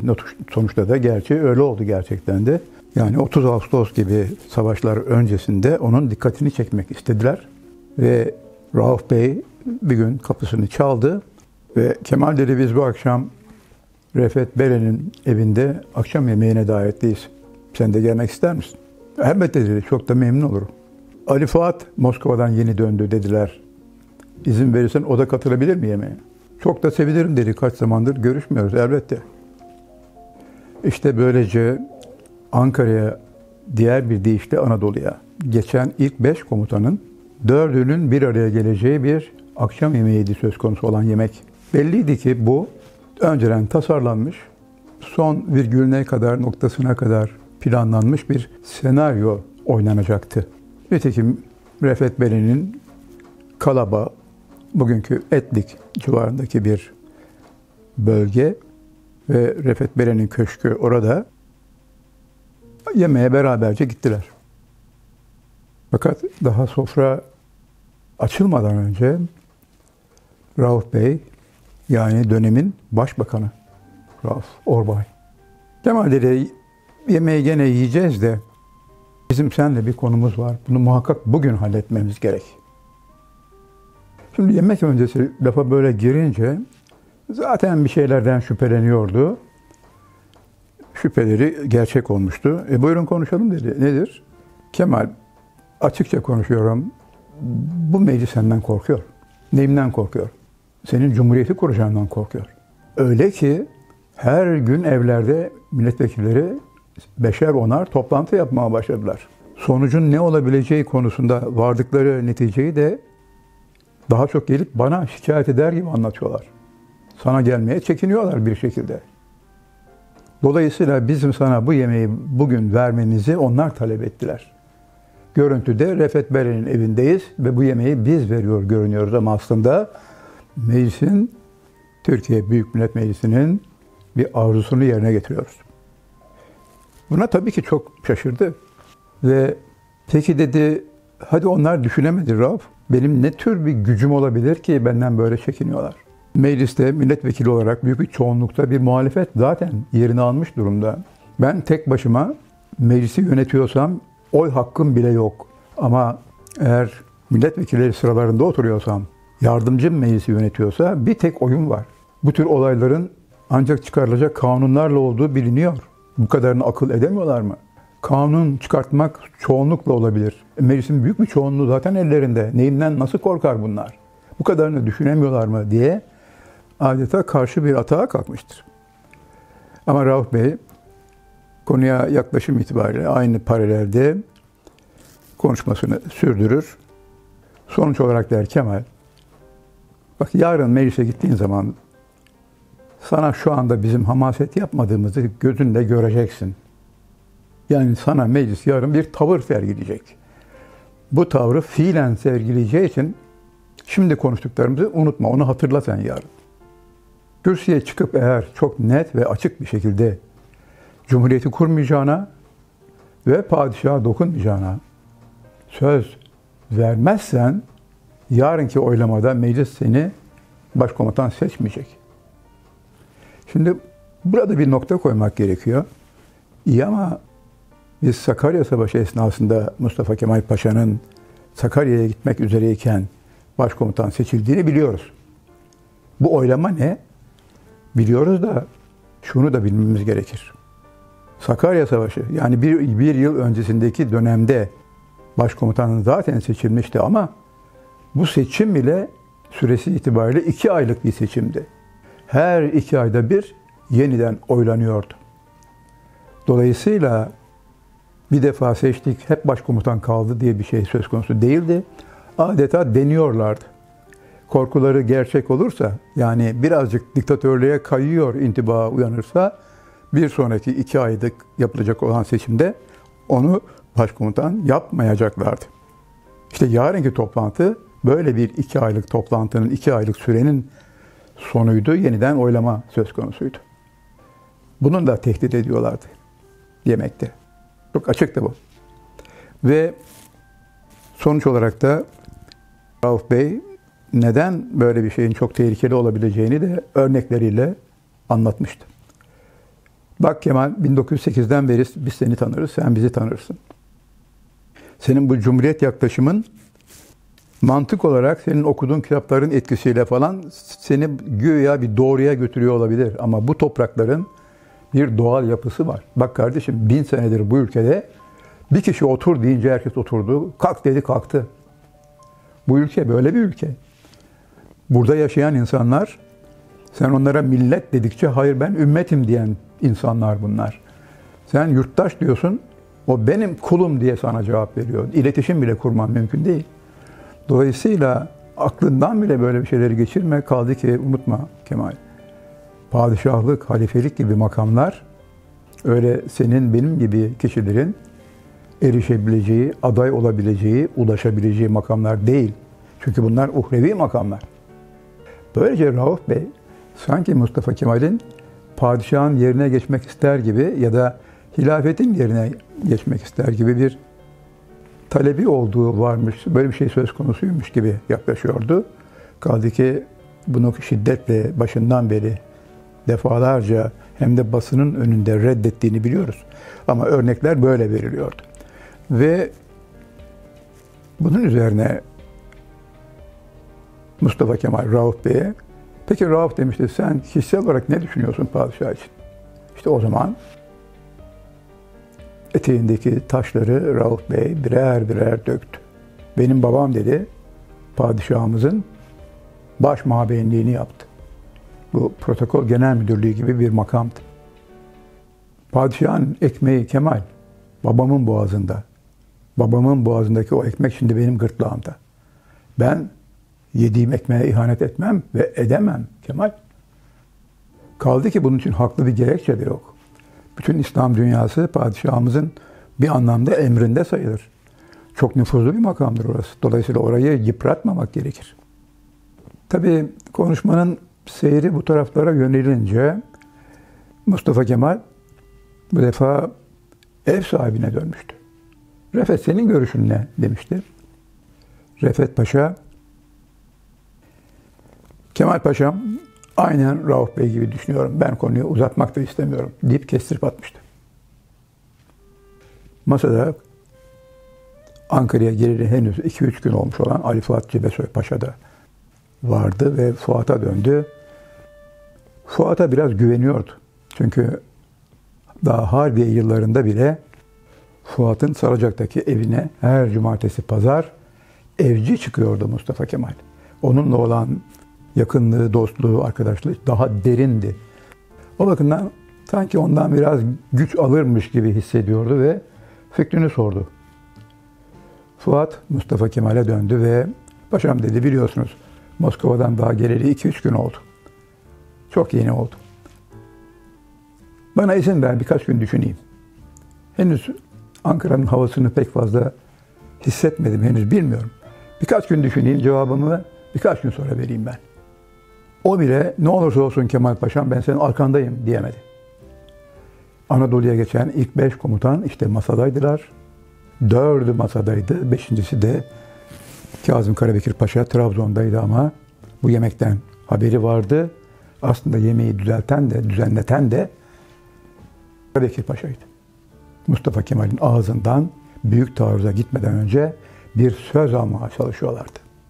Padişaha dokunulmayacak, Cumhuriyet kurulmayacak. Dolayısıyla Karabekir Paşa da sanki masada idi diye düşünülebilir. O zaman Anadolu'ya geçen ilk beş komutanın dördü bir tarafta, Mustafa Kemal Paşa bir taraftaydı. Bu durumu görünce durumu anlıyorum dedi. Verin bana bir kağıt. Gece yarısı bağ evinde kağıt aradılar ama bulamadılar. Mustafa Kemal Paşa biraz da sinirli bir tavırla bunun üzerine cebinden sigara paketini çıkarttı, kapağını yırttı, arkasına yazdı. Günü geldiğinde padişahla ilgili kararı en yüce icrai organ olan Türkiye Büyük Millet Meclisi verecektir dedi. Okudu. Şimdi dedi yarın meclise çıkınca bunu okursam sizce meclis teskin olur mu? Bir defa bunu siz nasıl buldunuz? Hah dedi Rauf Bey işte Kemal senden bunu bekliyoruz. Çık yarın kürsüye şu dört cümleyi söyle. Zaten bir mesele kalmaz. O zaman bir gergin hava sanki yavaş yavaş dağılmış gibi oldu. Bunda mutabık kaldılar. Fazla konuyu uzatmamak için de Mustafa Kemal bu sözün hemen arkasından veda etti ve Çankaya geldi. Ama bu ayrılış bile elbette ki bir soğuk hava içinde olmuştu. Çankaya gelir gelmez ama İsmet Paşa'yı çağırdı hemen.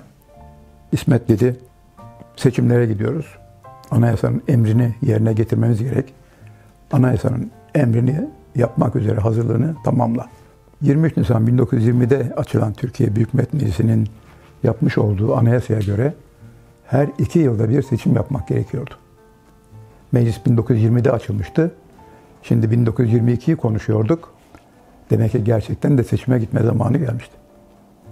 İsmet Paşa hemen ertesi gün seçimlerle ilişkin olarak basın toplantısı yapar yapmaz durumu ilk fark eden Karabekir Paşa Trabzon'dan Rauf Bey'i aradı. Kemal elinizden kaçıyor farkında bile değilsiniz dedi. Nasıl kaçıyor paşam? Ya adam seçimlere gidiyor. E paşam anayasanın gereğini yapıyor. Nasıl engelleyebiliriz? Şöyle engelleyebilirsiniz dedi. Bu seçime giderse gelecek olan milletvekillerinin çoğunluğu Kemal'den yana milletvekilleri olabilir. Biz bugünkü meclis aritmetiği içinde onu boğabiliriz. Ama bunu yapamazsak arka arkaya verilen savaşlarda olaylar onun lehine gelişiyor. Dolayısıyla birinci İnönü, ikinci İnönü, Sakarya zaten bütün halkı onun etrafında topladı. Milletvekilleri de onun etrafında toplanırsa bu adam cumhuriyet kurar. Dolayısıyla dedi Karabekir Paşa, buna engel olmak için bir tek yol var. Seçim kanunu hemen değiştirin. Bugünkü meclisle bunu yapın. Bunu hemen yarın yapın. Bu meclis aksi halde gidip de seçim yoluna girilirse gelecek meclis mutlaka Kemal'i destekler. Onu nasıl yapacağız paşam? Seçilmek şartlarını değiştirin dedi. Seçme, seçilmek kanun maddelerini değiştirin. Onda olmayan özellikleri kanunun içine koyun. Hemen oylamaya geçin. Bir gün içerisinde bu yasa çıkar. Dolayısıyla fazla da vaktiniz yok dedi. Bu olay Nisan ayında oluyordu. Dolayısıyla 6 ay sonra Cumhuriyet ilan edilecek. Yani 1923'ün Nisan ayındaki tablo aynen böylesi bir olumsuz havayı taşır gibiydi. Sonuç olarak ne kendisinin ne de kendisine yakın olan arkadaşların hayalinden bile geçmeyecek bir plan uygulandı. Samsun Milletvekili Emin Bey, Erzurum Milletvekili Necati Bey ve Mersin Milletvekili Çolak Selahattin Bey görevlendirildiler. Bu üç milletvekili oturdular.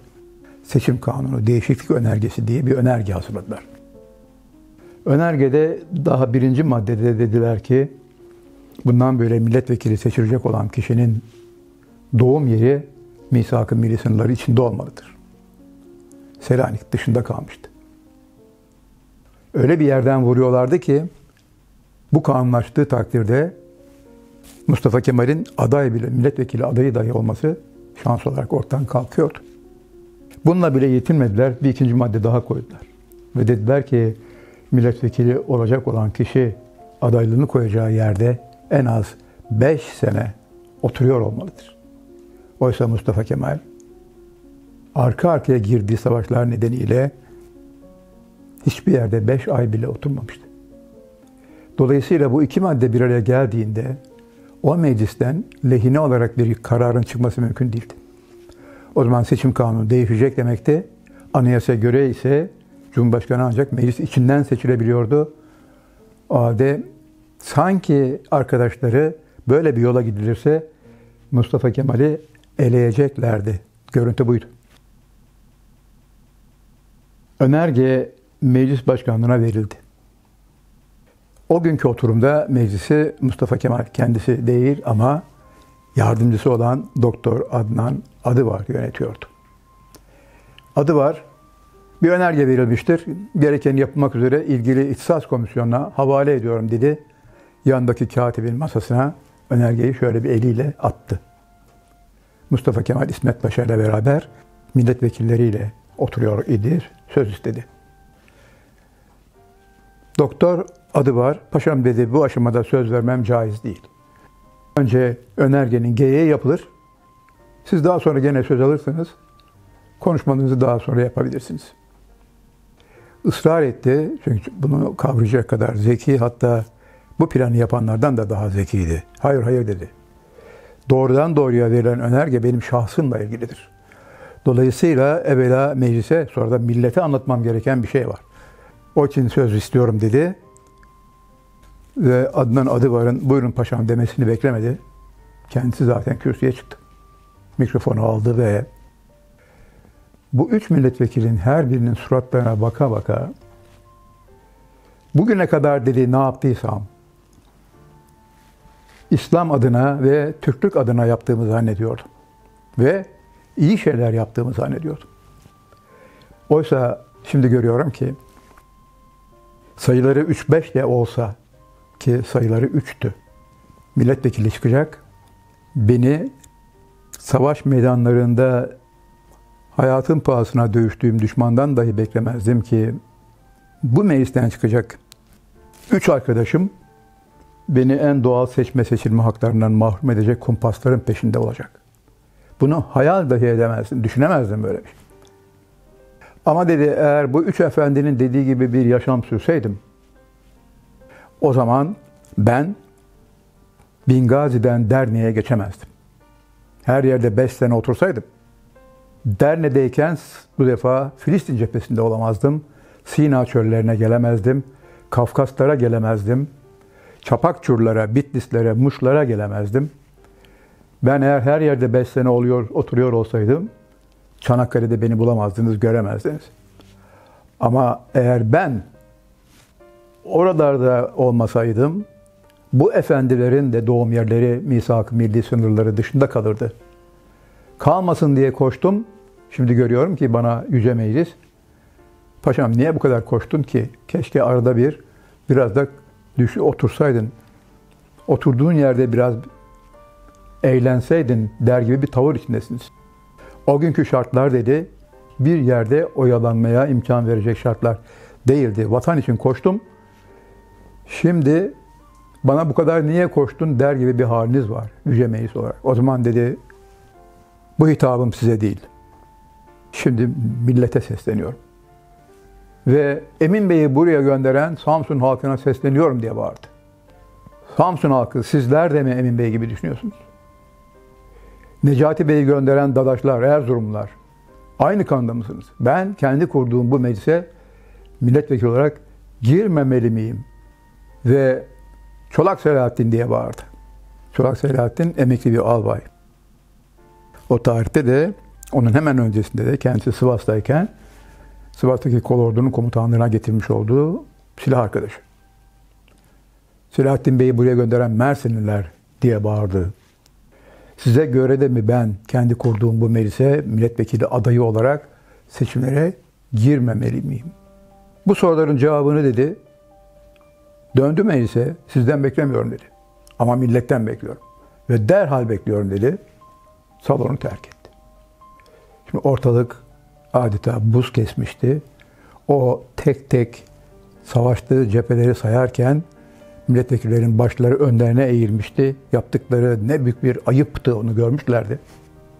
Ve ne büyük bir yanlışın içine düştüklerini de derhal kavramışlardı. Kimse kafasını kaldırıp Mustafa Kemal'in yüzüne bile bakamadı. Mikrofonu fırlattı, salonu terk etti. O gün meydana gelen bir olay, bir sinema filmi aktarımı gibi adeta Ankara Radyosu tarafından bütün Anadolu'ya duyurulmuştu. Zaten Mustafa Kemal'in zekası işte buydu, ortaya koydu. Bu konuşmayı kasten yapmıştı. Basın yoluyla bu konuyu Anadolu'ya anlatmaya, şikayet etmeye kalksa bu birkaç gün sürerdi. Ama zorla söz alıp kürsüye çıkmasının sebebi Ankara Radyosu yayına başlamıştı çünkü. Anadolu Ajansı'nın faaliyete geçtiğini bildiği için Anadolu Ajansı'na bir haber iletiyordu adeta.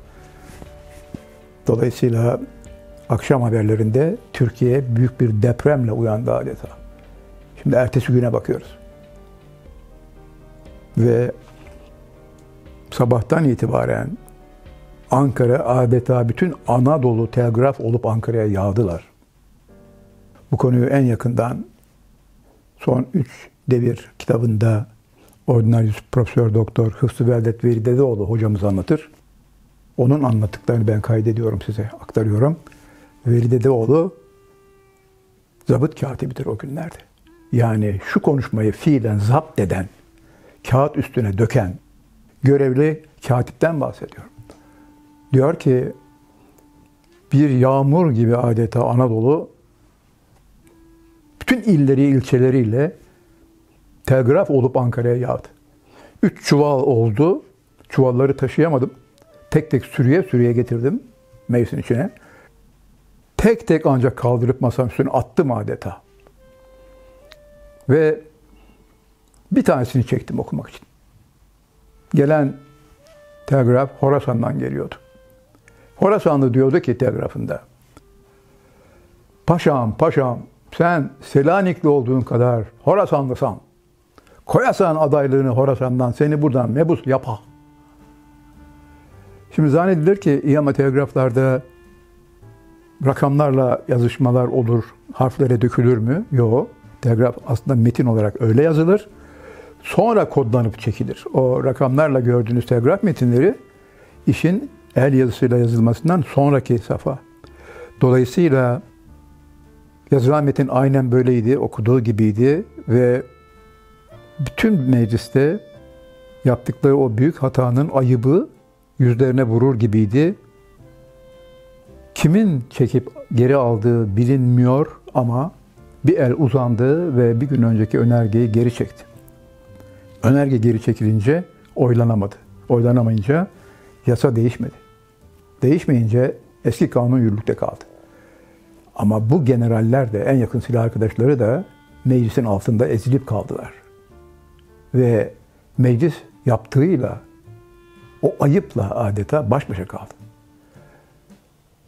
Adaylığını nüfusu 5000 olan Bala'dan koydu. Çünkü gelen bir diğer telgrafta deniyordu ki Paşam sen Anadolu'nun hangi kasabasından adaylığını koysan bu yurdun her bir taşının toprağının altında Mustafa Kemal yazar. Bu zındıklar sana nasıl böyle bir şey yapıyor? Sen adaylığını sıradan bir yerden koy, oradan milletvekili ol. Selanik diye diretenlere de bu ders olsun diye geliyor telgraflar. Dolayısıyla o kanun metni geri çekilince nüfusu 5000 olan Bala'dan koymuştu. Bugün Bala Belediye Başkanı'nın oturduğu makamın hemen arkasında duvarda çok büyük mazbatası asılıdır. İlk mazbatadır bu.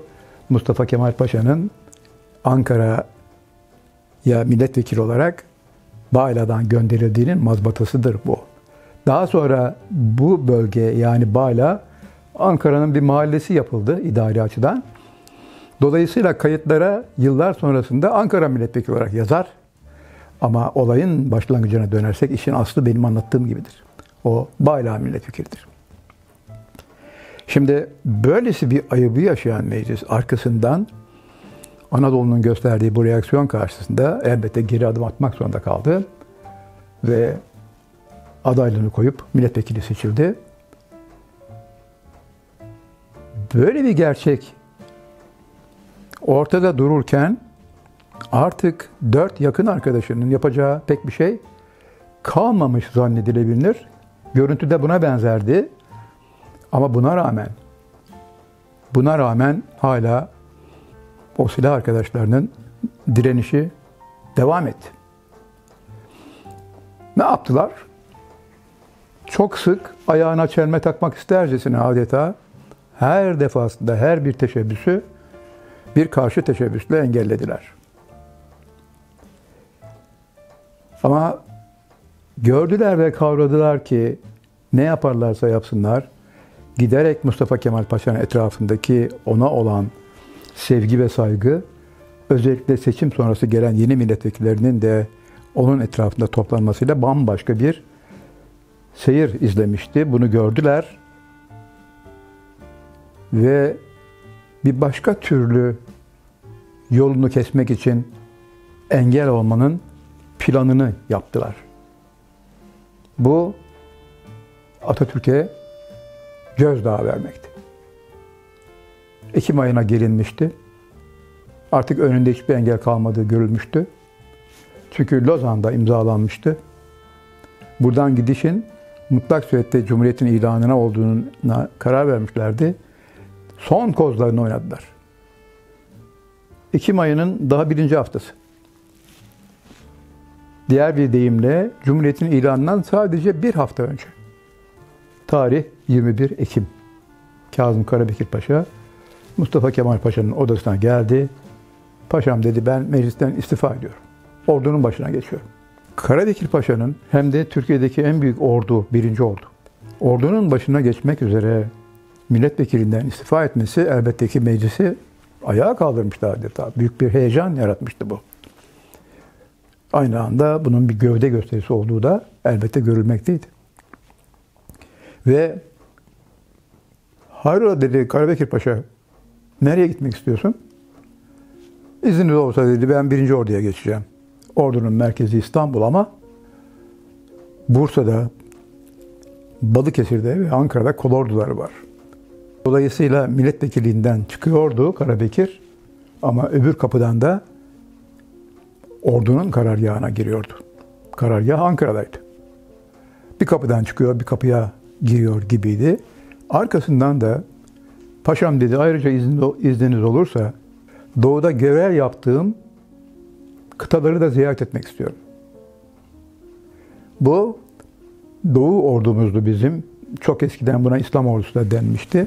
Şimdi kaldırılmış da yerine birinci ordu bütün bu bölgeleri kapsıyor idi. Ama kendisi doğuda yaptığı, görev yaptığı kıtalar olarak Hakkari'den Erzurum'a kadar Doğu Anadolu'yu gün gün dolaştı. Şimdi gittiği yerlerde neler konuştuğunu elbette bilmiyoruz ama gövde gösterisi devam ediyordu. Şimdi bunun tarihi 21 Ekim. Aradan sadece iki gün geçti. Bir defa 23 Ekim. Ali Fuat Cebesoy geldi. Paşam dedi, ben de orduya geçmek istiyorum. Bu siyaset bize göre değilmiş. Artık bıktım. İzniniz olsa nereye gitmek istiyorsun dedi. Konya. Ama Fuat demişti, Konya'da zaten bir komutan var ve senden kıdemli. Bunun için size geldim paşam dedi. Yardım etmenizi rica ediyorum.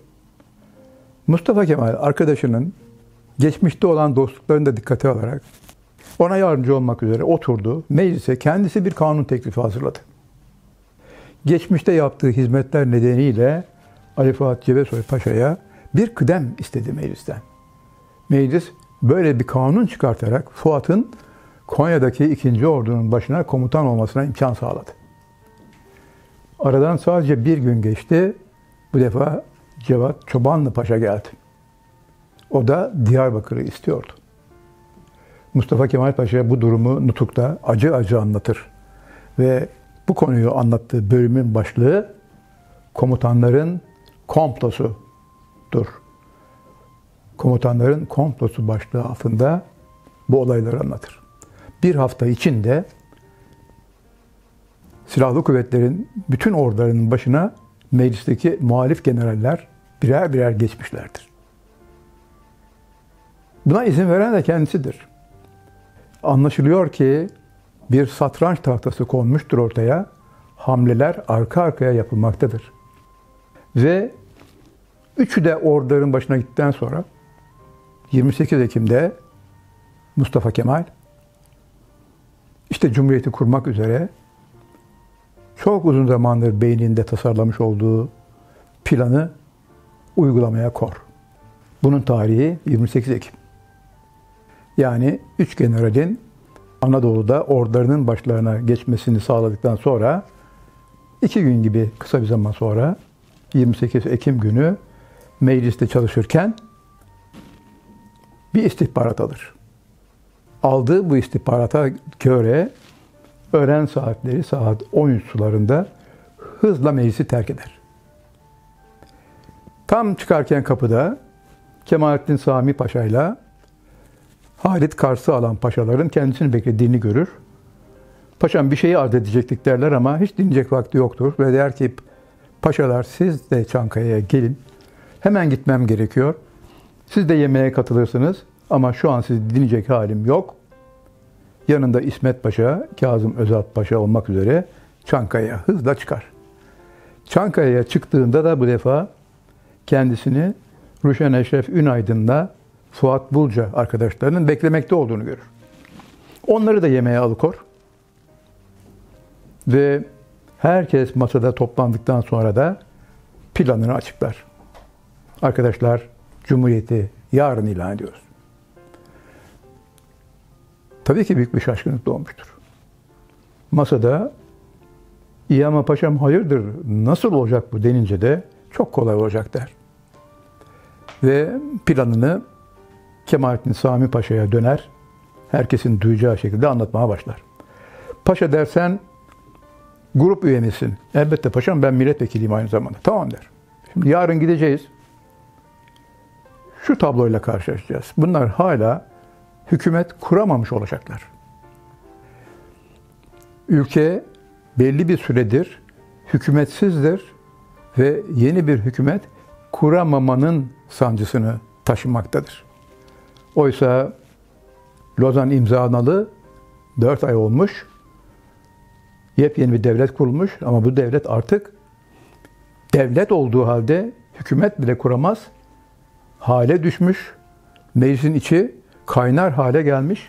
Büyük bir karışıklık hüküm sürmektedir. İşte Mustafa Kemal bu karışıklıktan yararlanacaktır. Nitekim planını şöyle anlatır. Bunlar hükümeti kuramamış olacaklar. Sen yarın söz al, çık kürsüye ve de ki arkadaşlar bu kadar zamandır aradan Temmuz ayından bu tarafa bu kadar ay geçti. Hala bir hükümetimiz yok. Böyle bir saçmalık olamaz. Madem biz kuramıyoruz, bu partinin bir kurucusu var. Bu meclisin bir kurucusu var. Adam Çankaya'da oturuyor. Oturuyor orada. Niye oturuyor? Niye biz yoruluyoruz? Çağıralım. Gelsin çağrıyı kendi bulsun. Ne yapacaksa yapsın. Yeter ki bir hükümetimiz artık olsun der. Bunu böyle sun. Bana bir daveti çıkartın. O daveti üzerine ben geleyim bir saatte çözerim bu işi der. Bu plan ertesi gün uygulanır. Yani 29 Ekim sabahı normal olarak grup toplantı halindeyken hiç kimse hiçbir şeyden haberdar değilken bu plan adım adım uygulanmaya konmuştur. Ve Kemalettin Sami kürsüden arkadaşlar daha ne kadar zaman bekleyeceğiz? Dünya alay ediyor bizimle. Devletimiz var, hükümetimiz yok. Bu daha ne kadar devam edebilir? deyip söze başlayıp Mustafa Kemal Paşa'ya beklediği davetiyi çıkarttırmış olur. Bir çağrı ulaşınca Çankaya, Yıldırım gibi Mustafa Kemal meclise gelir. Saat 13 suları. Yemek için ara verin arkadaşlar der. Herkes yemeğe gitsin. Dönüşünüzde ben bu işi bir saatte çözeceğim. Bir saat sonra toplantı yeniden başlar. Toplantı başladığında söylediği şey çok basit bir şey. Arkadaşlar değer kabahat sizde değil. Ama kullandığınız seçim sistemi yanlış bir sistem. Ve bu sistem nedeniyle bir aydır uğraşıyorsunuz ama bir hükümet kuramıyorsunuz. Daha da fazla beklemeye sabrımız olamaz. Oysa eğer bir sistem var, özellikle bizden ileri olan bütün Avrupa ülkelerinde kullanılmakta olan bir yöntem var. O yönteme göre bir adam bir adama görev verir, hükümeti kur der. O kişi bir hükümet kadrosunu bir kağıdın üzerine döker. Bu dökülen liste size sunulur. Gene oy verecek olan ve olaya evet ya da hayır diyecek olan sizsiniz. Siz o hükümet listesini oylayıp kabul veya içlerinden istemediklerinizin üstünü çizersiniz. Bunlar gitsin yerine başkaları gelsin dersiniz. O bir daha döner. O birinci adam ikinci adama bir daha bunu verir. Al bunları düzelt, yenisini koy, yeniden meclise sun der.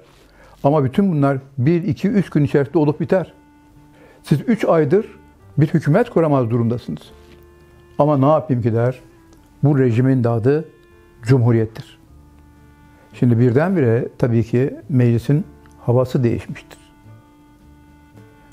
İtirazlar muhalefet sıralarından yükselmeye başlar.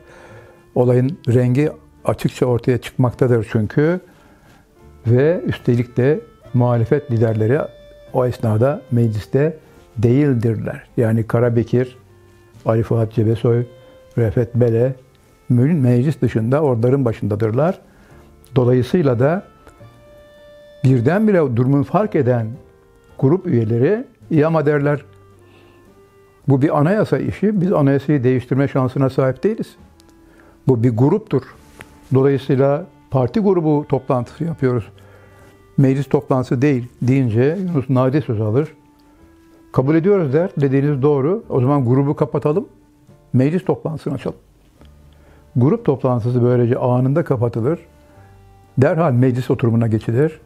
Ve çünkü bina aynı bina, katılımcılar aynı katılımcılar, milletvekilleri aynı milletvekilleri meclis açılır.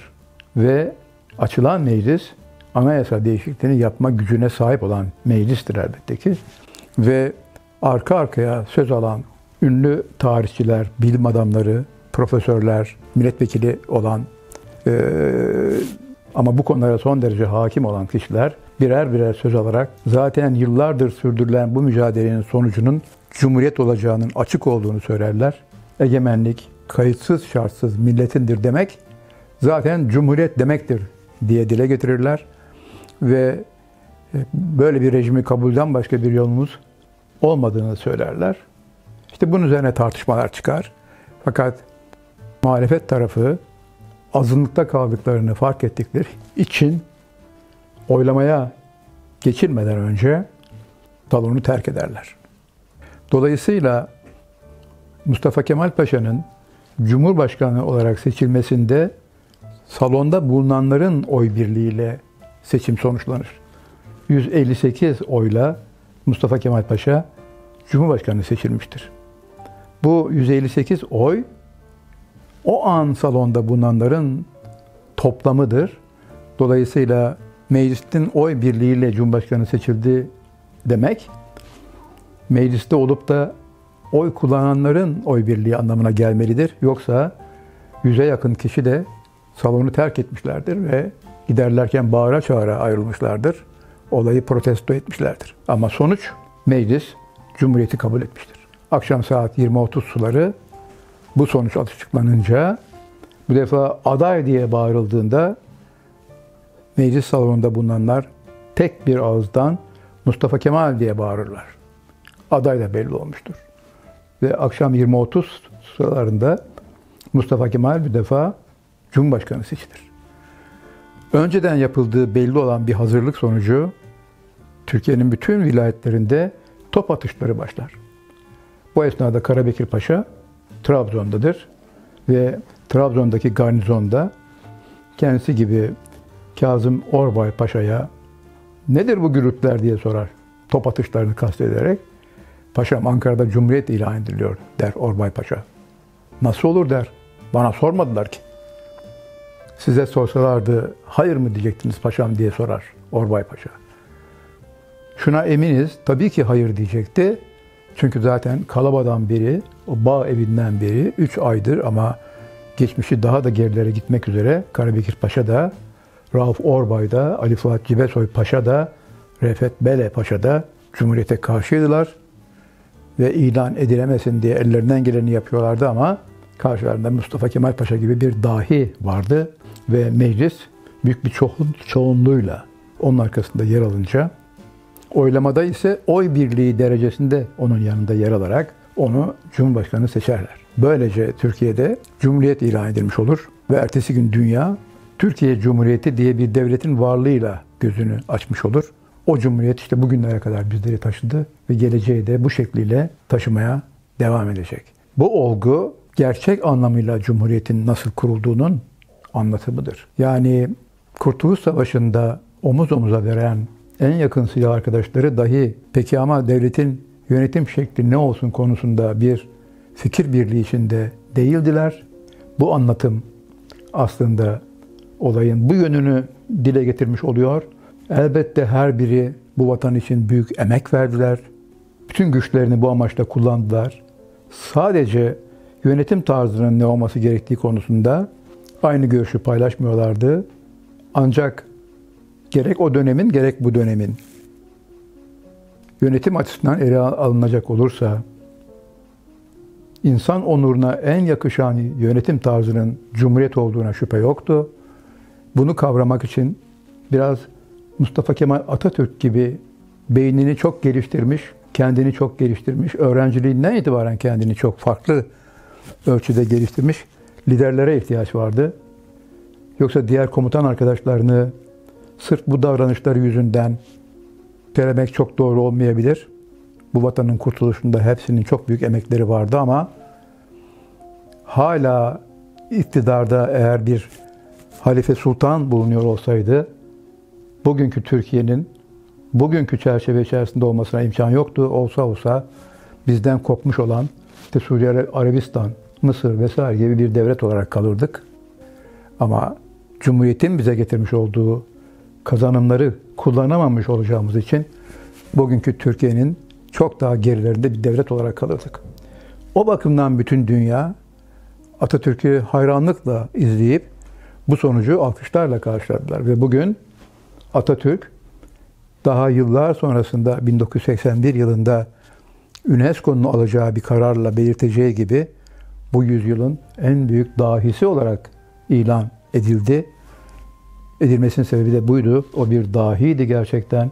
İşte o dahinin Cumhurbaşkanlığının 15 yıllık sürede yaptıklarına baktığımız zaman bugünkü Türkiye'yi orada buluyoruz. Ve modern, çağdaş, layık, sosyal bir hukuk devleti niteliğinde bir cumhuriyette yaşıyorsak bu Mustafa Kemal Paşa'nın bir yandan kendini çok geliştirmiş olması, diğer taraftan da milletin ona büyük destek vermesi sayesinde olmuştur. Sonsuza kadar bunun sürmesini diliyoruz. Cumhuriyet'in kuruluş öyküsü böyle bir çerçeve içerisinde gerçekleşti. Böylece 29 Ekim 1923 akşam 20.30 itibariyle Türkiye Cumhuriyeti'nin ilan edildiği bütün dünyaya duyurulduğu zaman özellikle İslam dünyasında büyük hareketlenme oldu ertesi günden itibaren.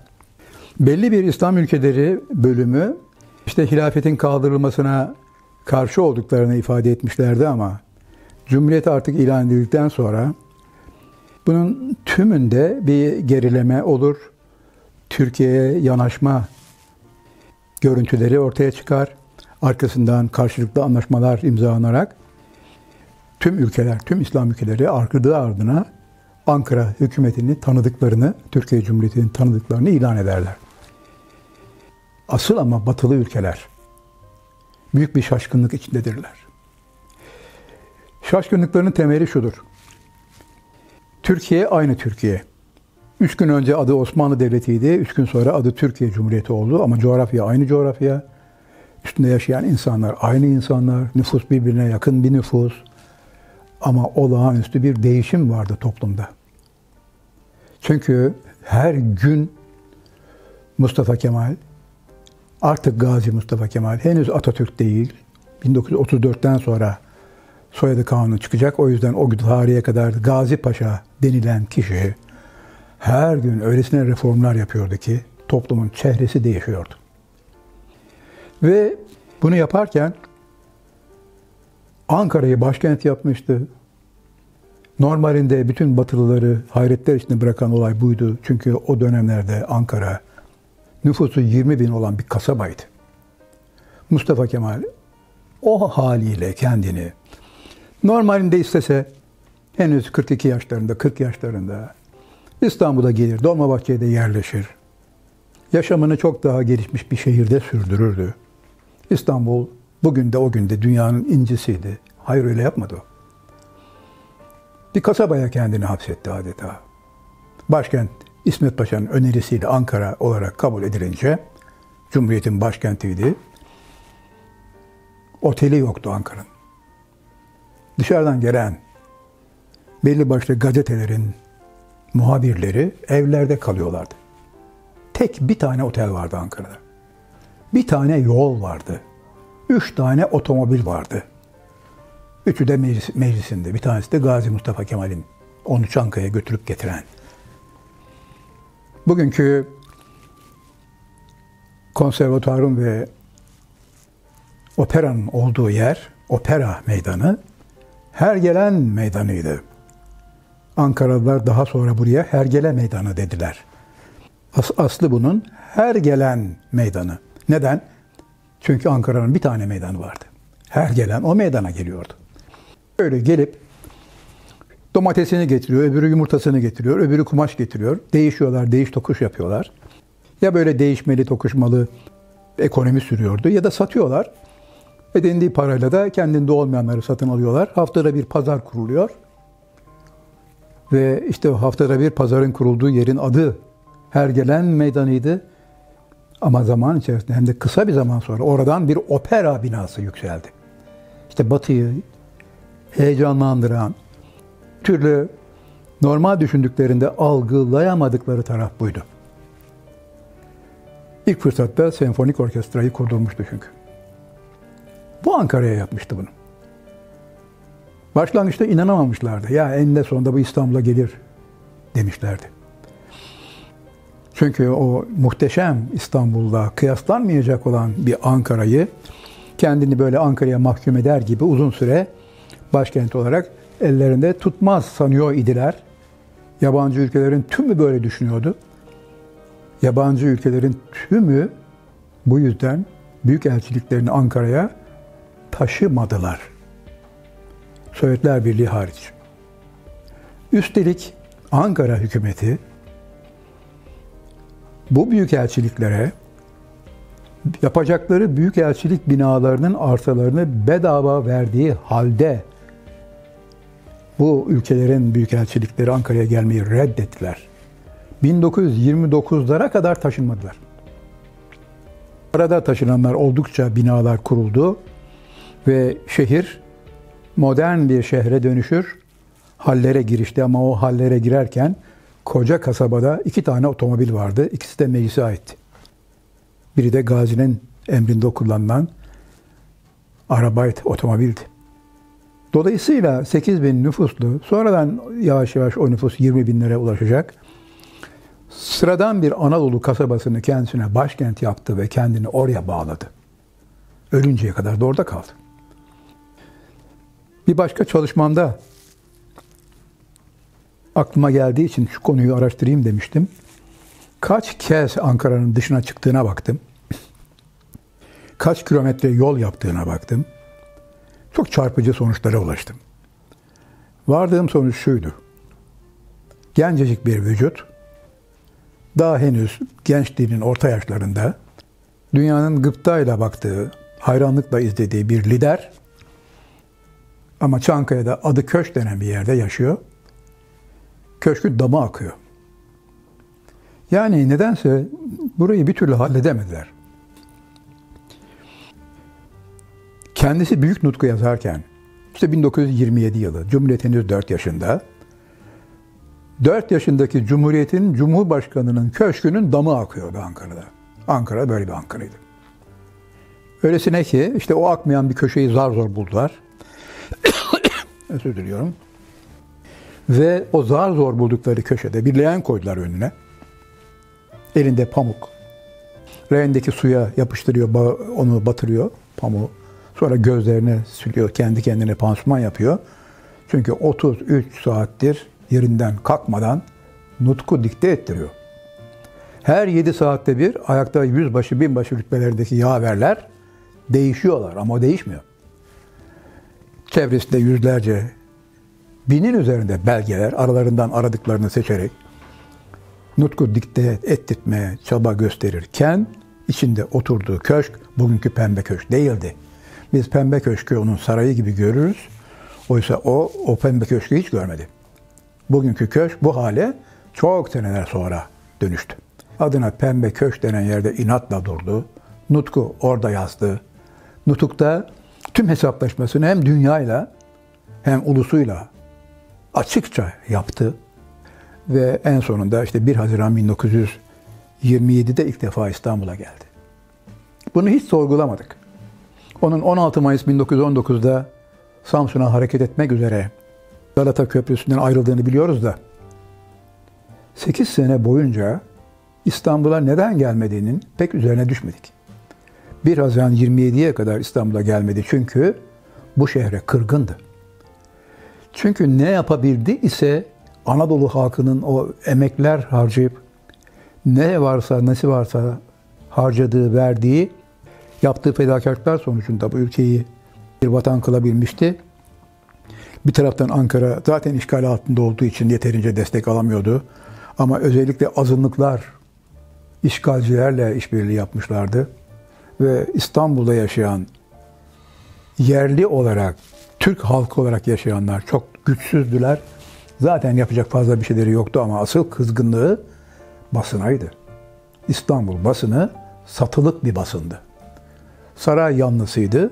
Şimdi artık, artık ortada saray maray da kalmam. Buna rağmen ama o İstanbul basını hatta İstanbul Üniversitesi yarı yarıya Ankara harekatına, Ankara merkezli direnişe karşı çıktılar. İstanbul Üniversitesi bile.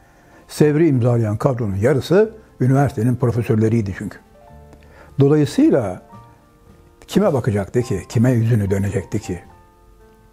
Ama o kendi inandığı yoldan, çünkü inandığı yol dediğin zaman Türk ulusu önünüze, önünüze çıkmalı, aklınıza o gelmeli. Ulusuna o kadar bağlıydı ki, o kadar inançlıydı ki, o Kastamonulu'dan gereken yardım alacağını biliyordu. Erzurum'un her şeyini vereceğini biliyordu. Kars deyince aklına zeybekler geliyordu, Kars havaları geliyordu. Coşuyordu Anadolu halkının bütün varlığıyla arkasında olduğunu biliyordu, ona emindi. Ve ne kadar da doğru düşündüğü zaman içerisinde zaten ortaya çıktı. Her şeyi olup bitirdikten sonra, yani Cumhuriyeti kurduktan sonra, Ankara sıradan bir kasabayken artık şehirleşmeye adım adım yaklaşırken bile İstanbul'a gelmeyi reddetti. 1927 yılına kadar. Zaman zaman Karadeniz'e çıkması icap etti. Çünkü Trabzon'a birkaç kez seyahat etti. Samsun'a gitti. Mecburen İstanbul'dan geçti ama şehre çıkmadı. İstanbul valisi Muhittin Bey ellerini öpecek hale geldi. Vapura giderek. Paşam ne olur İstanbul halkı sizi Gülhane'de bekliyor. Bir çay için öyle devam edin dediği zaman çocuk demeyi çok severdi arkadaşlarına. Çocuk dedi şimdi zamanı değil. Bir gün elbette İstanbul'a geleceğim. Ama bu şimdi değil. Sebebini anlatacağım. Bir işim var, onu bitireceğim. Ondan sonra geleceğim. Yıllardan, yıllar sonrasında öğrendik o işi neydi. O işi nutku yazmaktı. Nutku yazacağım, nutukta her şeyi anlatacağım, sonra İstanbul'a geleceğim diyordu. Nitekim 1927 yılında Nutk'un son sayfalarını yazarken İstanbul'a geldi. Neden? Belgeler buradaydı çünkü. Dolmabahçe Sarayı'ndaydı çünkü. O belgelerden yararlanması gerekiyordu çünkü. Yazdığı nutuk 353 tane belgeden oluşur. 538 sayfa metin, 353 sayfayı aşan ama adet olarak 353 belge toplamı 878 sayfalık dev bir eserdir nutuk. Dolayısıyla Dolmabahçe'deki belgelere ihtiyacı olduğu için geldi bu şehre. Ve sonuç olarak kırgınlığını nutukta belli ölçüde zaten anlatır. Ama sonuçta elbette ki İstanbul ülkenin Osmanlı İmparatorluğu'ndan bu yana bir başkentidir.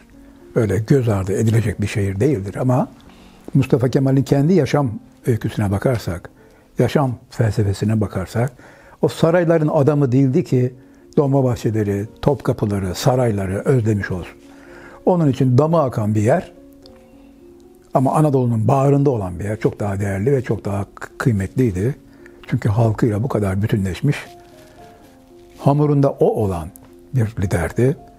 O nedenle de şansölyeler, büyükelçiler, sefirler Ankara'ya gelmeye hayır derken o Ankara'yı başkent yapıp adı güya köş olan bir bağ evinden bozma, Kasaboğlu adlı bir Ermeniden satın alınmış, üç ada bir, üç ada bir salon ve hep söylemeye çalıştığım gibi nedense bir türlü halledemedikleri, yağmur yağdığında dört yanı su akan bir köşkte yaşamayı tercih etti. Ankara'yı ille de yeşillendirmek adına olağanüstü bir çaba gösterdi. Atatürk Orman Çiftliği rastgele seçilmiş bir hedef değildir onun için. Yapmak istediği şey Ankara'yı bir İstanbul yapamazdı bunu biliyordu ama Ankara'yı yeşiller içinde bir kent yapmaya kararlıydı. Arkadaşları itiraz etmişlerdi. Hem de Tarım Bakanı vesaire gibi konunun uzmanı olan arkadaşlar. Dediler ki paşam ot bitmez burada. Yani bu çabanız rastgele bir çaba ve ama bundan sonuç alamazsınız. Fakat Selanik'ten bu tarafa, çocukluğundan bu tarafa hani şu tarlalara bir yakınlığı var ya, nebattı, bitkiydi, işte kuşlardı, doğaydı, ağaçtı, yeşildi olayı var ya, ona o kadar aşıktı ki, bunun tam tersinin olacağını o kadar emindi ki, tuttu Ankara'nın hemen çevresinde olan adına Etimesut denen bir köyden arsalar satın almaya başladı birdenbire. Tarım Bakanı yemekte dedi ki paşam burada zaten bir ot bitmez bir defa bunu bilmelisiniz. Bakın Tarım Bakanı olarak söylüyorum bunu. Kaldı ki bataklık buraları. Bunu kurutmak için çok büyük masraf yapmak zorunda kalacaksınız. Ne yapacaksınız bu arsaları? Siz de onu bana bırakın demişti. Ve birer bataklık yuvası olan Eti Mesut'tan kendi parasıyla satın aldığı arsaları birleştire birleştire sonuçta bir yerleşim alanı haline getirdi.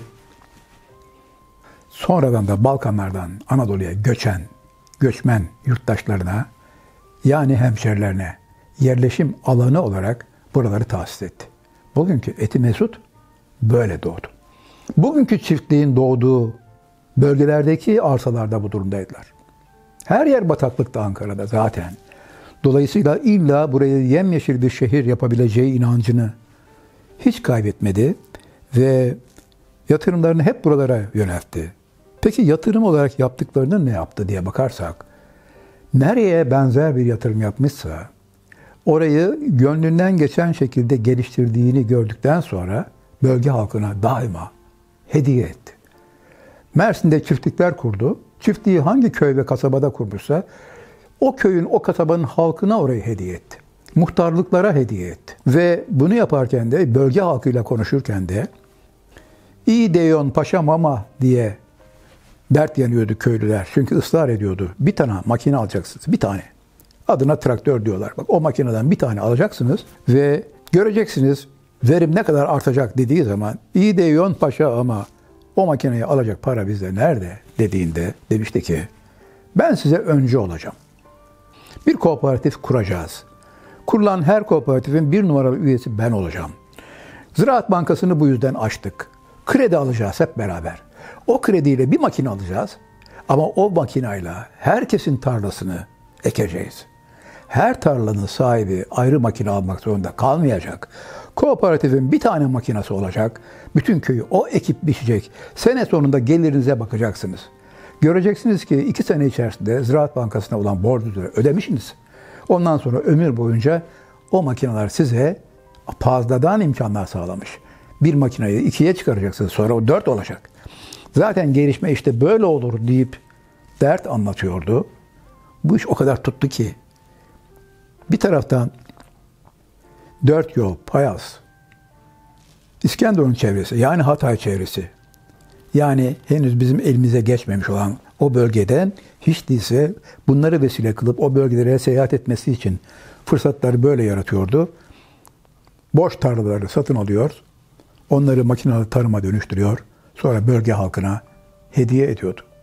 Yalova'da da aynı şeyleri yaptı. Şimdi Ankara'da adına bugün Atatürk Orman Çiftliği dediğimiz yere de aynı şeyi yapmıştı. Zaman içerisinde buradan bir ot bile bitmez diye teknik açıdan bakılırsa olaya öyleymiş gibi görülen konularda arkadaşlarına itiraz etmişti ama sonuç haklı çıkan gene Mustafa Kemal olmuştu.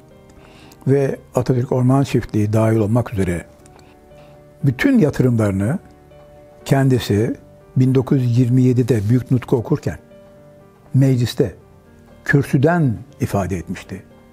Bunları milletine armağan edecekti. Önce Cumhuriyet Halk Partisi'ne bırakacağım demişti.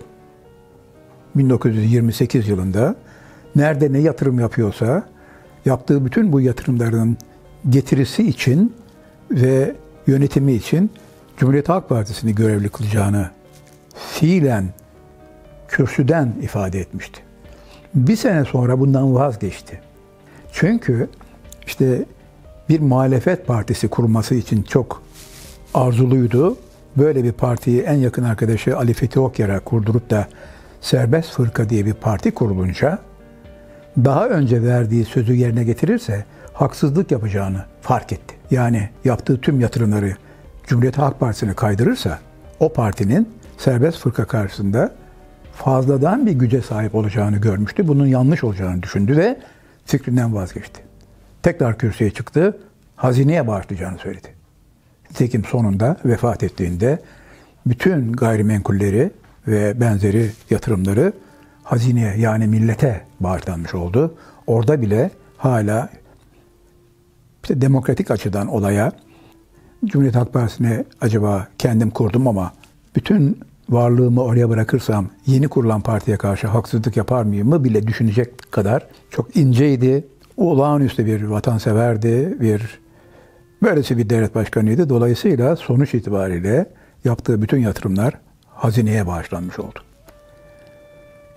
Bunu yaparken kimi zaman dediler ki ya çocuğu mu vardı ki çocuğuna miras bıraksın? Ne yapacaktı sanki? Kimilerinin aklına bu gelebilir gerçekten. Diyebilirler ki ya bununla övünülüyor ama bir de ne yapalım işte şeytan geliyor aklımıza sokuyor. Atatürk evli değil. Evlenmiş, boşanmış ama çocuğu da olmamış. Yani Atatürk orman çiftliğini hazineye bırakmayacaktı da ne yapacaktı yani? Derler. Nerede yanılırlar? Şurada yanılırlar. 12 Haziran 1933 tarih. 2307 numaralı kanun. Yeryüzünde böyle bir kanun hiçbir ülkede hiçbir zaman olmadı, olması da mümkün değil. Böyle bir yasa geçmedi hiçbir yerde. Yasanın konusu şuydu. 1933 yılında ne hastalığı vardı ortada, ne şu ne bu. Son derece karizmatik, son derece genç, son derece yakışıklı, dünyanın bütün devlet başkanlarının imrenerek ondan bir randevu alıp ziyaretine koştuğu bir devlet başkanı konumundaydı. Meclise baskı yaptı. Nasıl bir baskı yaptı? Meclise dedi ki, bütün mal varlığımı milletime bağışlamak istiyorum. Meclis buna karşı çıktı. Anlayamadı da. Dedi ki sizden bir şey istemiyorum. Neyim varsa milletime vermek istiyorum. Nasıl karşı çıkıyorsunuz? Meclisi temsilen İsmet Paşa dedi ki, paşam meclis diyor ki böyle bir şey yapmanız mümkün olamaz. Çünkü medeni hukuku siz getirdiniz bu ülkeye. Evet ne olmuş? Medeni kanuna göre bir miras hukuku var. Peki ama kız kardeşiniz Makbule Hanım sağ. Kız kardeşiniz sizin canınızdan birisi. Siz kız kardeşiniz sağken tüm mirasınızı millete bırakamazsınız paşa. Hukuk dışı bu. Bir defa meclis olarak karşınıza biz dikiliriz. Çünkü biz kanun yapan bir makam olarak kız kardeşiniz Makbule Hanım'ı savunmak zorunda kalırız. Kardeşiniz sağken siz varlığımı ben millete veriyorum diyemezsiniz paşam. Bunu duyduğu zaman bir taraftan utanmıştı. Öbür yandan ama o kadar kararlıydı ki. İsmet Paşa'ya dedi ki, paşa git meclise söyle. Bir kere bu yaklaşımlarına teşekkür ediyorum. Yani benim bacımı koruyorlar. Ben buna bu taraftan bakmamıştım gerçi ama günü geldiğinde ben kız kardeşim için gereken bir şeyleri yaparım. Ama rica ediyorum benim bu ricama geri çevirmesin meclis. Ve ne yapın edin bugüne kadar nerelerde ne yatırımlarla neleri ne duruma getirmişsem bunun her yıl maddi dönüşü her ne oluyorsa maliyenin kayıtlarında var bu. Bunun tümü ile benim üzerimde yüz kuruş kalmamacasına hazineye bağışlanmasını sağlamaya çalışıyorum. Ben sadece bunu istiyorum. Sizden kendime bir şey istemiyorum ki. Ama dediğim gibi meclisin cevabı burası artık bir hukuk devleti Atatürk. Bunu da sen getirdin. Hukuk böyleyken bu hukuk ve bu yasalar miras hukuku bu maddeleri içerirken biz bu söylediğini gene yapamayız senin. Bunun üzerine bir orta yol bulundu. Tarih 12 Haziran 1933. Kanun numarası 2307. Bu kanunla Türkiye Büyük Millet Meclisi demiş oldu ki Mustafa Kemal Paşa Hazretleri tüm menkul ve gayrimenkullerinin üzerindeki tasarruflarında özgürdür. Yani medeni hukukun hükümlerinden müstesnadır. Böyle bir özel kanun geçirildi meclisten. Kendilerine maddi imkanlarını daha da arttırmak adına yarar sağlamak için özel kanun çıkarttıran devlet başkanlarına dünyanın her yerinde daima rastlanır ve rastlanmıştır. Ama nesi yar nesi yok vatanına ve milletine bağışlamak için özel kanun çıkarttıran bir devlet başkanına ne Atatürk'ten önce ne sonrasında bir daha rastlamak mümkün olmadı. Olması da mümkün değil. Dolayısıyla 1933 yılında bu kanunu çıkarttırıp da yapmakta olduğu bütün çabaların sonucunda doğan o ne kadar iktisadi bir varlık varsa onu milletine bağışlamıştı. Yani çocuğuna, çocuğu mu vardı ki çocuğuna bir şey bıraksın, hazineye zaten bırakmak zorundaydı diyenlere bir cevaptır bu. Hazineye bırakmak zorunda falan değildi. 33'lerde hasta falan da değildi. Sapa sağlamdı ama o öyle bir vatan kahramanı, vatan kurucusu, vatan yaratıcısı idi ki milletin her şeyin önünde zaten görüyordu.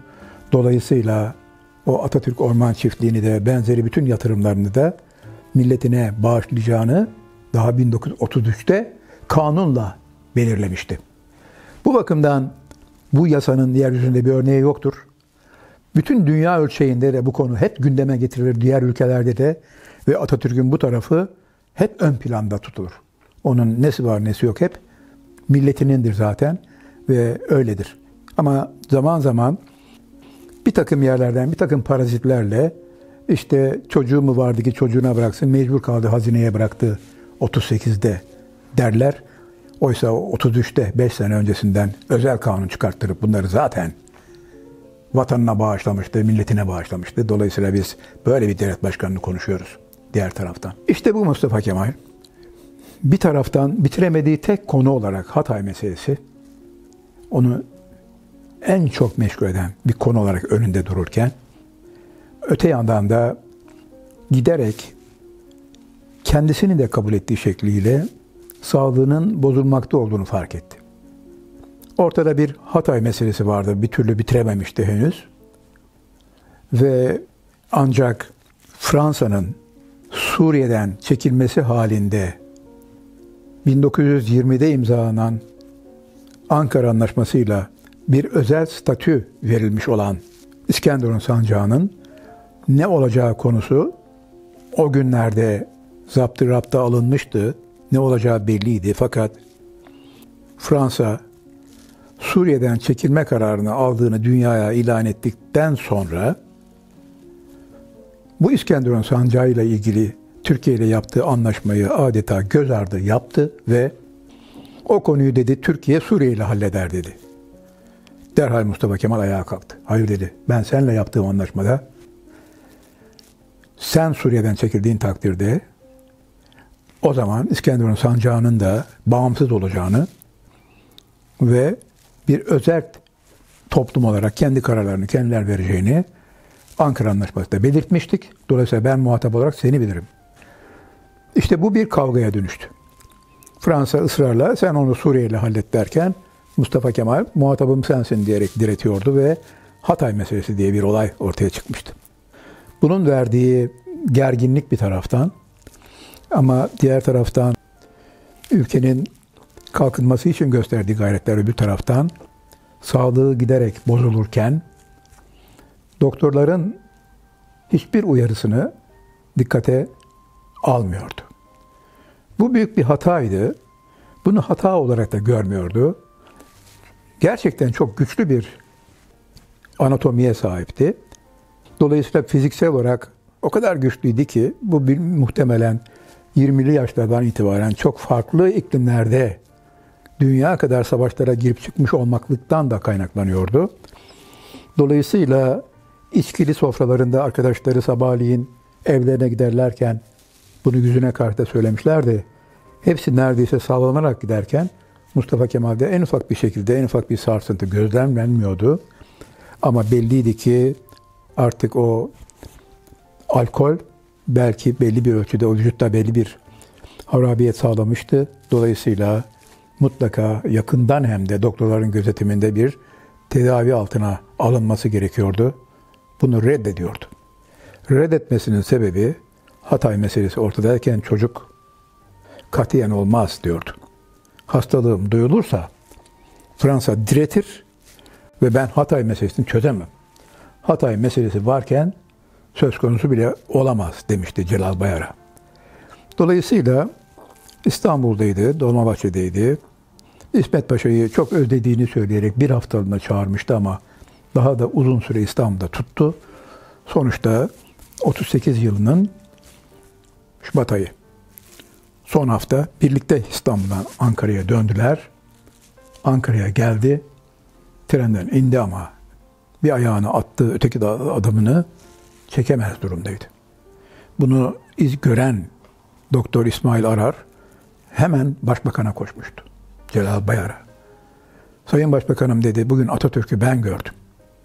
Artık yürüyemez durumda. Bir adım atıyor, öteki adımını sürüklemek zorunda kalıyor.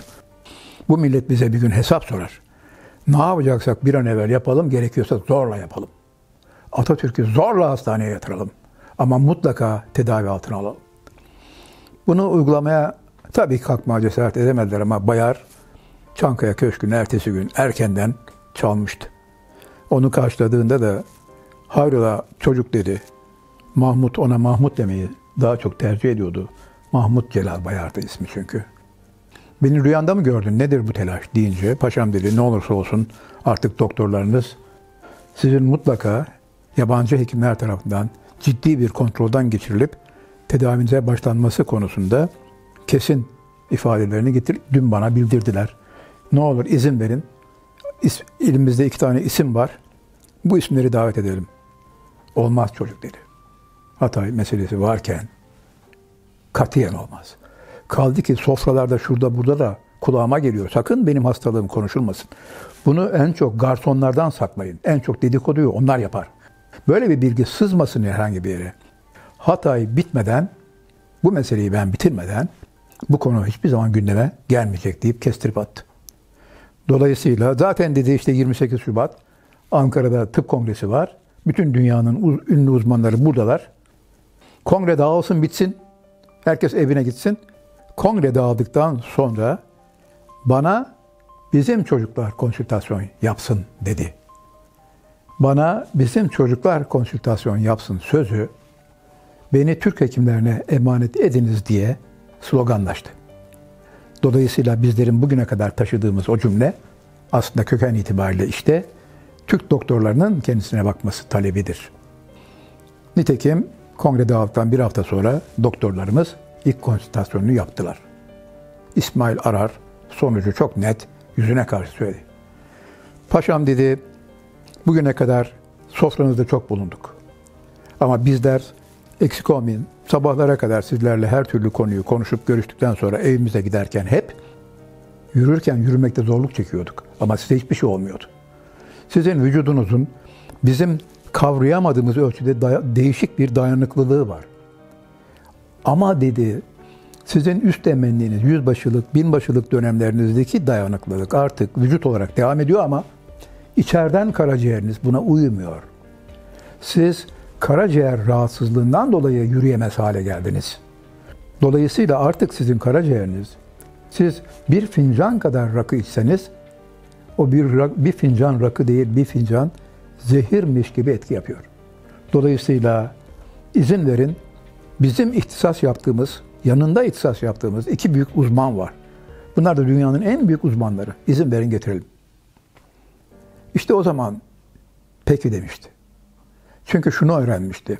Hep söylediği, ben çok eskiden beri de işte alkol miktarım biliniyor, sigaraya da böyle bir yakınlığım var. Tamam, bir rahatsızlık hissediyorum ama ben bu rahatsızlığın başka bir yerden kaynaklandığı kanısındaydım. Sizi yönlendirmeye çalışıyordum. Ama malum öyle, diyor, öyle diyorsunuz, peki demek zorunda kalmıştı. Bunun üzerine Fransa'dan dünyanın bir numaralı siroz karaciğer uzmanı Fizencer davet edildi. Fizencer geldiği ilk gün kütüphanede tanıştılar. Mustafa Kemal Atatürk'e dedi ki, Atatürk Biz Fransızlar sizi Sakarya'nın Mareşali Mustafa Kemal Paşa olarak tanırız. Ama dedi tıbbın da mareşali benim. Eğer beni buraya davet ettiyseniz ama bana bu doktorlarınıza yaptığınız muamele yapacak olur iseniz beni burada 5 dakika tutmayın. Çünkü benim bir hastam var dedi. Tunuslu, 5 yaşında, siroz. Gitmezsem ölür. Eğer dedi benim size vereceğim tavsiyeleri ve talimatları yerine getirmeyecekseniz beni 5 dakika burada tutmayın. Ben bir derhal döneyim. Bunu ciddiyetle dinledi. Peki dedi söz veriyorum. Hem de asker sözü. O zaman gereken tüm muayeneler yapıldı. Aşağı yukarı Türk doktorlarının gördüğü her şeyi Profesör Doktor Fizelcer de görmüştü. Hak da vermişti. Derhal ilaçlar saptandı. Ne yapması gerektiği kararları alındı. Gazete okumayacaktı, devlet işleriyle meşgul olmayacaktı, sinirlenmeyecekti. Bir tek kalori yakmayacaktı, hiç yürümeyecekti. Hiç o kadar yürümeyecekti ki yattığı odanın kapısına kadar bile yürümeyecekti. Yani yani tuvaleti bile odaya koydular. Bir mekanizma hazırlandı. Ve yatağından kalkıp da tuvalete gitmek için dahi tekerlekli sandalye kondu odasına. Demek o vücut o duruma gelmişti. Ve ilaçlar ona göre alınacaktı. Sırt üstü yatacaktı. O kadar olağanüstü bir vatanseverdi ki bir tarafta Hatay meselesi varken bir tarafta bu kadar devlet işi varken kendisini bu işlerden soyutlamasının mümkün olamayacağını biliyordu ama artık o sözü de vermişti. Sırt üstü yatarken Medical Larus'u Fransızcadan okudu. Fransızcasından okuduğu Medical Larus'tan öğrendi ki siroz öldürücü bir hastalık. Kurtulan da yok. Kararını hemen verdi. Yol haritasını orada çizdi. Ne yapacak, yapacak, hatayı kurtaracak, ondan sonra ölecekti. Dolayısıyla bir taraftan kendi çevresindeki 8 tane doktor. Öbür yandan işte bu konuda dünyanın en büyük uzmanı bir profesör. Herkes ellerinden geleni yaptılar. Ve hakikaten bir ay sırt üstü yattı. Bir kilo aldı. Hiç sinirlendirmediler. Hiç gazete okumadı, okumadı. Devlet işleriyle meşgul olmadı ama bir ay biter bitmez de ertesi gün ertesi gün 19 Mayıs'tı. Kalkın stada gidiyoruz dedi Bayar'a. Bayar aman dedi paşam ne olur. Ne olur falan yok dedi. Bak verdiğim sözü tuttum. Bu kadar gün dedi de bu kadar gün yattım. Bugün ayın 19'u. Bu sana bir şey ifade ediyor mu dedi. E başbakanın bunu anlamaması mümkün değil ki. 19 Mayıs ve o gün Ankara'da 19 Mayıs stadı da o gün açılıyor. Kalkın gidiyor dedi stadı açacağız. Bayar dedi ki paşam bir de sizin devlet konuğunuz var. Maliç. Romanya'nın savaş bakanı. O dedi senin konuğun, hükümetin konuğu. Onu da çağırın. Hep beraber gidelim ama bugün dedi muhakkak 19 Mayıs tadını açacağız. Dolayısıyla nekaet falan dinlemeksizin verdiği sözün ertesi günü 19 Mayıs tadına geldi. Ankaralılar onu aylardır görmediği, görmedikleri Atatürklerini olağanüstü bir tezahüratla karşıladılar. Bu büyük sürpriz olmuştu çünkü onlar için de. Hareketleri izledi. Önünden mülkiye geçti, arkasından hukuk mektebi geçti, arkasından liseler, izciler geçti. O beyin olarak 19 Mayıs 1919'lara gitti. Akşam saat 5'e kadar dayanabildi gördüğü manzara karşısında. Bayar'a döndü. Treni hazırlayın, Mersin'e gidiyorum dedi. Bayar ellerine sarıldı. Yapmayın Atatürk. Daha nekahet dönemindesiniz. Daha dün yatıyordunuz. Bugün ayağa kalktınız. Sadece yatmanız yetmez ama bunun bir de nekahet süresi olur. Dinlemedi onu. Yanında kimse istemiyorum dedi. İki tane doktor gelsin kafi. Milletvekili, bakan, dekan istemiyorum. Ama senden şunu istiyorum. Batı basınına, Avrupa basınına şu manşeti vereceksin dedi. Mustafa Kemal Çukurova'ya indi. Hatay meselesini bitirmeden dönmeyecek. Ertesi gün bütün Avrupa basını bu manşeti taşıyordu. Bütün Avrupa bir heyecan fırtınasına tutulmuş gibiydiler. Mersin'e geldi. Orduyu denetledi. Orada dördüncü kol ordumuz var. Kol orduya bir resmi güçet düzenletti. Tören o kadar uzundu ki bu töreni ayakta izledi. Elinde şapkası ayakta askeri Mehmetçiyi selamladı. Gücünün yetmeyeceğini Kılıç Ali biliyor. Paşam dayanamayacaksınız diye fısıldadı. Duramayacaksınız. Bari ya bana yaslanarak durmaya çalışın ama beş dakikadan da fazla durmayın. Oturduğunuz yerden selamlayın. Ona sert bir şekilde döndü. Kılıç dedi Türk ordusu ne kadar zamandan beri oturduk yerden selamlanıyor. Ve askeri selamlamaya devam etti. Mehmetçik onu ya amcasından duymuş ya babasından, dedesinden. Yıllar sonra onu görmüş, onun önünden uygun adım geçiyor. Aslanlar gibidir resmi geçit devam ediyor. Ama bir an sallandığı görüldü. Sonra dayanamayacağı anlaşıldı. Kendisi bayılacağını hissettiği için marş marş komutu verdi. Bunu alan asker çil yavrusu gibi dağıldı. Çöktü kaldı. Hemen üstüne atladılar. Tek bir poz fotoğraf çekilmesine izin verilmedi. Çünkü çevrede çok sayıda Suriye'den geldiği belli olan ajanlar vardı muhakkak ki. O ne yapmaya çalışıyordu Avrupa'ya? Ben dimdik ayaktayım. Bu Hatay meselesinde bitirmeden dönmeyeceğim. Bunu kanıtlamak üzere vücudunu ortaya koymuştu ama artık o vücut ona uymuyordu. Oturduğu koltukla valinin konağına taşıdılar. Gözünü açtı. Kılıç Ali tepesinde. Ne oldum dedi. Paşam bayıldın dediler. Bayıldın paşam. Ve hemen paşam hemen şimdi Ankara'ya dönüyoruz. Sakın ha dedi Kılıç sakın.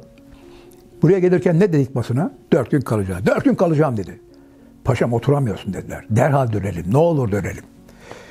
Ben dedi talimat vermeden sakın ha beni bir yere taşımayın. Bugün bu olay olmasa ne olacaktı dedi. Öğretmenleriniz gelecek paşam. Bekliyorum dedi öğretmenlerimi. Yarın ne vardı? Yarın dış basın Mersin'deler. Basın toplantınız var. Basın toplantımı yapacağım dedi. Öbür gün ne var? Cennet cehennem ziyaretleriniz var paşam. Dolayısıyla bütün bu programı aynen uygulattı. Ama artık yürüyecek hali kalmamıştı. Kılıç Ali'nin Ankara'ya, Bayar'a çektiği telgrafta üç kelime vardı. Geliyoruz, yürüyemeyebilir, tedbir alın. İşte bu şartlarla Ankara'ya geldi. Trenden indi, hakikaten yürüyemedi. Bir adım attı ama öbür adımını çekemedi. Karşılayıcılar arasında olan İçişleri Bakanı Şükrü Kaya, Falih Rıfkı Atay'a döndü. Falih dedi, Atatürk'ün yüzüne bak. Atatürk ölüyor. Simsiyah bir surat. Bir damla kan yok. Ve bir hata için, bir vatan parçası için kendini parçalayan, paralayan bir devlet başkanı artık trenin basamaklarından adımını atıp öbür adımını çekemez hale gelmişti. Çevresini hemen kuşattılar. Bir masayı ittiler, oturttular. Güya demeç veriyor numarası yaptılar. İsmet Paşa o kadar kalabalıktı ki gar. Ankara oradaydılar. İsmet Paşa yanaşamadı bile. Oradan bağırdı paşam diye. Döndü İsmet diye. Bu iki arkadaş birbirlerine sadece el sallayabildiler. El bile sıkışamadılar. O an karar verilmek zorundaydılar. Fethi Çakmak sordu. Ne yapacağız? Doktorlar dediler ki derhal İstanbul'a gidelim. Çünkü Ankara'daki tıp yeterli değil. 24 saat bile çok büyük bir kayıp zaman olarak hemen Ankara İstanbul'a gidelim. Çakmak dedi ki dikkati çeker. Ankara'ya geldik. Bütün basın bunu biliyor. Fotoğraflar çekiliyor. Dolayısıyla yarın gidelim. Yarın gidelim ama denir o zaman da. Haydarpaşa'nın merdivenlerinden nasıl inecek? Şimdi o vücut ölümüne işte şu kadar ay kalmışken yani Mayıs ayını konuşuyoruz 38'in. Bir devlet başkanı düşünelim ki bütün varlığıyla kendini devletine, milletine, vatanına bağışlamış olsun. Ama o vücut işte bu hale gelene kadar bir Hatay meselesi için eğer Mersinlere gitmemiş olsaydı, tedavi devam ediyor olsaydı muhtemelen ömrü birkaç zaman daha uzayabilir. Belki bu ülkeye daha da fazla böylece yararı da dokunabilirdi ama Hatay'ı kurtarmadan dönmeyeceğine söz vermişti. İşte bu sözünü tutmaya çalışıyordu. Ertesi gün İstanbul 27 Mayıs eline ülküyü verdiler. Bunu da Fethi Çakmak düşünmüştü. Üç buçuk yaşındaki ülkü tabii ki Haydarpaşa'nın merdivenlerinden inerken bacakları kısa geldiği için yalpalaya yalpalaya iniyordu. Zaten Atatürk de ancak yalpalayarak yürüyordu. Sanki çocuğun ayağına uyuyor numarası yaptılar. Bir eline de Feyzi Çakmağ'ın bastonu verildi. Bir sağa bir sola kaykıla kaykıla merdivenler öyle indi. Acar motoruna böyle bindi. Dolmabahçe'ye böyle çıktı. Ondan sonra da Dolmabahçe'nin hemen arkasından 1 Haziran itibariyle Saborana İstanbul'a gelmişti. Saborana'ya. Neden Saborana diye bir proje attılar ortaya? Kendisi böyle bir şey attı. Vücut bu hale gelince kimseye görünmek istemiyordu. Dolayısıyla Savorana onun için bir kaçacak noktaydı. Orada kimseyi kabul etmedi. Hiçbir ülkenin büyükelçisi onu ziyaret edemediler. Neden kaçınılıyordu? Çünkü her gün eriyordu. Her gün zayıflıyordu. Ama büyük bir inatla serdirdiği bir sedyenin üzerinde hükümet toplantılarını yapıyor. Bütün büyükelçilikler vasıtasıyla gönderdiği talimatlarla ülkelere Fransa'ya şikayet ediyor. Hatay'ı savunuyor ve en sonu muhakkak bu toprağı alacağını ilan ediyordu. Çünkü Milletler Cemiyeti de bizi haklı bulmuştu. Atatürk'ü haklı bulmuştu. Dolayısıyla Atatürk hukuku arkasına almıştı. Bunun gereğini yapıyordu. Sonuç olarak işte o vücut her gün biraz daha eriyordu ama Fransa Nuh diyor peygamber demiyordu kamerasında o kadar bunalıyordu ki tabandan tabana kadar buz kalıpları koymuşlardı. Çünkü Savorona'nın kliması yoktu. Ortayı birazcık ılıtmak adına, soğutmak adına böyle bir yol bulunmuştu. Bütün İstanbullular onu ne güzel Savorona'da böyle gezip tozuyor zannederken, bütün dünya onu tatil yapıyor zannederken, o can çekişir durumdaydı. Sağa sola gönderdiği telgraf emirleriyle Hatay politikasını uygulamaya çalışıyordu oysa ki. Ve güverteye de bir sedye koymuşlardı. Oraya yattığı yerden hükümet toplantılarını oradan yürüttü. Çevreye yüze yakın leğenler konmuştu. İşlerinde buz kalıpları. Şükrü Kaya'ya sordu bir gün. Şükrü Bey dedi şu leğenleri görüyor musun? Evet paşam nedir bu dedi. İçinde buz kalıpları. Çocuk dedi benim karnımda da bağırsaklarım böyle yüzüyormuş. Anlaşılıyor ki benim sonum geldi.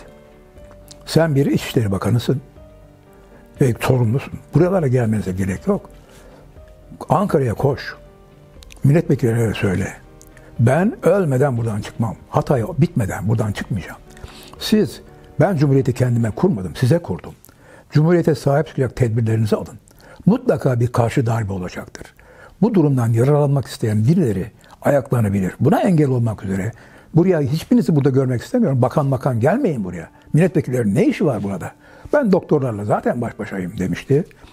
Ve büyük bir üzüntüyle arkadaşlarıyla böyle vedalaşmıştı ama inatla da sağa sola gönderdiği telgraf emirleriyle Hatay için bir politikayı izledi.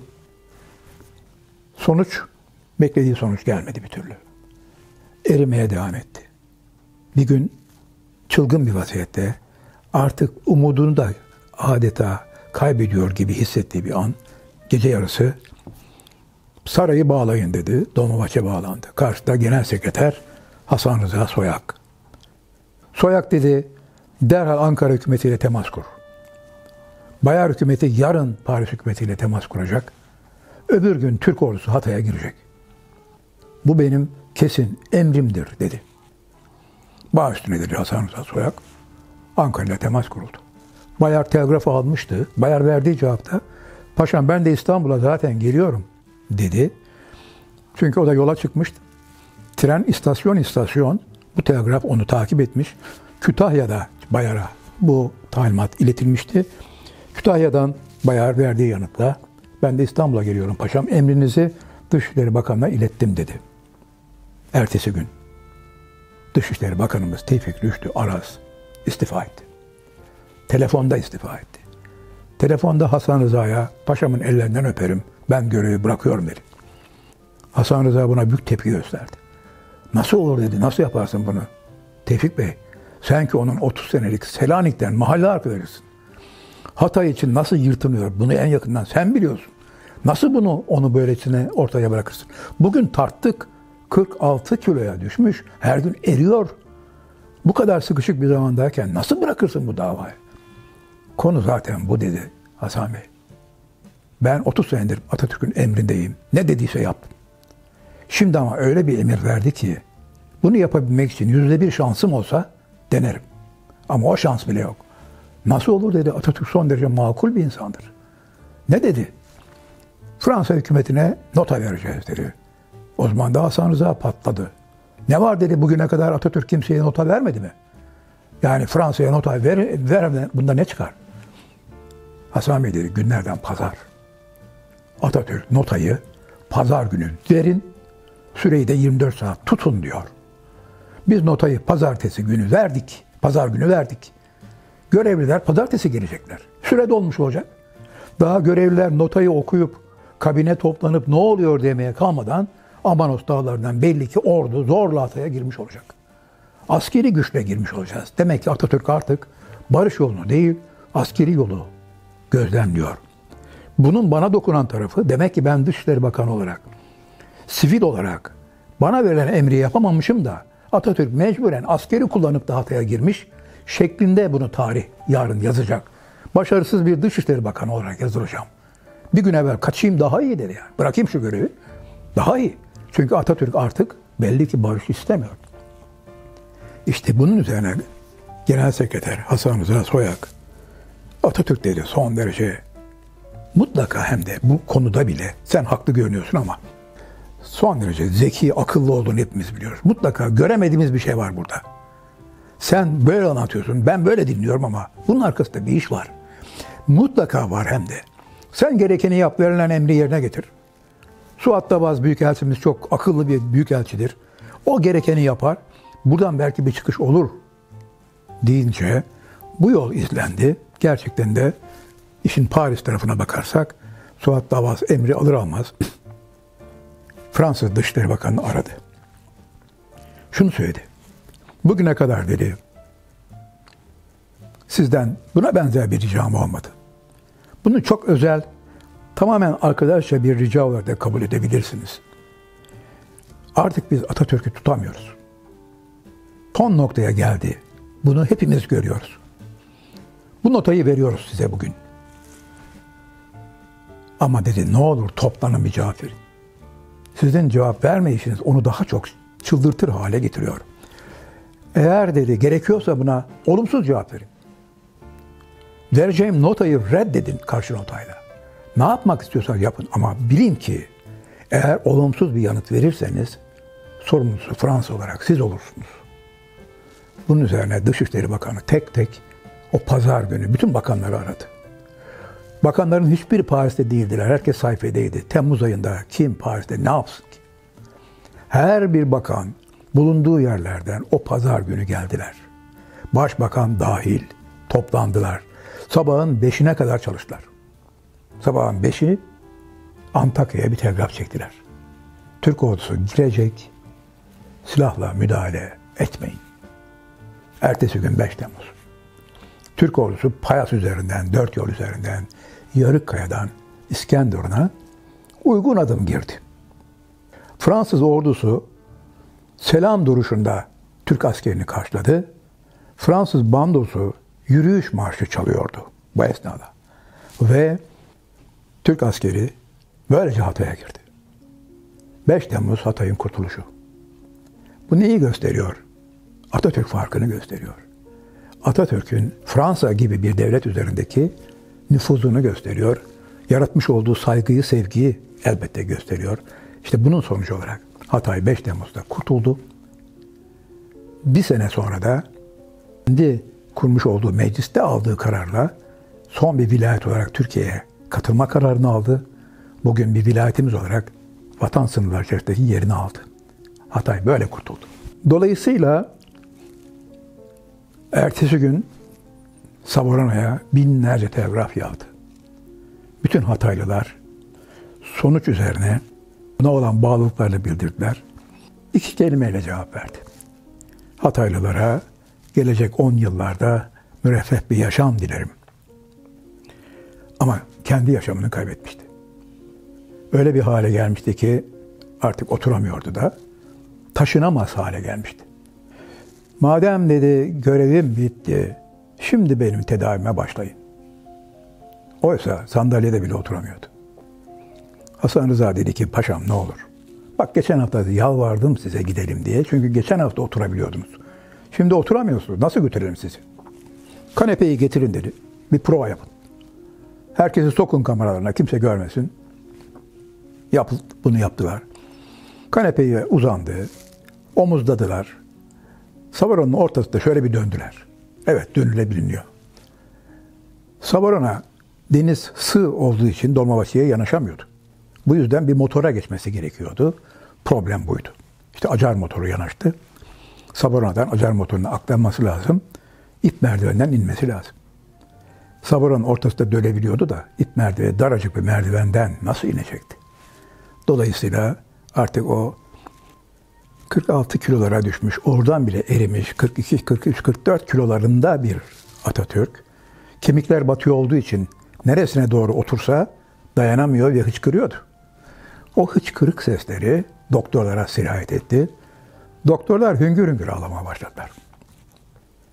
Bu esnada ip merdivenlerden inilirken kimi doktorların omuzuna vuruyordu. Onları teskin etmeye çalışıyordu.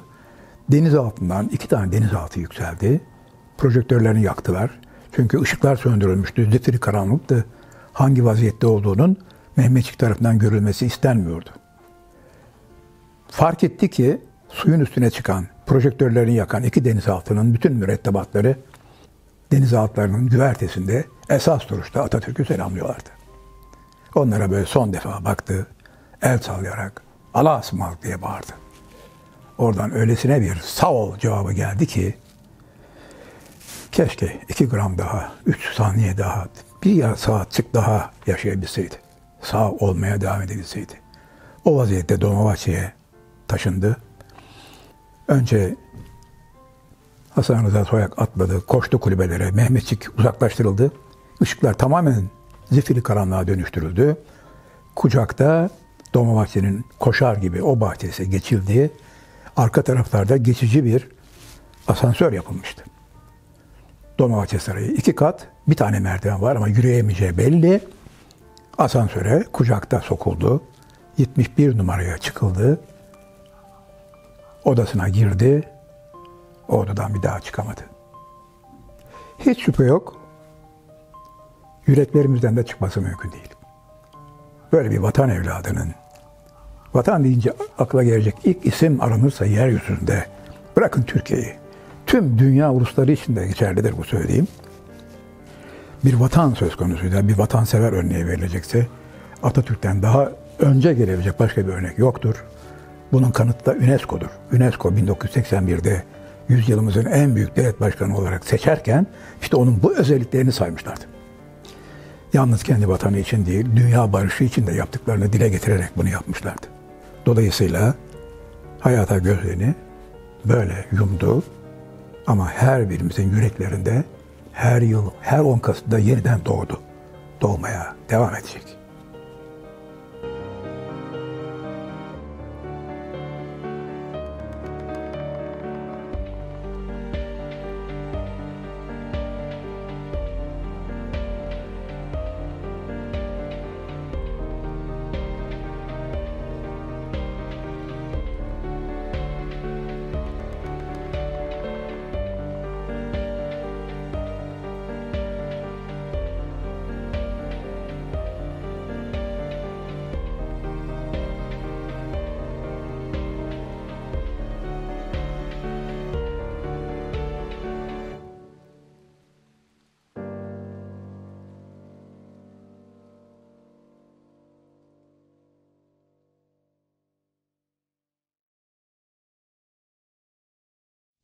Türk gençliği! Birinci vazifen, Türk istiklalini, Türk Cumhuriyeti'ni ilelebet muhafaza ve müdafaa etmektir. Mevcudiyetinin ve istikbalinin yegane temeli budur. Bu temel, senin en kıymetli hazinendir. İstikbalde dahi seni bu hazineden mahrum etmek isteyecek, dahili ve harici bedhahların olacaktır. Bir gün, İstiklal ve Cumhuriyeti müdafaa mecburiyetine düşersen, vazifeye atılmak için içinde bulunacağın vaziyetin imkan ve şeraitini düşünmeyeceksin. Bu imkan ve şerait çok namüsait bir mahiyette tezahür edebilir. İstiklal ve cumhuriyetine kastedecek düşmanlar, bütün dünyada emsali görülmemiş bir galibiyetin mümessili olabilirler. Cebren ve hileyle, aziz vatanın bütün kaleleri zapt edilmiş, bütün tersanelerine girilmiş, bütün orduları dağıtılmış ve memleketin her köşesi bil fiil işgal edilmiş olabilir. Bütün bu şeraitten daha elim ve daha vahim olmak üzere, memleketin dahilinde iktidara sahip olanlar, gaflet ve dalalet ve hatta hıyanet içinde bulunabilirler. Hatta bu iktidar sahipleri, şahsi menfaatlerini müstevlilerin siyasi emelleriyle tevhid edebilirler. Millet, fakr zaruret içinde harap ve bitap düşmüş olabilir. Ey Türk istikbalinin evladı! İşte bu ahval ve şerait içinde dahi vazifen, Türk istiklal ve cumhuriyetini kurtarmaktır. Muhtaç olduğun kudret, damarlarındaki asil kanda mevcuttur.